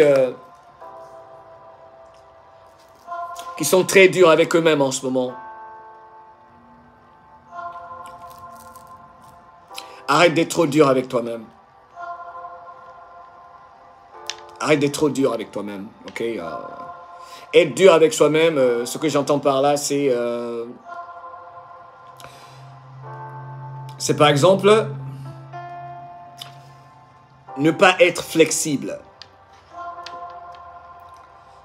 N'est-ce pas? C'est avoir euh, une façon de faire et se dire, c'est cette façon-là seule qui existe. Une façon de voir les choses, avoir une conception des choses et se dire, c'est cela, la façon de faire. C'est comme ça qu'il faut faire. Ça, c'est important.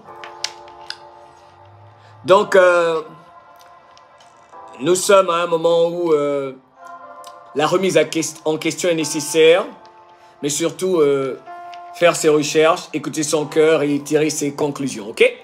Allez, bye bye. Merci à notre grande équipe. Vous êtes merveilleux et fantastique. Abonne-toi, partage. En attendant la prochaine conversation, sois patient avec toi-même, sois gentil avec toi-même. Arrête de courir, cesse de courir, ok? Cesse de courir. On court trop, on court trop. On court trop. Quand on est pressé, c'est parce qu'on a peur de rater quelque chose. Quand on est pressé, c'est parce qu'on a peur de manquer, euh, de rater quelque chose. Arrête d'être trop pressé. On est trop pressé, on est trop pressé, on veut qu'on soit pressé. Ok? Prends le temps de respirer, apprécie euh, de pas la gratitude, le fait que tu as encore tes yeux pour voir. Il y a des gens qui ne peuvent pas voir. Apprécie, exprime de la gratitude parce que tu as tes jambes pour marcher. N'est-ce pas? Tu as tes oreilles pour entendre. Quelles que soient les difficultés dans lesquelles tu te trouves, sois patient, ok? Sois patient, sois patient. Et n'oublie pas ta part de responsabilité dans tout ce que nous vivons aujourd'hui, car au final, nous y avons tous et toutes participé à quelques degrés près, que ce soit volontairement ou involontairement, consciemment ou inconsciemment. I love you. Merci à tous. Bye bye.